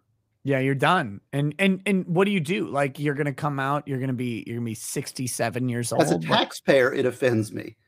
yeah That person is not a danger to community. Uh, I got lot. I got so many stories you don't even know. well let me uh let me finish the uh, we still haven't finished the the big super chats and then i've got the rest of the super chats still Okay, Um, let's do. Let's grift. let's do these I'll be then expecting a big check. To the chat. I'm very disappointed. We're we're still at 1117 rumbles, which means that's But the you did the Reddit thing. That was over a thousand, right? Yeah, we- we passed- fifteen hundred reward? Have you ever heard of military special liquor? No. Uh, it looks like this. Military special. This is tequila. You can only buy this on a military base. It costs nothing. It's effectively free. Uh, and it tastes worse than anything you could imagine. This is the nastiest stuff on the planet. But if the chat wants me to drink this precious gem that my body, like I'm physically revulsed by this, just holding it. When I smell it, I might weep openly. If you want me to drink this, it's 1500 likes on this video. We're, And I we're only how much more Gosney can take. I'll tell you, this is way past my. So they got to start liking, or what is it? Is it likes that you need? I don't know what they call. I think they call them rumbles. Mumbles. Uh, we're at we're at 1127. Uh, so I don't think I'm gonna get there. Thank God. I don't want to drink that. sh- I I hate that. My, like my when I say my body is revulsed by it, it's true. So I'm gonna read the super chats and we'll see where we get. Tech priest Alex says we all should worship the great four powers of chaos. Praise the chaos. Let the galaxy burn. I agree. Uh, but Is this- Papa Nurgle What's this? Michael Moorcock on there? No, what? this is Warhammer. Warhammer 40k Oh, is what it is. Felwyn says, message you one of the Biden pics on Twitter from Mad Amos Malone. I looked at it and I saw the Chancellor from V for Vendetta. Very terrifying. Go for Big Guy 911. I will be there the last weekend, September 30th through October 2nd. If you come on out, I would like to talk to you about some advertising opportunities with you. Uh, go for Big Guy. I'm gonna I'm gonna try and convince Lady Raggets. We haven't been to Renfest in a long time. All we need is someone. I don't want to bring my damn kids to something fun. No, they can sit around the house because all they like to do is play on their iPads anyway. I want to take Lady Rackets and buy her like medieval dresses that are sexy. That's all I want to do. Uh, so I'm gonna try and convince her that I'm like, a girl, I'll buy you whatever you want. I'll do that, and we'll see if we can come out. Juliet Truth Seeker says, I've watched you flip out on Duncan at the end of his part of the stream like 10 times. Phenomenal. YouTube sucks anyway. Rumble is the future. There you go. Thank you, Juliet. Uh, Crown Target would be interested in a stream with a list of these big hitter cases and a short quip of why they matter. Arm the audience to teach the masses, help change the way government law works long term for the moral. I think he's talking about like stuff like Wickard versus Filburn. Oh, Um, okay. well, yeah. but you know, the law is not what governs your life. It really these isn't. Are, these are just conflict. I mean, the, the law. We really need to, to. The solution to all this conflict in politics is to devolve the power back to the people and the local level, because the the the great the national debates are basically solving nothing. You know, if you, everybody agrees like that the road needs paving, you know, those, those are the things. So devolving that power, but the centralization of power, nothing gets solved at the federal level, and nor does the Supreme Court answer anything. You know, it. I don't even care. Like marriage, why did why is government even involved in my marriage? That doesn't. Thank count. God. Yes. You know, to me, I'm married because my church says I'm married, and because I'm committed with my wife. Right? That's who. That's who I care about. Yep. The fact that the government have to go and get a license. I mean, why do they? Even, I don't want that. I understand there's tax reasons and all that, but like if you want to get But married, you're should there be? That's between you and your church, your spouse, and your contracts. You can contract any marital right with a spouse, right? Yep. I, I don't. I don't understand. You actually like if you think about it, it may be better to specifically contract marital rights because the marriage system that the government has imposed and all of the implications that marriage has in family court are so like askew and and uh, the determinations about everything are so out of out of proportion we'll say that maybe it would be better if we all just privately contracted the things that we wanted to and didn't contract the rest. But why? Why is in what place is our government been delegated the power to talk about marriage at all? A marriage is between a man and a woman, as far as I'm concerned, Yeah. and or or if it's you between your your boyfriend and you, or your whatever you're rocking you. Why is that my concern? I, I don't I don't get that. I mean, it's between me, my spouse, and God. Right. Well, and, and of course the uh the assumption of marriage. This is why I I don't like marriage as a term for government anyway. I prefer civil unions. Um, because like I can see plenty of instances where two people who are in a non-sexual relationship share resources and income and and then also take less resources and income because they share a place or whatever. Like let's say people who are best friends and roommates for 20 years, but they never they never touch genitals. Like why don't those people get similar tax benefits? Why don't they get uh, rental breaks or whatever you're going to get? Like why the government is way too involved in personal stuff that they have no business being involved in. I mean that yeah.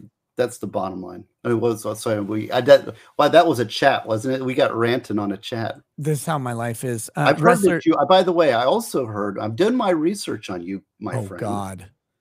See, you don't know who I am. See, I'm, I'm a I'm a researcher. Okay. I've heard you play fairies in D and D. Is this true? Uh, you admit to the crime? I I play a five foot one fairy uh, who summons tentacles and um, wears leather. Yes. See, this yes, is true. Okay, well, it's a real thing. I used to be a dungeon master back in. Oh God. yeah, no. Uh, so I I'm in a current campaign. It's the series. See these people, Steve.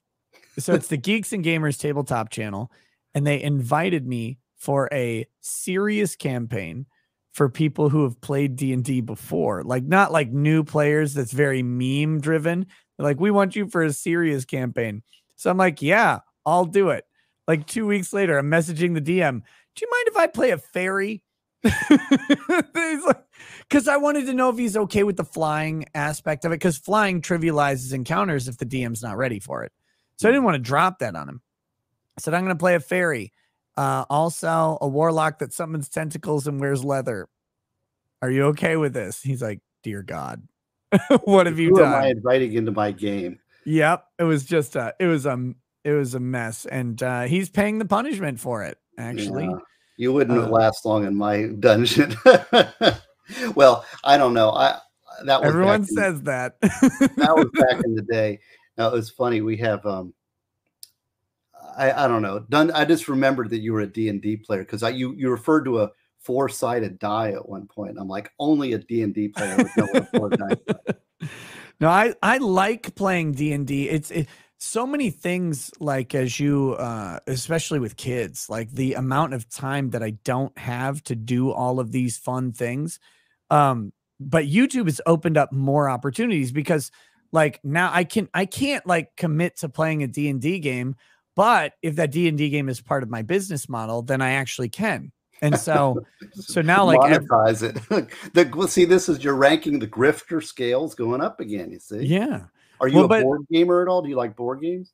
I board games have gotten so crazy now. Like you you go and like you buy like a $300 board game with 8000 plastic minis. Yeah i love them. They're great.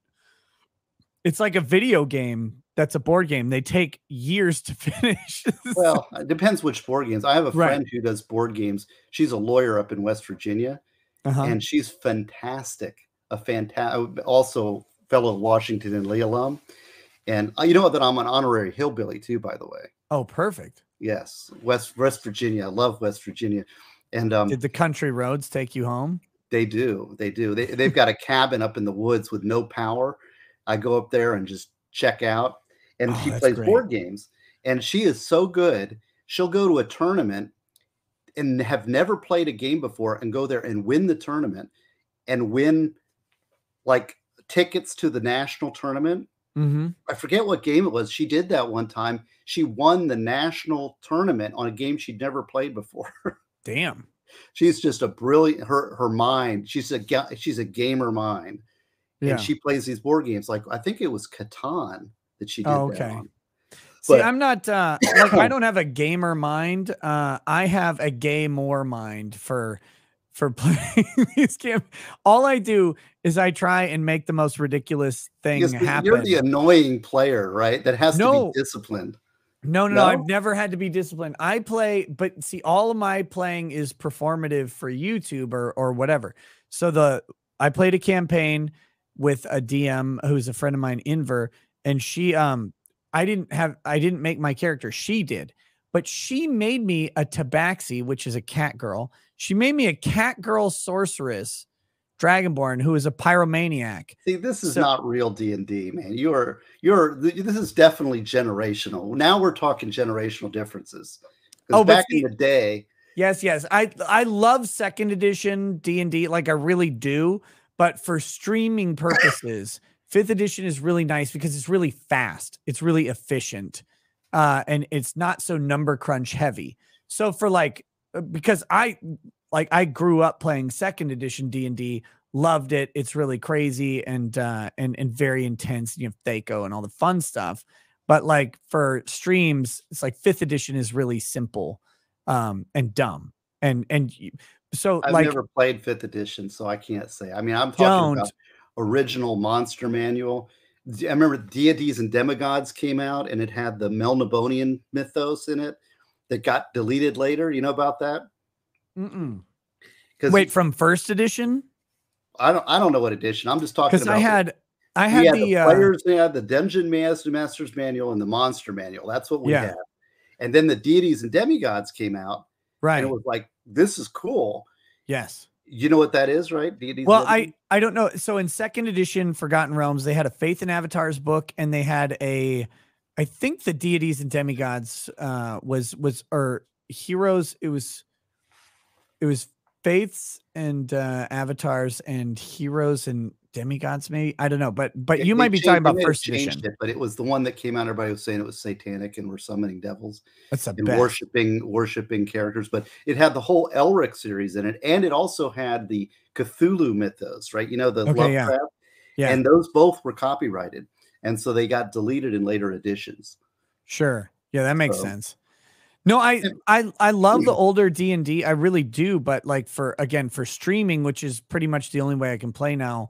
Um, having the fifth edition is nice because it's it's just truncated and and fast. And so my the first campaign I did online was yeah, I was a cat girl sorceress who was a pyromaniac, which like I don't know why the DM did this because I literally just reacted by fireballing everything I found and just killing everything constantly.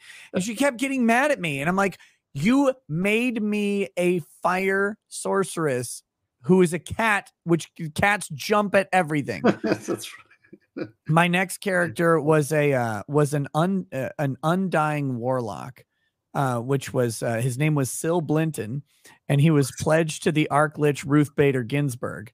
And my my job in the party was to convince the paladin that kobold slavery was good um and Well. so that that's all i did was i used i used uh, deception and i just kept convincing the paladin that we had excellent social program for these kobold youths and they aren't quite human. They're really only three fifths of a human, right? it was uh, it's terrible and so yeah my current character is a is a lawful evil fairy warlock that summons tentacles and uh and Well, I'm, I, I'm sorry that I asked about this because now you know it's been outed. It's it's okay. It's okay. It's done in public. It's fine. Everything done in public is fine. Well, like I said, I did have a little clue that this might have been in your in your radar screen. You know, had another commonality here. I no, I I love D and D because it's it's just it's free. When you have people who are fun to play with, it's free. Uh, to you you get to explore and do dumb things and and and have a blast. And of course, people are trying to stop that now too, right? Because people have too much fun with D and D. It's like, well, you don't have any wheelchair bound cripple wizards in your group. It's like, That's the you know, like my my I used to play this World of Warcraft, which is basically uh D and D. You ever played World of Warcraft? no, I see. I played EverQuest before World of Warcraft came Okay. out. And, and Now you're with- the I was actually man. the top gnome. I played, you know, I kind of like your character. I played a little gnome fire wizard, Yeah. and I always said like, okay, so if you you know, and it's, there's combat, there's like players can come and nail you for just no reason, just out of nowhere, right? But I'm like, oh, big strong knight beating up on a little gnome, right? Right. So I always had that that card, but I actually turned out to be the top gnome, alliance gnome on the server. But it became it was ridiculous because then this like Panda edition came out of the Knights of Pandera or something, Yeah, that was weird. That was weird. and then like all my great characters all got outdated, and I'm like, how much time am I going to have to put in to All move these guys up five more levels? you know, it was ridiculous. And so I just completely cold turkeyed it, you know? Yeah. but um well, that that's what I I had to do that in college because I was playing EverQuest, uh, which was which uh, uh actually Worlds of Warcraft has a whole bunch of lore um about the developers and development and a lot of them were hired from the top guilds of EverQuest for example. And then they would be like the one guy who's named in the Blizzard lawsuit uh the the one about all the employee misconduct or whatever that was a that was an EverQuest player. Mhm. um but anyway so uh but yeah I was playing it so much in college that I just wasn't ever going to class so I had to right. I had to sell my character and um and quit and and and you're right like it you have to do cold turkey because it's not like well I'll play a little bit you won't ever play a little bit No, Um, it's you'll just built, sit it's designed. Well, I've got Yeah. a good. uh, There's one thing I want to tell you about the chicken story, but the other thing, the The other chicken story, is, um, you know, th- the political correctness got injected into those games. Like you Mhm. got to play the, you know, oh look, there's this gay character that's super powerful. You know, I mean, like, why are you putting that in this game? stop it It's Yeah. stupid, you know, and it just completely. I remember I was playing. There was some other game. It's like Carmen. You know what's that game? It's the um. Oh gosh, I can't remember. It's another Blizzard game, but Blizzard just got completely wrecked. oh StarCraft Starcraft, yeah, yeah completely wrecked by political correctness. No, I was going to tell you that this is an interesting. I have a professor friend of mine who I'm working on a paper with actually, who's brilliant. Um, where he works on, he's in Alabama, he's a UCF criminal justice professor, but he had this really interesting topic about gambling and addiction, and why is gambling addictive? Mm. And it's an interesting question, right? Well, there was he. This really helps because I'm not I'm not really an addictive personality, and so I don't quite understand it. And it's it's an interesting question, right?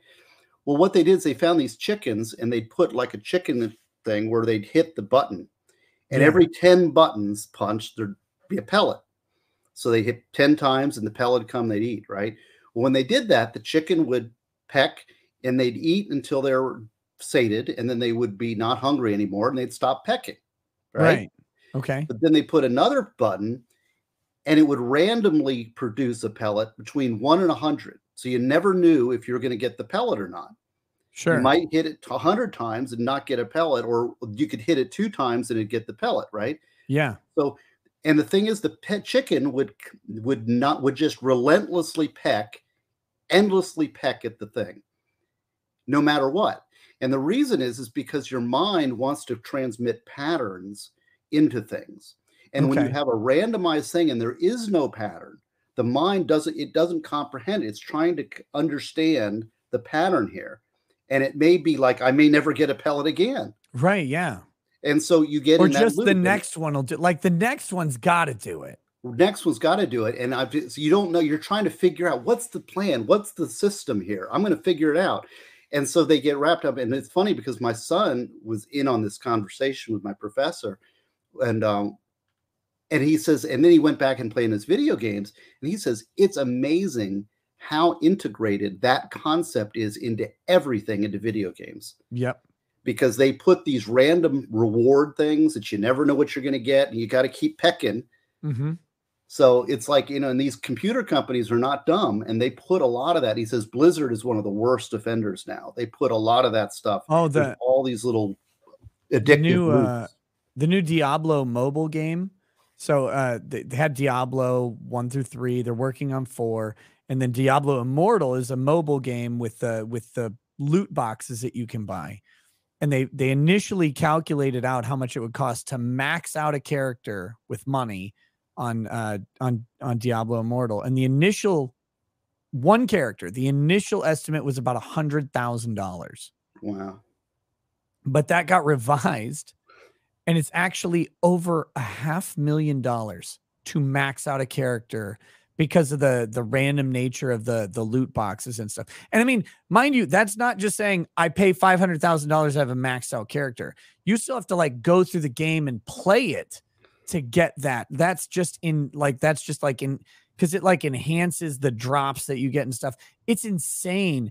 And um, I was talking about this the other day, but but the part of the problem is synergizing that with the creator economy that we have because there are streamers who stream professionally these games and therefore buy things professionally who will actually pay that much because they'll make more than that in the way that they stream. And that's well, that's the real like crazy thing. this magic the gathering is another thing my son got into way back and it got to be so ridiculous because the cards are so expensive and to be competitive you've got to invest in these cards. We can't you know we looked into it. It's more expensive to play magic the gathering than it is to be a golfer.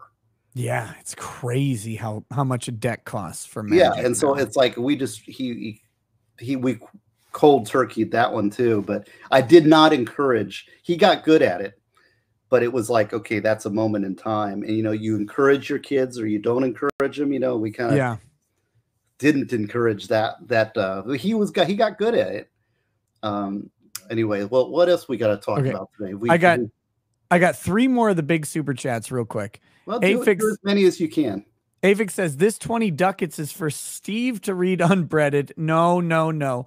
Also, government is slavery. Look, uh, Steve is a public servant, and I would never ask him to actually read the unbreaded because there's there's just people who will take it the wrong way. Um, and thank you very much. Kyle Bogue says, big Ghost fan too. Saw them for the first time in 2016 at Northern Invasion in Somerset. Saw them with my wife at the Armory in 2019. They screwed up my VIP tickets and gave us meet and greet tickets. That's cool. And uh, Rumble username sucks says, What topic haven't we covered?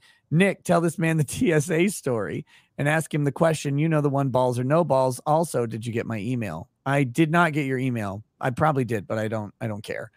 Um, the TSA story. Uh, so the other day, real quick, the other day I went to Kentucky with my wife. Um, we had, we were celebrating the first Rekieta Law baby.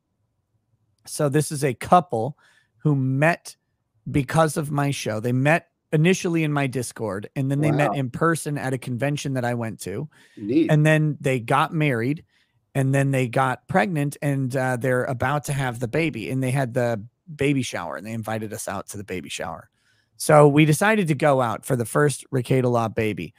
Now, while we were there in Kentucky, uh, it's just my wife and I, and we decided to go to um to a store that caters to adult couples we'll say um okay. and sells all sorts of fun things. And we bought a lot of stuff. We bought just a whole bunch of fun things um is the best way to describe this. Fun adult things. Very adult things. Also very fun things. We bought a lot of them. So much so that we had uh we had to dedicate one of the suitcases to the stuff that we bought coming back flying back home. Oh so, I can see where this is going now. so we get we get home and I'm unpacking like our suitcase and I pull this one up and I'm like something weird about this and I open it up and there's the TSA inspection notice inside, and I'm like, oh my god! Of all the suitcases they they, they pick, did that intentionally. they pick the one. This thing is full of some of the worst stuff you could ever imagine seeing. It's like, oh my god! wow. Now, uh, see, they, you know that there's there is a sense of humor behind that TSA inspection notice. Oh yeah, and they oh, probably yeah. ran that thing through some kind of scanner. I and they saw so. what was in it. And they got we got to open this thing up, right? Yeah, I'm just glad uh, the one we brought back from the Caribbean that they didn't scan that one because that one was way worse. way worse. Funny. That's Uh. pretty. That's that's pretty embarrassing, and I'm proud of you that you're willing to expose Oh. yourself in such public forums in these. Uh, I'm not embarrassed by this at all. I bring the field kit with me wherever I go with Lady Rackets. I'm not. Look, I've been I've I've I've been married for 18 years. If I don't have the kids around, well, that's all hard. bets It's are hard to off. get kids away. Well, enjoy it while they're there because it's the best thing Oh. ever. And kid, there's this anti-kid thing in our culture. oh, that's People are weird. told yeah. like, I don't want to have kids. These women are like, I don't want to have kids or even men. I mean, that's the best thing's ever happened to me. No, I agree. I I love the heck out of these little monsters. I do. but like okay, so today, just today, I'm up uh I I I wake up, I get the notice from YouTube, right? Like, oh, you're you've got a community guideline strike. I'm like, fucking hell. So I'm sitting in my bed. I'm annoyed already uh, that I've got this thing, and and all I'm doing all day is trying to like I'm talking to people that I know, trying to strategize next moves, plan out this thing, talking to my YouTube partner, emailing various other people who might be able to help with this thing behind the scenes because I I still have some resources that I haven't fully employed yet to try and handle the strike and stuff like that. But I'm I'm trying to figure all this out. And I'm just sitting there and my wife is uh she's working on she's building a, a Lego set uh because you know she likes Legos. She's building a Lego set uh next to me in bed. And then um her cousin comes over and brings their kids. So we now have nine children in our house. Wow. Right. And so her cousin's there talking to her in my room. And uh, and I'm sitting there, I'm just pissed, trying to figure things out, calling people, messaging people, reading emails, and and and doing all this stuff. And one of my kids comes in. Hey, can I have a soda? Like, yes, have a soda. You can have a soda every day. What the hell are you even asking? So then they leave. Two seconds later, a different kid comes in. Can I have a snack? Of course, you can have a freaking snack. We have a snack drawer, so you never have to ask. Go eat a snack. And then another come, kid comes in, and another kid. And I'm like, I looked to my wife. I said, Do I even have a bedroom? Like, do I even have a space anymore? Because I'm like, now I'm losing my cool and I'm already mad. And it's like, I love these little monsters, but at some point, it's like, damn it, just go do the things that you do all day. Yeah, but they really want your attention. Well, they need to go eat a snack. That's yeah, I know, I understand, but that's not the purpose of their encounter. They're they want to get a little daddy interaction. Yeah, well, you know, and that's what they're doing. They got they got a whole bunch of that later in the day, but right then I needed a private space and I didn't have one. I, I understand. Is, so that's- it makes you a better man. That's what I'm saying though, is when but see, when I go on vacation, I know no one's coming through the door. And that's why That's you bring the, TSA field kit. agent package, right? Yes, I got you. Yep. So a TSA agent. Well, we all have our wait. own. We all have our things that we enjoy, and you know, you have your zone. I'm just telling the next TSA agent who inspects my bag, you better be ready because you're gonna need Jesus afterwards. That's I'm gonna bring I'm gonna bring intentionally worse stuff just in case they inspect it. Uh okay. Um all right, that's that's all the big super chats. Uh it's I know it's really late for you. So I'm going to read the rest of them, but if you need to go at any point, please feel free. You've been uh phenomenal hanging out four and a half hours, which you should not do. I, I don't know what's wrong with you. I'll tell you, when I was in private practice, Yeah. this is this is nothing. You know, like when I was in private practice, we had a case. It was a I, I can't even I still can't talk about it. It was a multi-million dollar, basically a $25 million case. Sure. probate probate case. Big big states. We had three law firms on both sides, and the lawyers. And it was really one of the cases that said, "I never want to do civil law again," because the Yeah. lawyers on the other side were so unethical and nasty and dirty and played it played it to the hilt and it was basically about them getting a big paycheck out of their stupid client who they had on the hook for paying them money anyways at the at the settlement conference we we went in at 7:30 in the morning to their office to to do mediation right Yeah. and we we were up until 7:30 the next day signing documents so we Yep. went in there and negotiated so we had a, a basically a over 24 25 hours of nonstop negotiations and settlement negotiations Yeah. So you know, I'll, I'll just you know I'll, I'll just say you know it's like so. In the scheme of things, and I, I planned on coming on here and, and giving you my best time. Um, I'm probably not at my best. I will tell you that, but I don't. I, I'm I'm fine. I'm having a blast, and I'm I was looking forward to this so much. Um, so I, I if I if if I'm incoherent and rambling, it's because of this and the sleep and the alcohol and the whole thing but as long as I'm being entertaining and you're enjoying it, then you know Oh, you kick me off. Let me let me clarify. You're welcome to stay as long as you want. I just I never want to ask because it's such a I I go so late and my show runs so long and and I don't want ev- people to ever feel like oh I, I don't want to leave uh if if I you know I'm really tired but I don't want to leave or I'll feel rude. You're you're fully welcome to, but you can stay. Please do. Well, and I'd Um, like uh, what we need to do, and I'm just thinking ahead. Mhm. When you get back on YouTube, because I'm supposed to grift for Branca. I know, I know. That But- me too. And I'm like, damn it, like couldn't you have waited till after this thing launches and I've grifted a couple times? but anyways, I, I, I was the high the idea. See, I'm I'm starting to mumble, but the um the I really I do want to tell you about the Kelly case, but we probably ought to save that for a big YouTube thing. So if you would, you know, allow me to come back and talk about Oh, that case Anytime. when I'm Yeah. in a better like I'm just not as No, good. we'll we'll definitely do that uh for sure. And because because it really is um long story short, guys, uh let, let me briefly summarize the Kelly case outcome. I'm not going to get into the case too much, but a guy got convicted for uh a a a culpable criminal negligence case similar to Felony. Kim Potter. Yeah, and it's a felony case and the judge even though people uh, were asking for leniency on this, the judge decided, boom, 10 years in prison plus a huge fine. Um, and uh, he ended up winning on appeal. Full reversal, you're out. No, no retrial, none of that. You go home because this conviction was wrong. And it was like the appeal was extra special because the appeal was an appeal of the motion for a, a- basically a motion for a directed verdict or a verdict not a judgment notwithstanding of the verdict where the judge says the jury said this thing.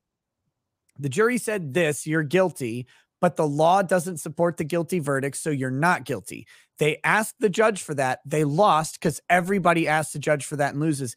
And then they appeal on that and won that's how bad this conviction was. It's a crazy story and it's it's seriously it's like uh it's a it's a miracle that this guy actually got out on this and it's the right decision. I i didn't read all of the materials you sent me but i was reading through the the uh the opinion on it and it's like this is clearly the correct decision because the the question of culpable criminal negligence is did you create an unsafe situation and then act negligently in disregard of those conditions Well, and, And, we uh, can, and since we're in it, I'll give the, the. You really need to understand what happened here yeah because the facts, what he was convicted for doing, it, he, it was four o'clock in like a Saturday afternoon, bright sunny day. It was a little chilly, Mhm.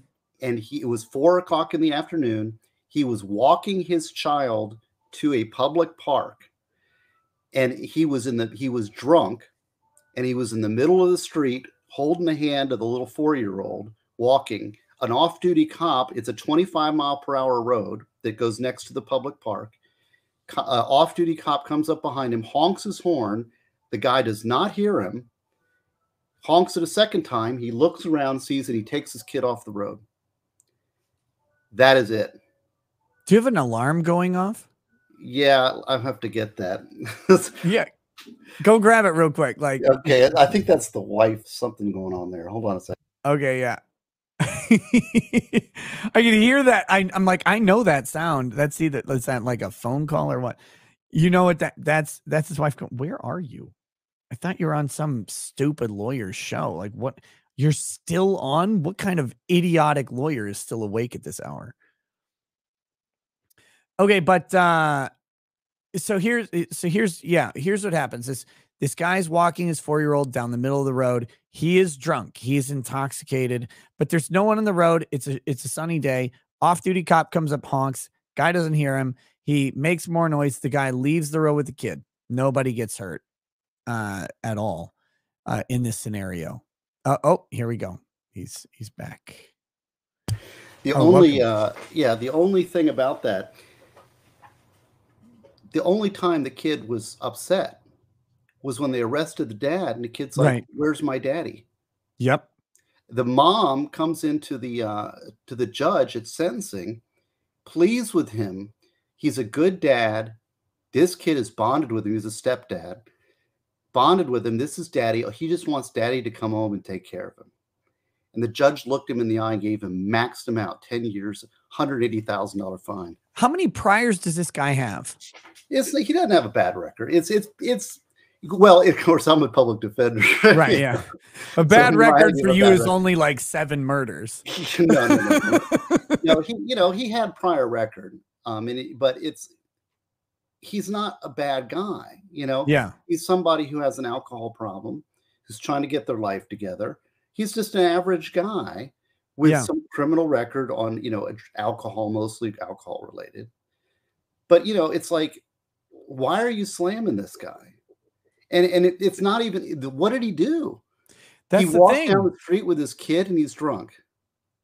Yeah, like that's the thing. Okay, where I I get that there's there's a possibility that an intoxicated person might put their child in danger, but was the kid in danger? Like that that seems like a pretty pretty important question. And just being in a street is not actually in danger.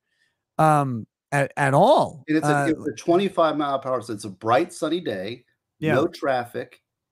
I don't, I don't know. It was crazy. That that's um I, I we'll talk about that one at a future date when I'm a little bit more coherent. But thankfully, my client, you know, he's out and he's happy. He's with his family. He's looking for a job, and he's um, you know, it it's it's really it was i mean i hope he changes his life turns his life around but yeah you don't want him to be a guy with alcohol problems but that no. having alcohol problems and making a potentially questionable decision like if something had happened to the kid suddenly we've got a different discussion here but but what it is people project all of their worst fears right into the situation and it's like well the government so we're going to help out this family by taking away the father for the life of the child yeah, I mean it's it's insane. Anyway, uh, we'll we'll talk about that one in depth at, at a at a future time. Um, what's I going to tell you about it? Oh, and my my client is really nice. He did waive attorney-client privilege on this, so he was allowed me he allowed me to talk about this case.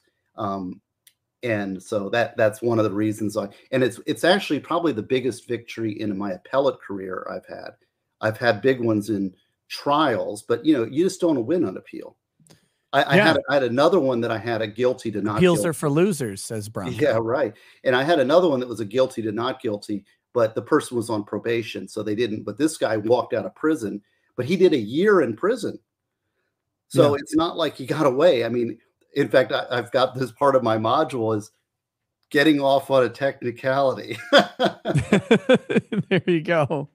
Because you know he, he did a year in prison and suffered. I mean, with no oh my god, yeah. All right, here we go. Let's uh we're going to go through the rest of the rest of the Rumble rants that are here. Thank you to everybody who has contributed by the way through the Rumble rant system which is Rumble's version of super chats. It's much appreciated. Uh we'll we'll read the rest of them. We'll probably close out the show after that.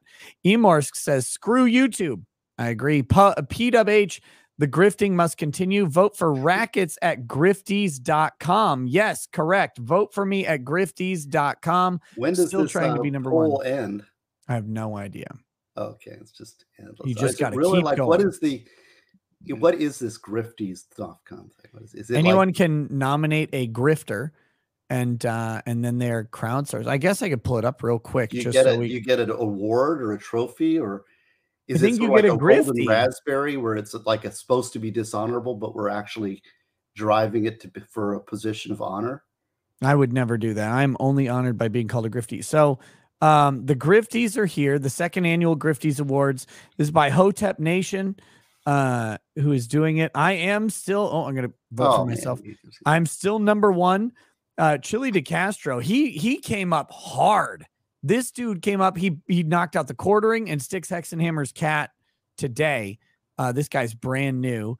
Uh, we got Tim Pool, Anthony Fauci, Amber Heard of Vladimir Zelensky, Justin Trudeau, Bobby Law, Viva Fry, Jussie Smollett. Wow, Donald you're Trump. beating some big figures here. This is oh, yeah. Impressive. Oh, they can't even the, the, when you're the when you're the king, man. I mean, I'm I'm a little worried about this uh this Chili De Castro guy. Um, but but it doesn't gonna, tell you how many groups he's got. No, I have no no idea how many votes are going on. All I know is I need to remain at the top, and uh, I will I will fight. I will fight to win the Grifties. Um, but oh, uh, I got a question for you. I'm not now. I got to see. I'm, brain is not working this late at night. But you watched the whole Amber Heard trial, didn't you? Yeah.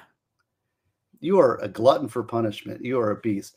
I, I don't understand how the, the longest trial I've ever had is four days. Yeah, that's see, that's uh the the trials that I've covered, especially when Branca's on.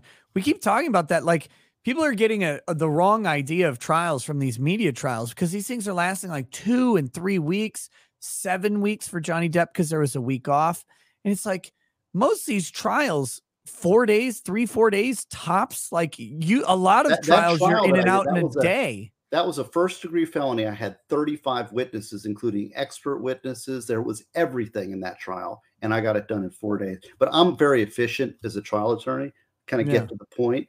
But I don't know how they can do it. I mean, I don't, and I don't know how you can even watch that stuff. That is like, but the one thing I did watch, Well, there are there are And lots I'm of an Xer, reasons. right? huh? There are lots of reasons. Oh, Uh, yeah. Like Well, a hundred. reasons, right? Grifter reasons. 120,000 subscribers, a whole pile of money, you know, like that's uh, un- uh, I hate to put it in those terms, but like when when your business is doing this, then Sure. that it's really good for business. But I appreciate that. No, I, I was- get it. I get it. It's but not my bag, right? But here's the here's the question I have for you because I think, and I don't know anything about this. This is completely pulling it out of my rear end, right? I have no clue what I'm Yeah. talking about. But I've always been a fan of Kate Moss, and I think Kate Moss testifying for two and a half minutes was the best thing that ever happened to Johnny Depp. What do you think? Oh, it was great. It was really good for him, actually. And uh, when when Amber Heard brought up Kate Moss, like this is how you know how good it was. Amber Heard brought up the Kate Moss story, and his lawyer Ben Chew is on camera going, "Yes," and he like turns to his other lawyers and they're like, "We got him," because they knew they had Kate Moss as a uh, rebuttal witness Right. waiting, but they had to have a reason to bring her in. And um, she's likable, she's pretty, she's well spoken, and she was going to come in and talk about how Amber Heard literally made up the story out of nothing. And it wouldn't, and the, the best part is they'd already recorded that deposition.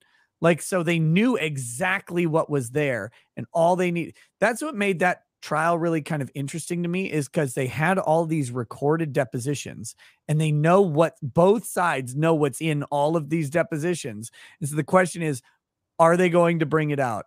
And then some of them they bring out these depositions, and you're like, why would you have this come? Like, why would you have this as your witness? This was terrible for you. And then other ones you're like, okay, this is really just boring and dry and and pointless.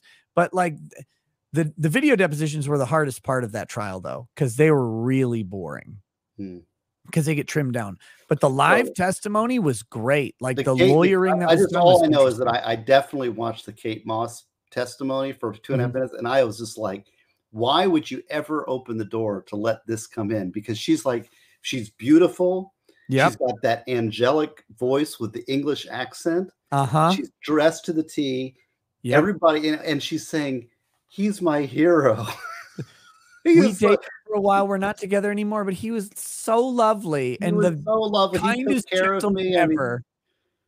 Yeah. What a what a ridiculous moment. Well, I and the other thing I, I've watched, uh, we watched some of the popcorn murder trial. That I don't know if you remember. I was Yeah, on Curtis Reeves. them. Yep. Yep. In fact, I trained one of those defense attorneys. I don't know if you remember that. One of the defense attorneys was one of my. Uh, I, yeah. you know, I train all the appellate attorneys when they come through, and I trained him as the appellate attorney. And now he's in. the- He was there. Now he's moved on. He's actually in a Miami firm now. But he, Oh, I. I don't know if you remember him, Matt. Which one? What he wasn't? Uh, was he one of the younger guys or one of the two old? Yeah, yeah. I he was the guy who was sitting there next to the next to the attractive other lawyer the whole Yeah. time. no, that guy was good. Uh, the um, someone I know is like, uh, oh, I think uh, Peter Tragos, the lawyer you know, he knows uh one of the the the lead defense attorney on that case, and um. Yeah, because we had talked about my my criticism of his closing arguments was that it was just way the hell too long, and it got Mm. it got he got the he got the acquittal right, so he wins. But man, his closing argument was was a mess, and uh, Peter Tragos had talked to him about it, I guess, and uh, if I remember right, and he he had said, yeah, the guy just kind of like got in the zone and just kept going. it was like like no, you need to Uh, just end it. love to talk. Look how long we've been talking. You know, I mean, it's like I know. But um, Four hours and 40 minutes. Ooh. Uh, is that you- what it is typical though, right? it, it depends. It all depends. I've I've had much shorter shows with much less interesting people. Okay, No, but thank- okay, but this brings me to one thing though. Do, okay, so do you remember the uh uh Anthony not Anthony uh, Sanjay Gupta of the CNN uh medical doctor Yes. expert guy who went on Joe Rogan. yes, There's this yes, big thing. yes.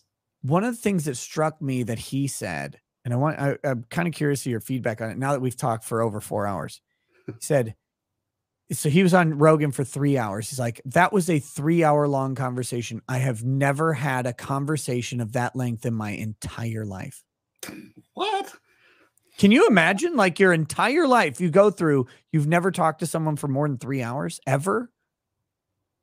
My well, actually, I will tell you my my wife. How I met my wife. My wife's from the Philippines, and uh, I was visiting there scuba diving, Mm. and got distracted, and we went off to a place called Baguio City, which is up in the mountains of the Philippines, and I remember that there was this basically eight hour bus drive from Baguio City back to Manila, and we're driving down the this winding, muddy road going maybe 25 miles an hour in traffic and smog and heat, no air conditioning. And it was an eight hour drive down this road. And, um, and we talked the whole way. And at the end, we were so happy. And it was like, I could have turned around and done another eight hours and talking. And then I was like, you know, if here we're happy after this, this drama, I was Yeah. like, this is marriage material. and that, that was Yeah. one of the moments when I'm like, really like, this is my. So, I mean, I know I have office, we have office conversations because, you know, in law, when you're in a practice, I have people in my office that I'll sit down and talk to for hours about all kinds of things.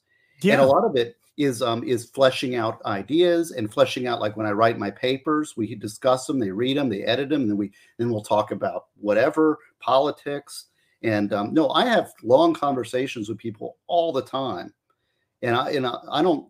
How could somebody, a doctor, I, I I don't know. I don't know how you can do that. Like uh that's just a lie. my my lie. buddy my buddy Drexel who's been on the show plenty of times he and I spent an entire summer um one of my first years of college and we we would go to Perkins every night and talk for I mean 4 to 8 hours every like every single night we would we get done with our day go to Perkins and just hang out and eat and talk and and just figure out like life and in society over and over and it's like we did this all the time. When I was in college, I'd talk to people for hours on end constantly, just these types of conversations talking about that's what I love about my show is when I have someone on, I'm like, this is just what I've done my entire life is just have conversations with people that go all over the place. I never know where they're going. And that's great. Um, Well, actually, that's where I was going. I, I was brought Yeah. up that trial for a reason. Um, and I had this thought, and I write my little thoughts down on yellow stickies that pile up like this, you see. But what what um, what my observation was was that how bad the judge was in that popcorn trial, and oh, she was awful. awful judge. And and the thing is, is that I one I, one of the things when I was in trial division and doing prosecutions and some other stuff, I had one of the greatest judges of all time.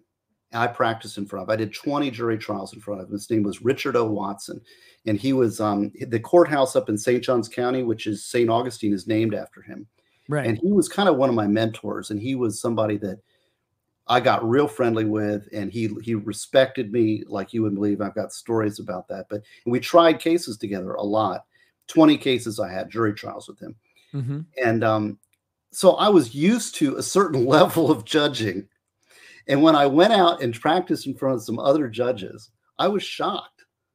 Oh, we had a judge in fact the judge and i'll name him judge wolf. Getting late i can say his name. He's the late judge wolf so he's, late Judge Wolf. he's not slandered anymore. He was terrible. And i, I Yeah. couldn't i was it was shocking to be in front of somebody that bad. And like and this is when i'm seeing these judges around the state somebody commented in the chat what I think about the Cruz trial, and like, and I haven't been watching this stuff. I don't watch trials generally. That's the greatest I, judge in your entire state. Don't you dare. Don't you, you, dare besmirch the good name of mommy judge. you think that judge is good, huh? I've not watched a single second of it, but I've seen pictures of her. Oh, well, she's pretty.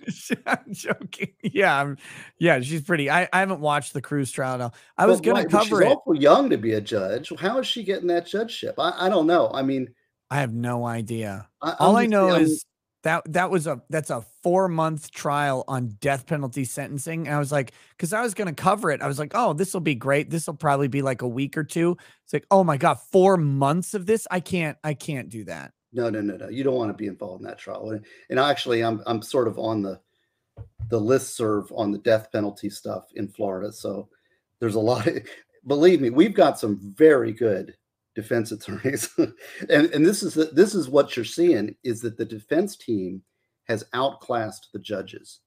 Mm. And and they can't handle what we're putting given to them.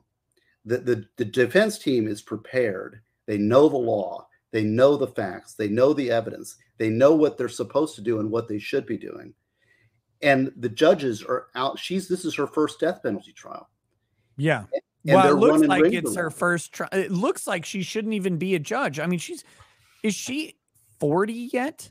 Like not not that age super matters, but she's she is really young looking. Here, I'll right. I'll pull her up. Uh just uh just, just you so want the chat knows. no, what are you talking about? I'm I'm educating the chat here. Okay, this That's is an educa- for educational purposes strictly. Yeah. Uh, let's see. Here we go. Uh, this is a this is an okay one. Uh, here we go. So the chat this this just so you understand what the judge this judge in this trial uh, that we're talking about. We just want you to be able to see. Like, look, I'm just she's very young looking, right? Like, am I crazy? Yeah, and and really, like, how many years out of law school is this person? And and the defense, I, I know this defense team. I know what they're doing. I know what they're prepared to do, and I know how they're doing it.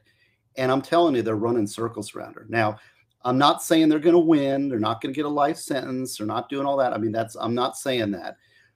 I'm just saying that she's being outclassed by the defense team. And, I just and, I don't see how he doesn't get the death penalty. Right. Well, that's a big story. And there's a there's a lot of I mean, I don't know. This is a very tough case. I'm against death penalty. So um yeah, I don't believe no, I am, anyway. I am too, but I when I when I look at the like I'm against the death penalty, but at the same time I go, okay, like I'm pretty, I'm reasonably convinced that this guy is the guy who walked into a school and shot a bunch of people if there is a death penalty that that can happen the reason i'm opposed to death penalty is because i don't trust the government to do their job correctly but i'm like i'm reasonably convinced that they got the right guy on this one and that there's not like ambiguity. So i'm like well i get it. I don't know that i like i'm not willing to throw my stance on the death penalty in the garbage. I'm just saying i don't see how he doesn't get the death penalty. Well that's a long discussion and probably there's a lot of stuff that I probably can't say about okay. Right we, we yeah. extensive training on on the on the death penalty but there's a lot of a lot of consider that this is a whole long discussion about why. It's not just one reason. You know where you don't live in a perfect world and there's no perfect solution. One of the one of the problems of the death penalty is it's a lie and what i mean by that is it's a lie to the victims and the victims families because these prosecutors go to them and they say if you get the justice is if you get the death penalty. Right. Life in prison is not justice. Well, neither one is justice. Something evil happened and there's no bringing those people back. And you will not be satisfied if that person is given a death sentence or put in the death chair. That yep. is not going to bring your family member back or make you happy or bring give any kind of resolution. It does it does give you a sense of vengeance and it does appeal to vengeance, but it does not but it's a lie when they say this is justice and this will and then the prosecutors say yes we're championing for the victim and then they get the death penalty and they're like yes we've done what we've done for it i'm great victims then left and then they're left behind and they've still got to deal with the tragedy and the death and the destruction they haven't really done anything. They've lied to them to say this is this is going to satisfy you. Right? The Right. second thing, the second thing, and this is another part of it that people don't understand, is that we live in a culture of death. Our society is very death oriented. We should be focused on a life oriented society. And now, what I mean by that is that we got good prosecutors and good a- attorney general's office, right? And their job every day is to wake up and thinking, how can I put this person to death? And so, how does how does that affect your morality? Because you've got these top criminal defense lawyer, criminal prosecutor lawyers Mhm. who think they're a good person, and they are a good person, but their morality gets warped because now their job is to put somebody to death, and that's their job, and so that's got to be good. Yeah. And so their their whole value system gets structured around this, and it, it really corrupts the system. It makes people then all the judges, you got to have a pro death penalty judge. And those are the people that have this morality of death, that that's the answer. There's another thing, there's a foreign policy question that people don't also talk about. Most of the civilized world doesn't have the death penalty. It interferes with our international relations, with Mexico, a big example. Now you'd say, well, that's not a big deal, right? we're a United States and it's our constitution. Okay, maybe so. We're island America, right? But the problem is, is that we do have relations with country. We do exist in a world. And is the benefit, whatever benefit that you may think has to do with the death penalty, does that benefit rise to the level of the cost that it's costing us in the foreign policy? I don't really see a great well, and benefit. the and the real cost because people are under like the way we do death penalty sentencing is it's far more expensive to have a death uh, a death row inmate than to have a life in prison inmate. Um, it's it's more expensive over the course of the incarceration, and it's actually I believe on average more expensive over the life of a life uh, a life imprisonment inmate as well. Um, Well, because another another people don't realize they think it's a deterrent. A lot of our clients that are Yeah. death clients are called, or we call them volunteers. Have you ever heard that? No. You ever heard of a death penalty volunteer? No, what's that? Would they Well, uh rather have a death penalty? You're saying? Yes, Yeah. a lot of our clients. You know, we we on the public defender's office are fighting for their lives. They want to volunteer. They want to go to the death chamber. In Yeah. fact, we there's even something we say called trading your roommate in for a television. because in Florida prisons, you get a roommate and you got a communal TV that's usually tuned to the rap channel and it doesn't work. right. Yeah. Well, in death row, you don't have a roommate and you get a TV. There you So go. what they do is they kill their roommate. So they train the room, they trade their roommate in for a television set. So the uh so Judge Scherer here, she's actually older than I thought. Um, I don't know how old she was, but she was assistant state attorney from 2001 to 2012. So we're talking she's uh she's older than I am. Um, I thought I thought she looks like she's in her 30s, but she's she's well into her 40s. So go her. She's got a good No, she's she's well aged, but I don't think her demeanor. I think she's not being nice to the people in the courtroom, and I don't think she really has a good handle on death penalty law. Death penalty law is ridiculously complicated, Yeah, it is. and um, you know, like when I when I did my first death penalty appeal, it's like it's like start going to law school again, hmm and um, it's a highly niche area of law and it's it's um but i think it's complicated because it's so important right? Like this this is the state killing a citizen at the at the end of the day and that's that's one of the problems that i have with with police shootings and with death penalties in general is like that is the ultimate deprivation of liter uh, of liberty is the state removing the life of the citizenry. And like if the state's going to do that i want them to be really damn sure about it and i know that this gets this gets in the weeds with some people and and and they run at odds with me on some of this stuff but like when i see a police shooting i'm like did the guy deserve like i get it but and i get that there may be like the legal justification but the state just killed this guy and i don't want the state to kill me Right. But And I they don't might. want I don't want the state to have the power. That person is immobilized. And segregate that life and without parole is a thing. Mhm.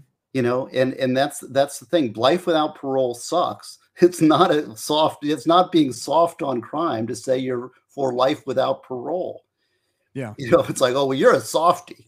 well, I, I don't know. Life without parole is pretty bad, and there's no perfect system. And I'm not 100. percent I mean, I you I'm I'm 100 percent against it, but I recognize the people. I'm not. I mean, I know that I'm in the minority, and I know that people have good hearts and are for the death penalty. Yeah. And most of the people, in fact, that's one of the things they found in death penalty research is that about 80% of people are not qualified to sit on a death jury because because you have to be able to you have to have a certain mindset and most people cannot weigh the consequences and cannot do the proper job what is legally required that's why death penalty jury selection takes so long because Right. most people are disqualified Uh, SC Medic 71. I came here, I come here because YouTube doesn't get any percent of my super chats. Rather support Rumble. Hey, thank you.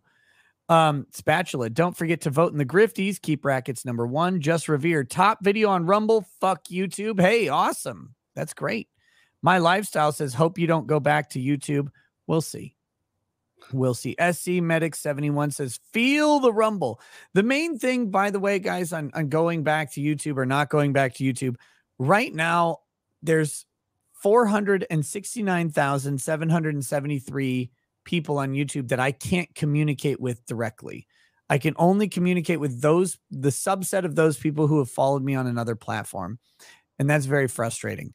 Um, I cannot wait to be able to communicate with them on YouTube and uh, and talk more about the about Rumble and and and what we're doing. But that's that's probably 14 days away. Hopefully less, but probably there. So we'll do you see. know do you know what the penalty is i mean do you know that it's going to be 14 days or do you just suspect? Well, that's a funny story. It's funny you should ask, Steve, because so your first strike is a quoting the terms of service, a one week suspension. What does one week mean to you? That's seven days but you got 10 didn't you I got 10. uh, so got did they deduct days. the extra three from this one Wouldn't that be nice? No, in fact, uh, apparently my YouTube partner manager has an explanation about my seemingly longer suspension. I replied to her, That's funny. It wasn't seemingly longer, it was demonstrably longer. it was 10 days when it says one week.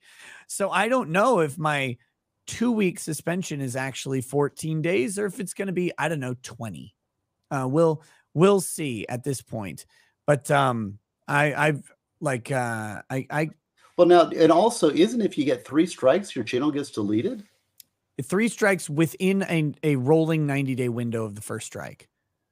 okay So um so I mean, yeah, that's what a dangerous thing for a business it's a very dangerous thing for business, and it's business. rather arbitrary wouldn't you say it's very arbitrary. It's also why I'm like I, I still think uh I think that my first strike is definitely completely bogus. Like because I'm I'm actually within their policy on my first strike a hundred percent. And um, I'm still actually working on getting that one removed prior to the 90 day thing because it, it's so incorrect that it makes me angry. Um, but uh, I'm I'm still working on that. This one, I don't know the exact reason, so I I don't know. But I have a feeling it's in. I have a feeling I'll think it's incorrect. But I know the first one, like legitimately, uh, they changed their policy on showing violent imagery after the George Floyd, uh, after Derek Chauvin and George Floyd, and they basically changed it from you can't show dead people to you can't show dead people for the purposes of causing shock and alarm in your audience, but you can do it as as like news commentary and stuff like that which is that's what i did. I showed a video of a guy getting he got his neck cut in a mall. It's security cam from really high and the the gross part of the video is two things. One after he gets his neck cut he's standing there. Like he doesn't even know what happened and he puts his hand over his neck and like there's some red spray that hits the ground. And then he he just falls and dies right? It was an australian mall fight and and this happened I've reviewed tons of videos of people getting shot, stabbed, killed, dead, or whatever. I didn't think this would be a problem at all. It's 40 seconds out of a five hour live stream. And YouTube said that I did that for the purposes of shocking and disgusting my audience. That's the policy, which I did not do.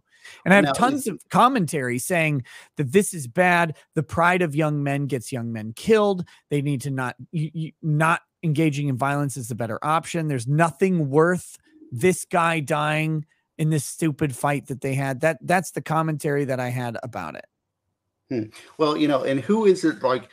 eh, I, I, I know I don't really know anything about this stuff, so this is all neophyte Yeah. questions. So if I'm stupid, tell me. But like, who is it that you communicate with? I mean, is there an appeal board? Is there a person, a Yeah. lawyer? Is there a department? Oh boy. The, so the communication part of it's really interesting. So you write an appeal to a faceless community guidelines entity that uh, that reviews your appeal and makes a decision. That's one thing. I have a YouTube partner manager who just said today that my well-being is their priority. So um so it's very nice.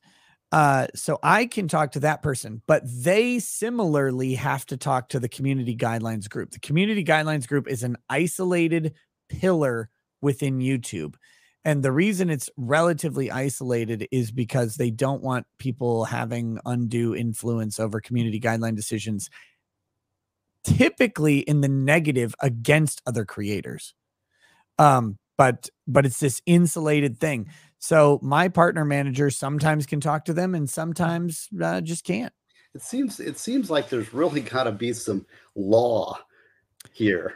Wouldn't it be like nice? Law-free environment. It is. It is a completely arbitrary environment, and that's that's just what which is another argument against the death penalty, by the way. oh, very- I see what you're doing. It's very arbitrary Yes. because where you get the death penalty is completely dependent on geographic location and it's completely random.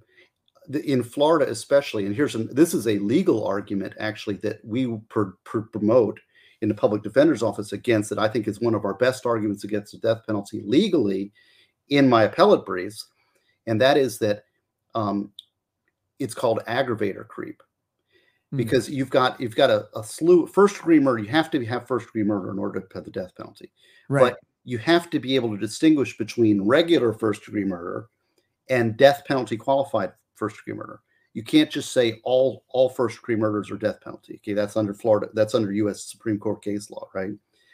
Well, if you brought me a hundred death first degree murder cases and said pick which ones of these are death qualified, which ones are not, there would be no way to distinguish objectively which one would get the death penalty and which one would not, or which one would be eligible for the death penalty and which one would not, because they would all qualify under the aggravator system we have. The aggravator system is supposed to distinguish between death penalty cases and non death penalty first degree murders. But if they all qualify because we have aggravator creep in Florida and everything's an aggravator, every death penalty qualifies. So therefore, it's constitutionally infirmed our current system in Florida. So uh, that that, that just gives you a taste. That's one of the arguments that we're making, and I think that's the best argument against the Florida death penalty right now. So we have everything's an aggravator. We have too many aggravators. Everything qualifies, and there's no distinguishing between death penalty cases. That's a short, brief version of the big constitutional problem with Florida's death penalty scheme right now. It's good because the constitutional question is that things that are arbitrary and capricious are unconstitutional. You have to have a reason for things to occur under law because remember that any application any application of law and every application of law is a deprivation of liberty.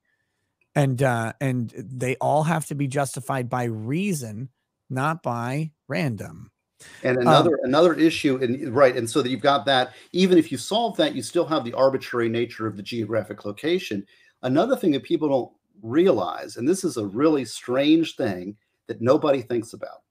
Okay, but all Mhm. this effort we put into appeals, trials, and appeals and stuff, and then they load them up on death row, right?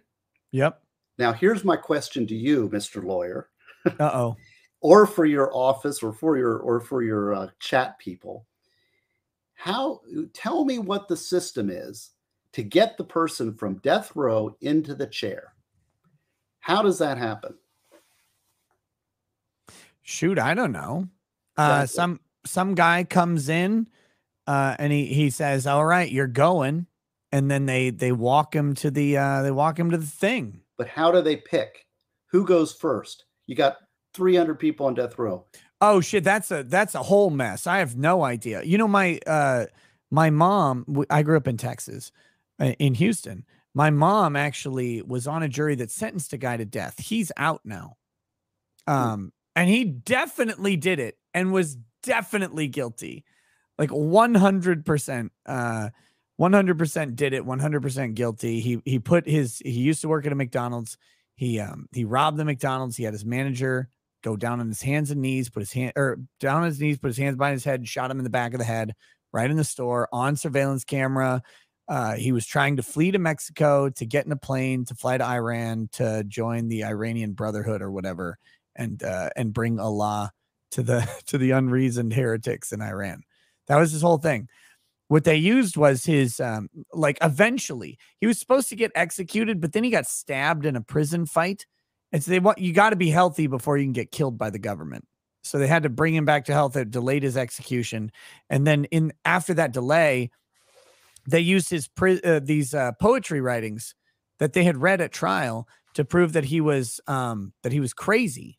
But the guy wasn't crazy. Like he had he had written poetry about joining his brothers in Iran. That's that's what he did, and uh, they then used those to determine he was insane. But no, but but the this guy, like we're talking, this guy was in prison on death row for like twenty years. Who determines who goes first is a really good question. Well, and the answer to this, now that you've pondered it and thought about it, Yeah, the answer is it's completely up to the governor. So when the governor wants to kill somebody, he signs a death warrant. Now, now think about that. That that's pretty sick.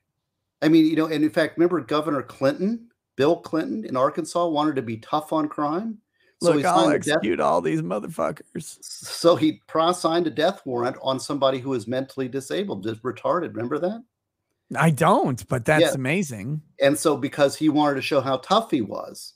So our politician is showing his appeal to bloodlust Yeah, by signing people that are just lined up on death row, waiting their turn. They could sit there like in the most people in death row is in California. But Yeah. nobody but nobody's getting sent because the governor nobody's going to execute him because the governor's not going to sign any warrants. So Right. it's a completely political act. Now think about that. Killing people that are all lined up on death row is your governor's political statement to you. yeah, that's a problem. That's pretty sick. I mean, it I'm- should I'm just, be a an F FIFO, right? Like first in, first out. And if if they get an appeal that gets a delay, that puts them farther down the line based on their appeal. But like, it's not the appeal that stops it. Appeals are cut off. They're just sitting there rotting. What happens, the, the appellate process happens at the end. There is a post conviction appellate process as opposed Right. there's a lot of stuff, there's a lot of process. But that's not why they're they're just sitting there rotting because the governor hasn't decided to kill anybody yet. So when the governor decides to kill somebody, then he signs a piece of paper. Then then the appellate office gets involved and they do federal, you know, blockages and try to get injunctions and stuff like that. But really, the fact of the matter is, it's completely arbitrary. It's a political act by your governor. Uh, you know, I'm just Yeah. I'm just telling the reality. I mean, this is it's No. a sick part of the system. which uh which Clinton signed the death warrant on Seth Rich? All right, here we go. Joe K84. YouTube can go on the wall right next to the other groomers and pedophiles. That's right. SC Medic 71. Yes, Rumble is small and the UI can definitely use some update upgrades, updates, but they are only a baby compared to YouTube. The more we support, the better they will get. That's true. And Rumble's making big improvements. And hey, if uh if if Rumble is willing to listen, I have much insight as a as one of the one of the top grift streamers on the planet. So happy to help him out. and you get a bigger bigger percentage for rumbles than smart. What do they call them? Than super chats, yeah. Super chats. Yeah. Mike's Vaboda. Don't forget to subscribe on Rumble. Absolutely subscribe on Rumble. Rumble username suck. Hey Nick, can you use your poll with Rumble? I have poll with locals. I don't have poll with Rumble yet, but stay tuned. Guys, so uh again, a brief aside on this. Um, people who are like, oh, you should have been on Rumble the whole time. I, I've alluded to this multiple times. When you have and this is weird to me to say this. It's not an arrogance thing, but I have a show that generates a shitload of money. Not something I ever planned for or thought would happen, but it, I, I just do. And it's valuable and desirable to a streaming platform because it brings people who bring money to it. Okay. When you have that, you have leverage, and lawyers always think in leverage. Uh, you have leverage to do something bigger than just showing up. And so that's, I've been working with Rumble on things for a very long time, and you may see some movement on it very soon. It's just sick though that I mean that this Google can can like you know this is your businesses. It's like okay, so let's assume that you've got Google, well, Microsoft Word, and Microsoft Word doesn't like what you're writing on their software program, so they Yeah. shut your software program down because Yes. they, they, you know, it's like, and Word's the only word processor. Yep. It's you know, how does that work? It's it's a utility, and you've based your your business model on it. They can't just rip that. out. It's probably a better one would be, or uh, you know, what would be like a software. You've got a CNC machine, and you've bought this big CNC machine that has AutoCAD on it. Yeah. And AutoCAD doesn't like it because you're making ghost parts for guns. So they shut your CNC machine. Well, you bought the CNC machine, invested all this money, and set up this warehouse to build mill receivers for ARs. And now they just said, "Up, we don't like what you're doing. We're going to take your software away, and you can't run your machine anymore." Did you see? Uh, this isn't politically related or anything, but did you see that BMW is now having a? You have to pay a monthly service subscription for I, your heard, I heated guess I did see that. Yeah, That's crazy. that is That's crazy. that's crazy. Rumble username suck. Hi Nick, can you use your? Oh wait, yeah. To get them to improve the chat, I expect they'll earn way more money if it's easier to engage the chats. Yes, that will be. Uh, as as I talk more and more with Rumble, and um, that'll be that'll be a priority for me, of course, because that helps the grift. Critical. Your Rumble viewers are almost as high as YouTube. Rumble is taking off. If Google removes it from the App Store, any chance of an antitrust suit? Yes, because YouTube has such a high video market share. It would be an antitrust suit because, yeah, they're direct competitor, and uh, and removing them for some sort of what what App Store vi- uh, term has Rumble violated? Like what what thing would it be? They might be the perfect catalyst for it. I hope it doesn't happen though. Roy Rat, Nick, congrats on the huge numbers on Rumble tonight. Can I get another push for my channel? It's tarantula feeding time and I need 100 subs to go live. That's rumble.com forward slash user forward slash Roy Rat, R O I R A T T. He feeds tarantulas on videos. Check it out. Apprende con flowers. Keep up the great work. Let me know if you want me to make you something for your little ones. Instagram.com uh, forward slash naughty flowers. Uh, Apprende con flowers, I think knits or crochets really, really fun stuff, guys. Check her out. Jay Cornman, 24. Can we give some love to Rumble for giving us a true free speech platform down with the YouTube monopoly? Yes, we can. Spatula, don't chop off the little guy. Great advice. Don't chop that off. You like him, he likes you back. Roy Rat, Nick, tonight's vid is my friend Becky firing the five uh 50 cal Smith and Wesson or 500 Smith and Wesson Magnum when I lived in Alaska. It's funny. Need 100 subs on Rumble so I can do a late late live stream rumble.com forward slash a whole bunch of shit. I can't read all that. That's too many letters. Great loner. I declare that Lucar Roberts is a faggot and is as worthless as their cock and balls are, not just to their family, but to society at large. To all the trannies watching this, cope, sneed, and dilate. Damn, great loner. That was a very offensive super chat that you just sent or Rumble rant. Uh, couldn't read that one on YouTube. Airplane Arm says, Thanks, Nick. You're welcome. My lifestyle says, Wish for a better future. Uh, Revenant 465, Saint Stephen was also the first martyr of Christianity. Yeah, you mentioned that. Apprentice on Flowers, are we going to do an unbreaded tonight? Yes, we did. Uh, Joshimo 103, thankful to see two men with chests, according to the C.S. Lewis definition. Congrats to Steve on his college kid. Yeah, congrats, by the way. Thank you. Nick's gay lover. You get a larger cut of Rumble rants compared to super chats. So I can only tip a dollar and it's pretty much the same for you as a $2 super chat. No. Everything's coming up Milhouse. No, it's not it at all. Nick's hacks. A bit late on this, but check your bad IM ear for uh, wax. No, there's there's uh, I did. I've had the same pay, uh, pair for five years, and the only time I've experienced complete muteness is wax buildup. Cleaning it fixes it immediately. I have fully cleaned it. Um, there's there's something on the inside, but I'm gonna get new IEMs soon anyway. I'm not super worried, and I'll get these. Uh, I'm gonna send them to Shure and get them fixed once I get my new ones. Crusader says, Allah's peace be upon this public defender. He also says, when you give Branca's book to Binger, make sure you scream at him, Where's your shame? Where's your shame in the face of Allah? Joshua, one of three. Steve took a nap for Nick, unbreaded. Wrestler Town at 2,000 likes, one shot of military special for each Binger. Uh, we're not going to get there, guys. We're not even going to get to the 1500. I am a little sad about that. We're at we're at almost 1200. Uh, SC Medic 71, Nick Olbach, John Lieb, Liebart. Biden's speech was so awful. Pedo Hitler is trending with 124,000 tweets.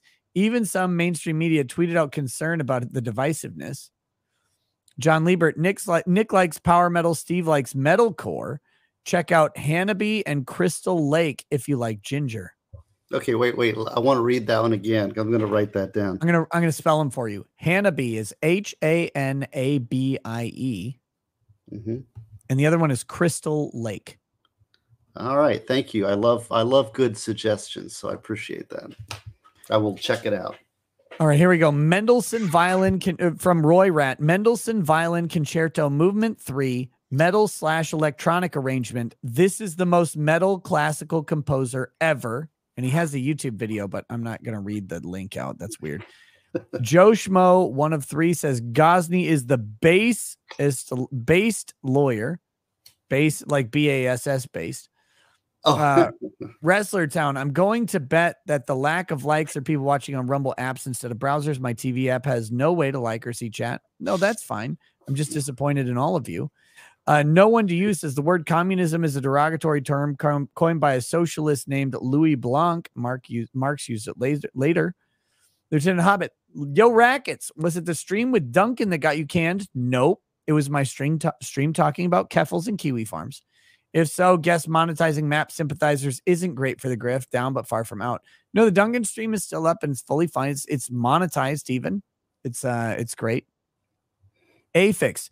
Steve needs a masked alter ego for real talking. Lucha Libre style. I vote he's called Speeve. what? Like you wear a mask, so it's not Oh, you. oh, yeah, like No one yeah, can. like the, the, remember the super destroyers? yeah, you're Like the uh, rest old wrestling. Right. It's it's like that, but you'd have plausible deniability to say what you want to say and, and say all of the racial slurs or whatever. No, I- actually, this is pretty much. I mean, I, I try to be. This is pretty much. I'm I'm completely you do not strike me as someone who walks around screaming slurs. yeah, right. No, no, I don't believe. Well, I don't know. It's you know people that are race obsessed. I had somebody tell me like the other day. well, I, I a couple years ago when my son was 15, they were talking about something. They're like, "Well, you would understand. You have a biracial child," and I said, "I do."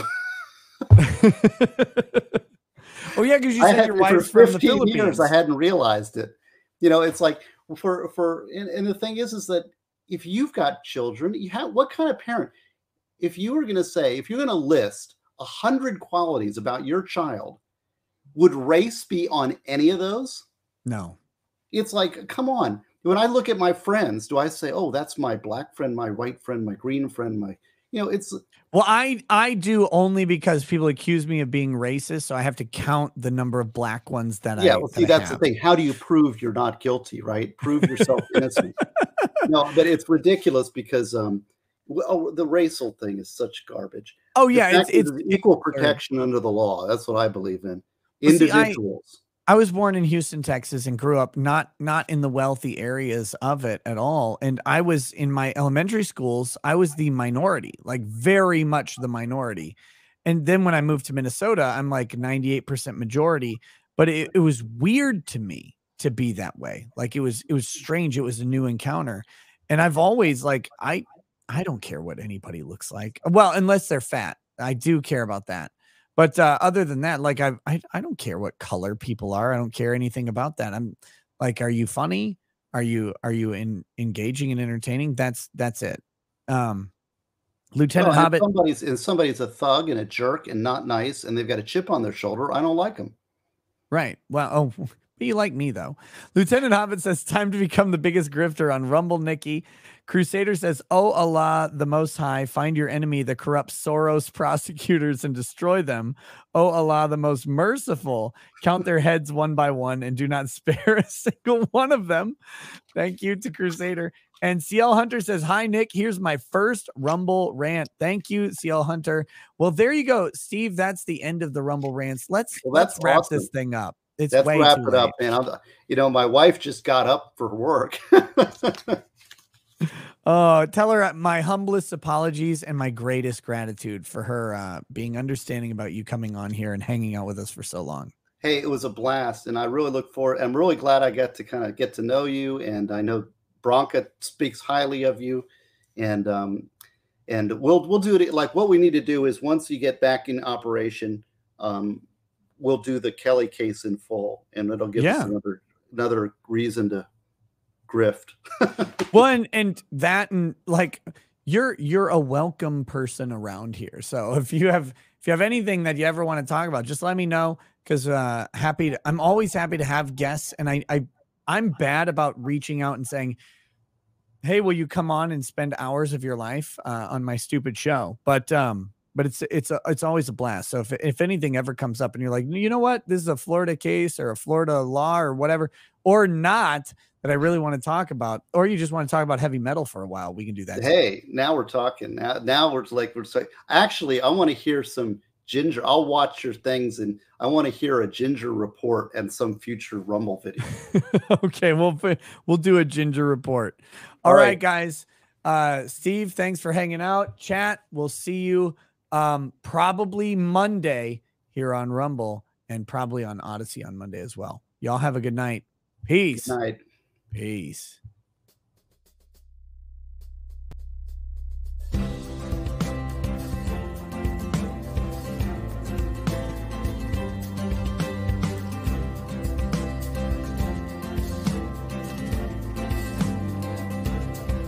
Oh, he drinks a fair bit, but you realize that it just helps get his noggin jogging along with his glass by his side and his kids asleep tight. We'll hear some lost planning tonight. With his microphone muted, we'll laugh at this boomer until he explains it's all part of the plan. Watch his face become redder as he becomes idiots from Twitterland. From the white shores of Maine to the hills of Glenlivet, there's no one who explains the law better than Nick. So pour out a glass for the ones who have passed make the law what we have now. Oh, his lady is fair, and she handles herself with the grace of one who has borne many children. As the wife of a lawman, she makes sure that he has the time and the place to provide for them there. So pour out an Ardbeg of Bowmore and Laphroaig. The spirits flow as the ones who get unemployed. So pour out a glass for the tea post on Twitter as we hear Lost Planning tonight. From the white shores of Nam to the hills of Glenlivet, there's no one who explains the law better than Nick. So pour out a glass for the ones who have passed to make the law what we have now. Oh, the guests are all plentiful, from T to Drexel. They bring their perspective and spice to the mix. But the reason we're here and the one that we cheer is the one who is showcasing us his career.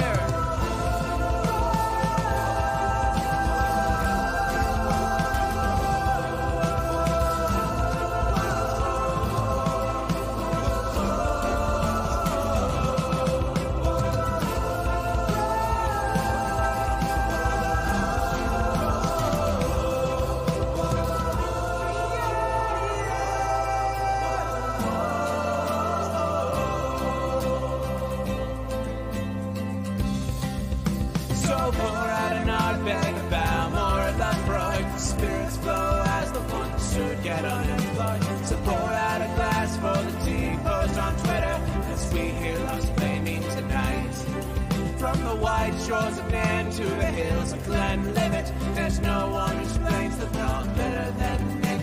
So pour out a glass for the ones who have passed to make the love of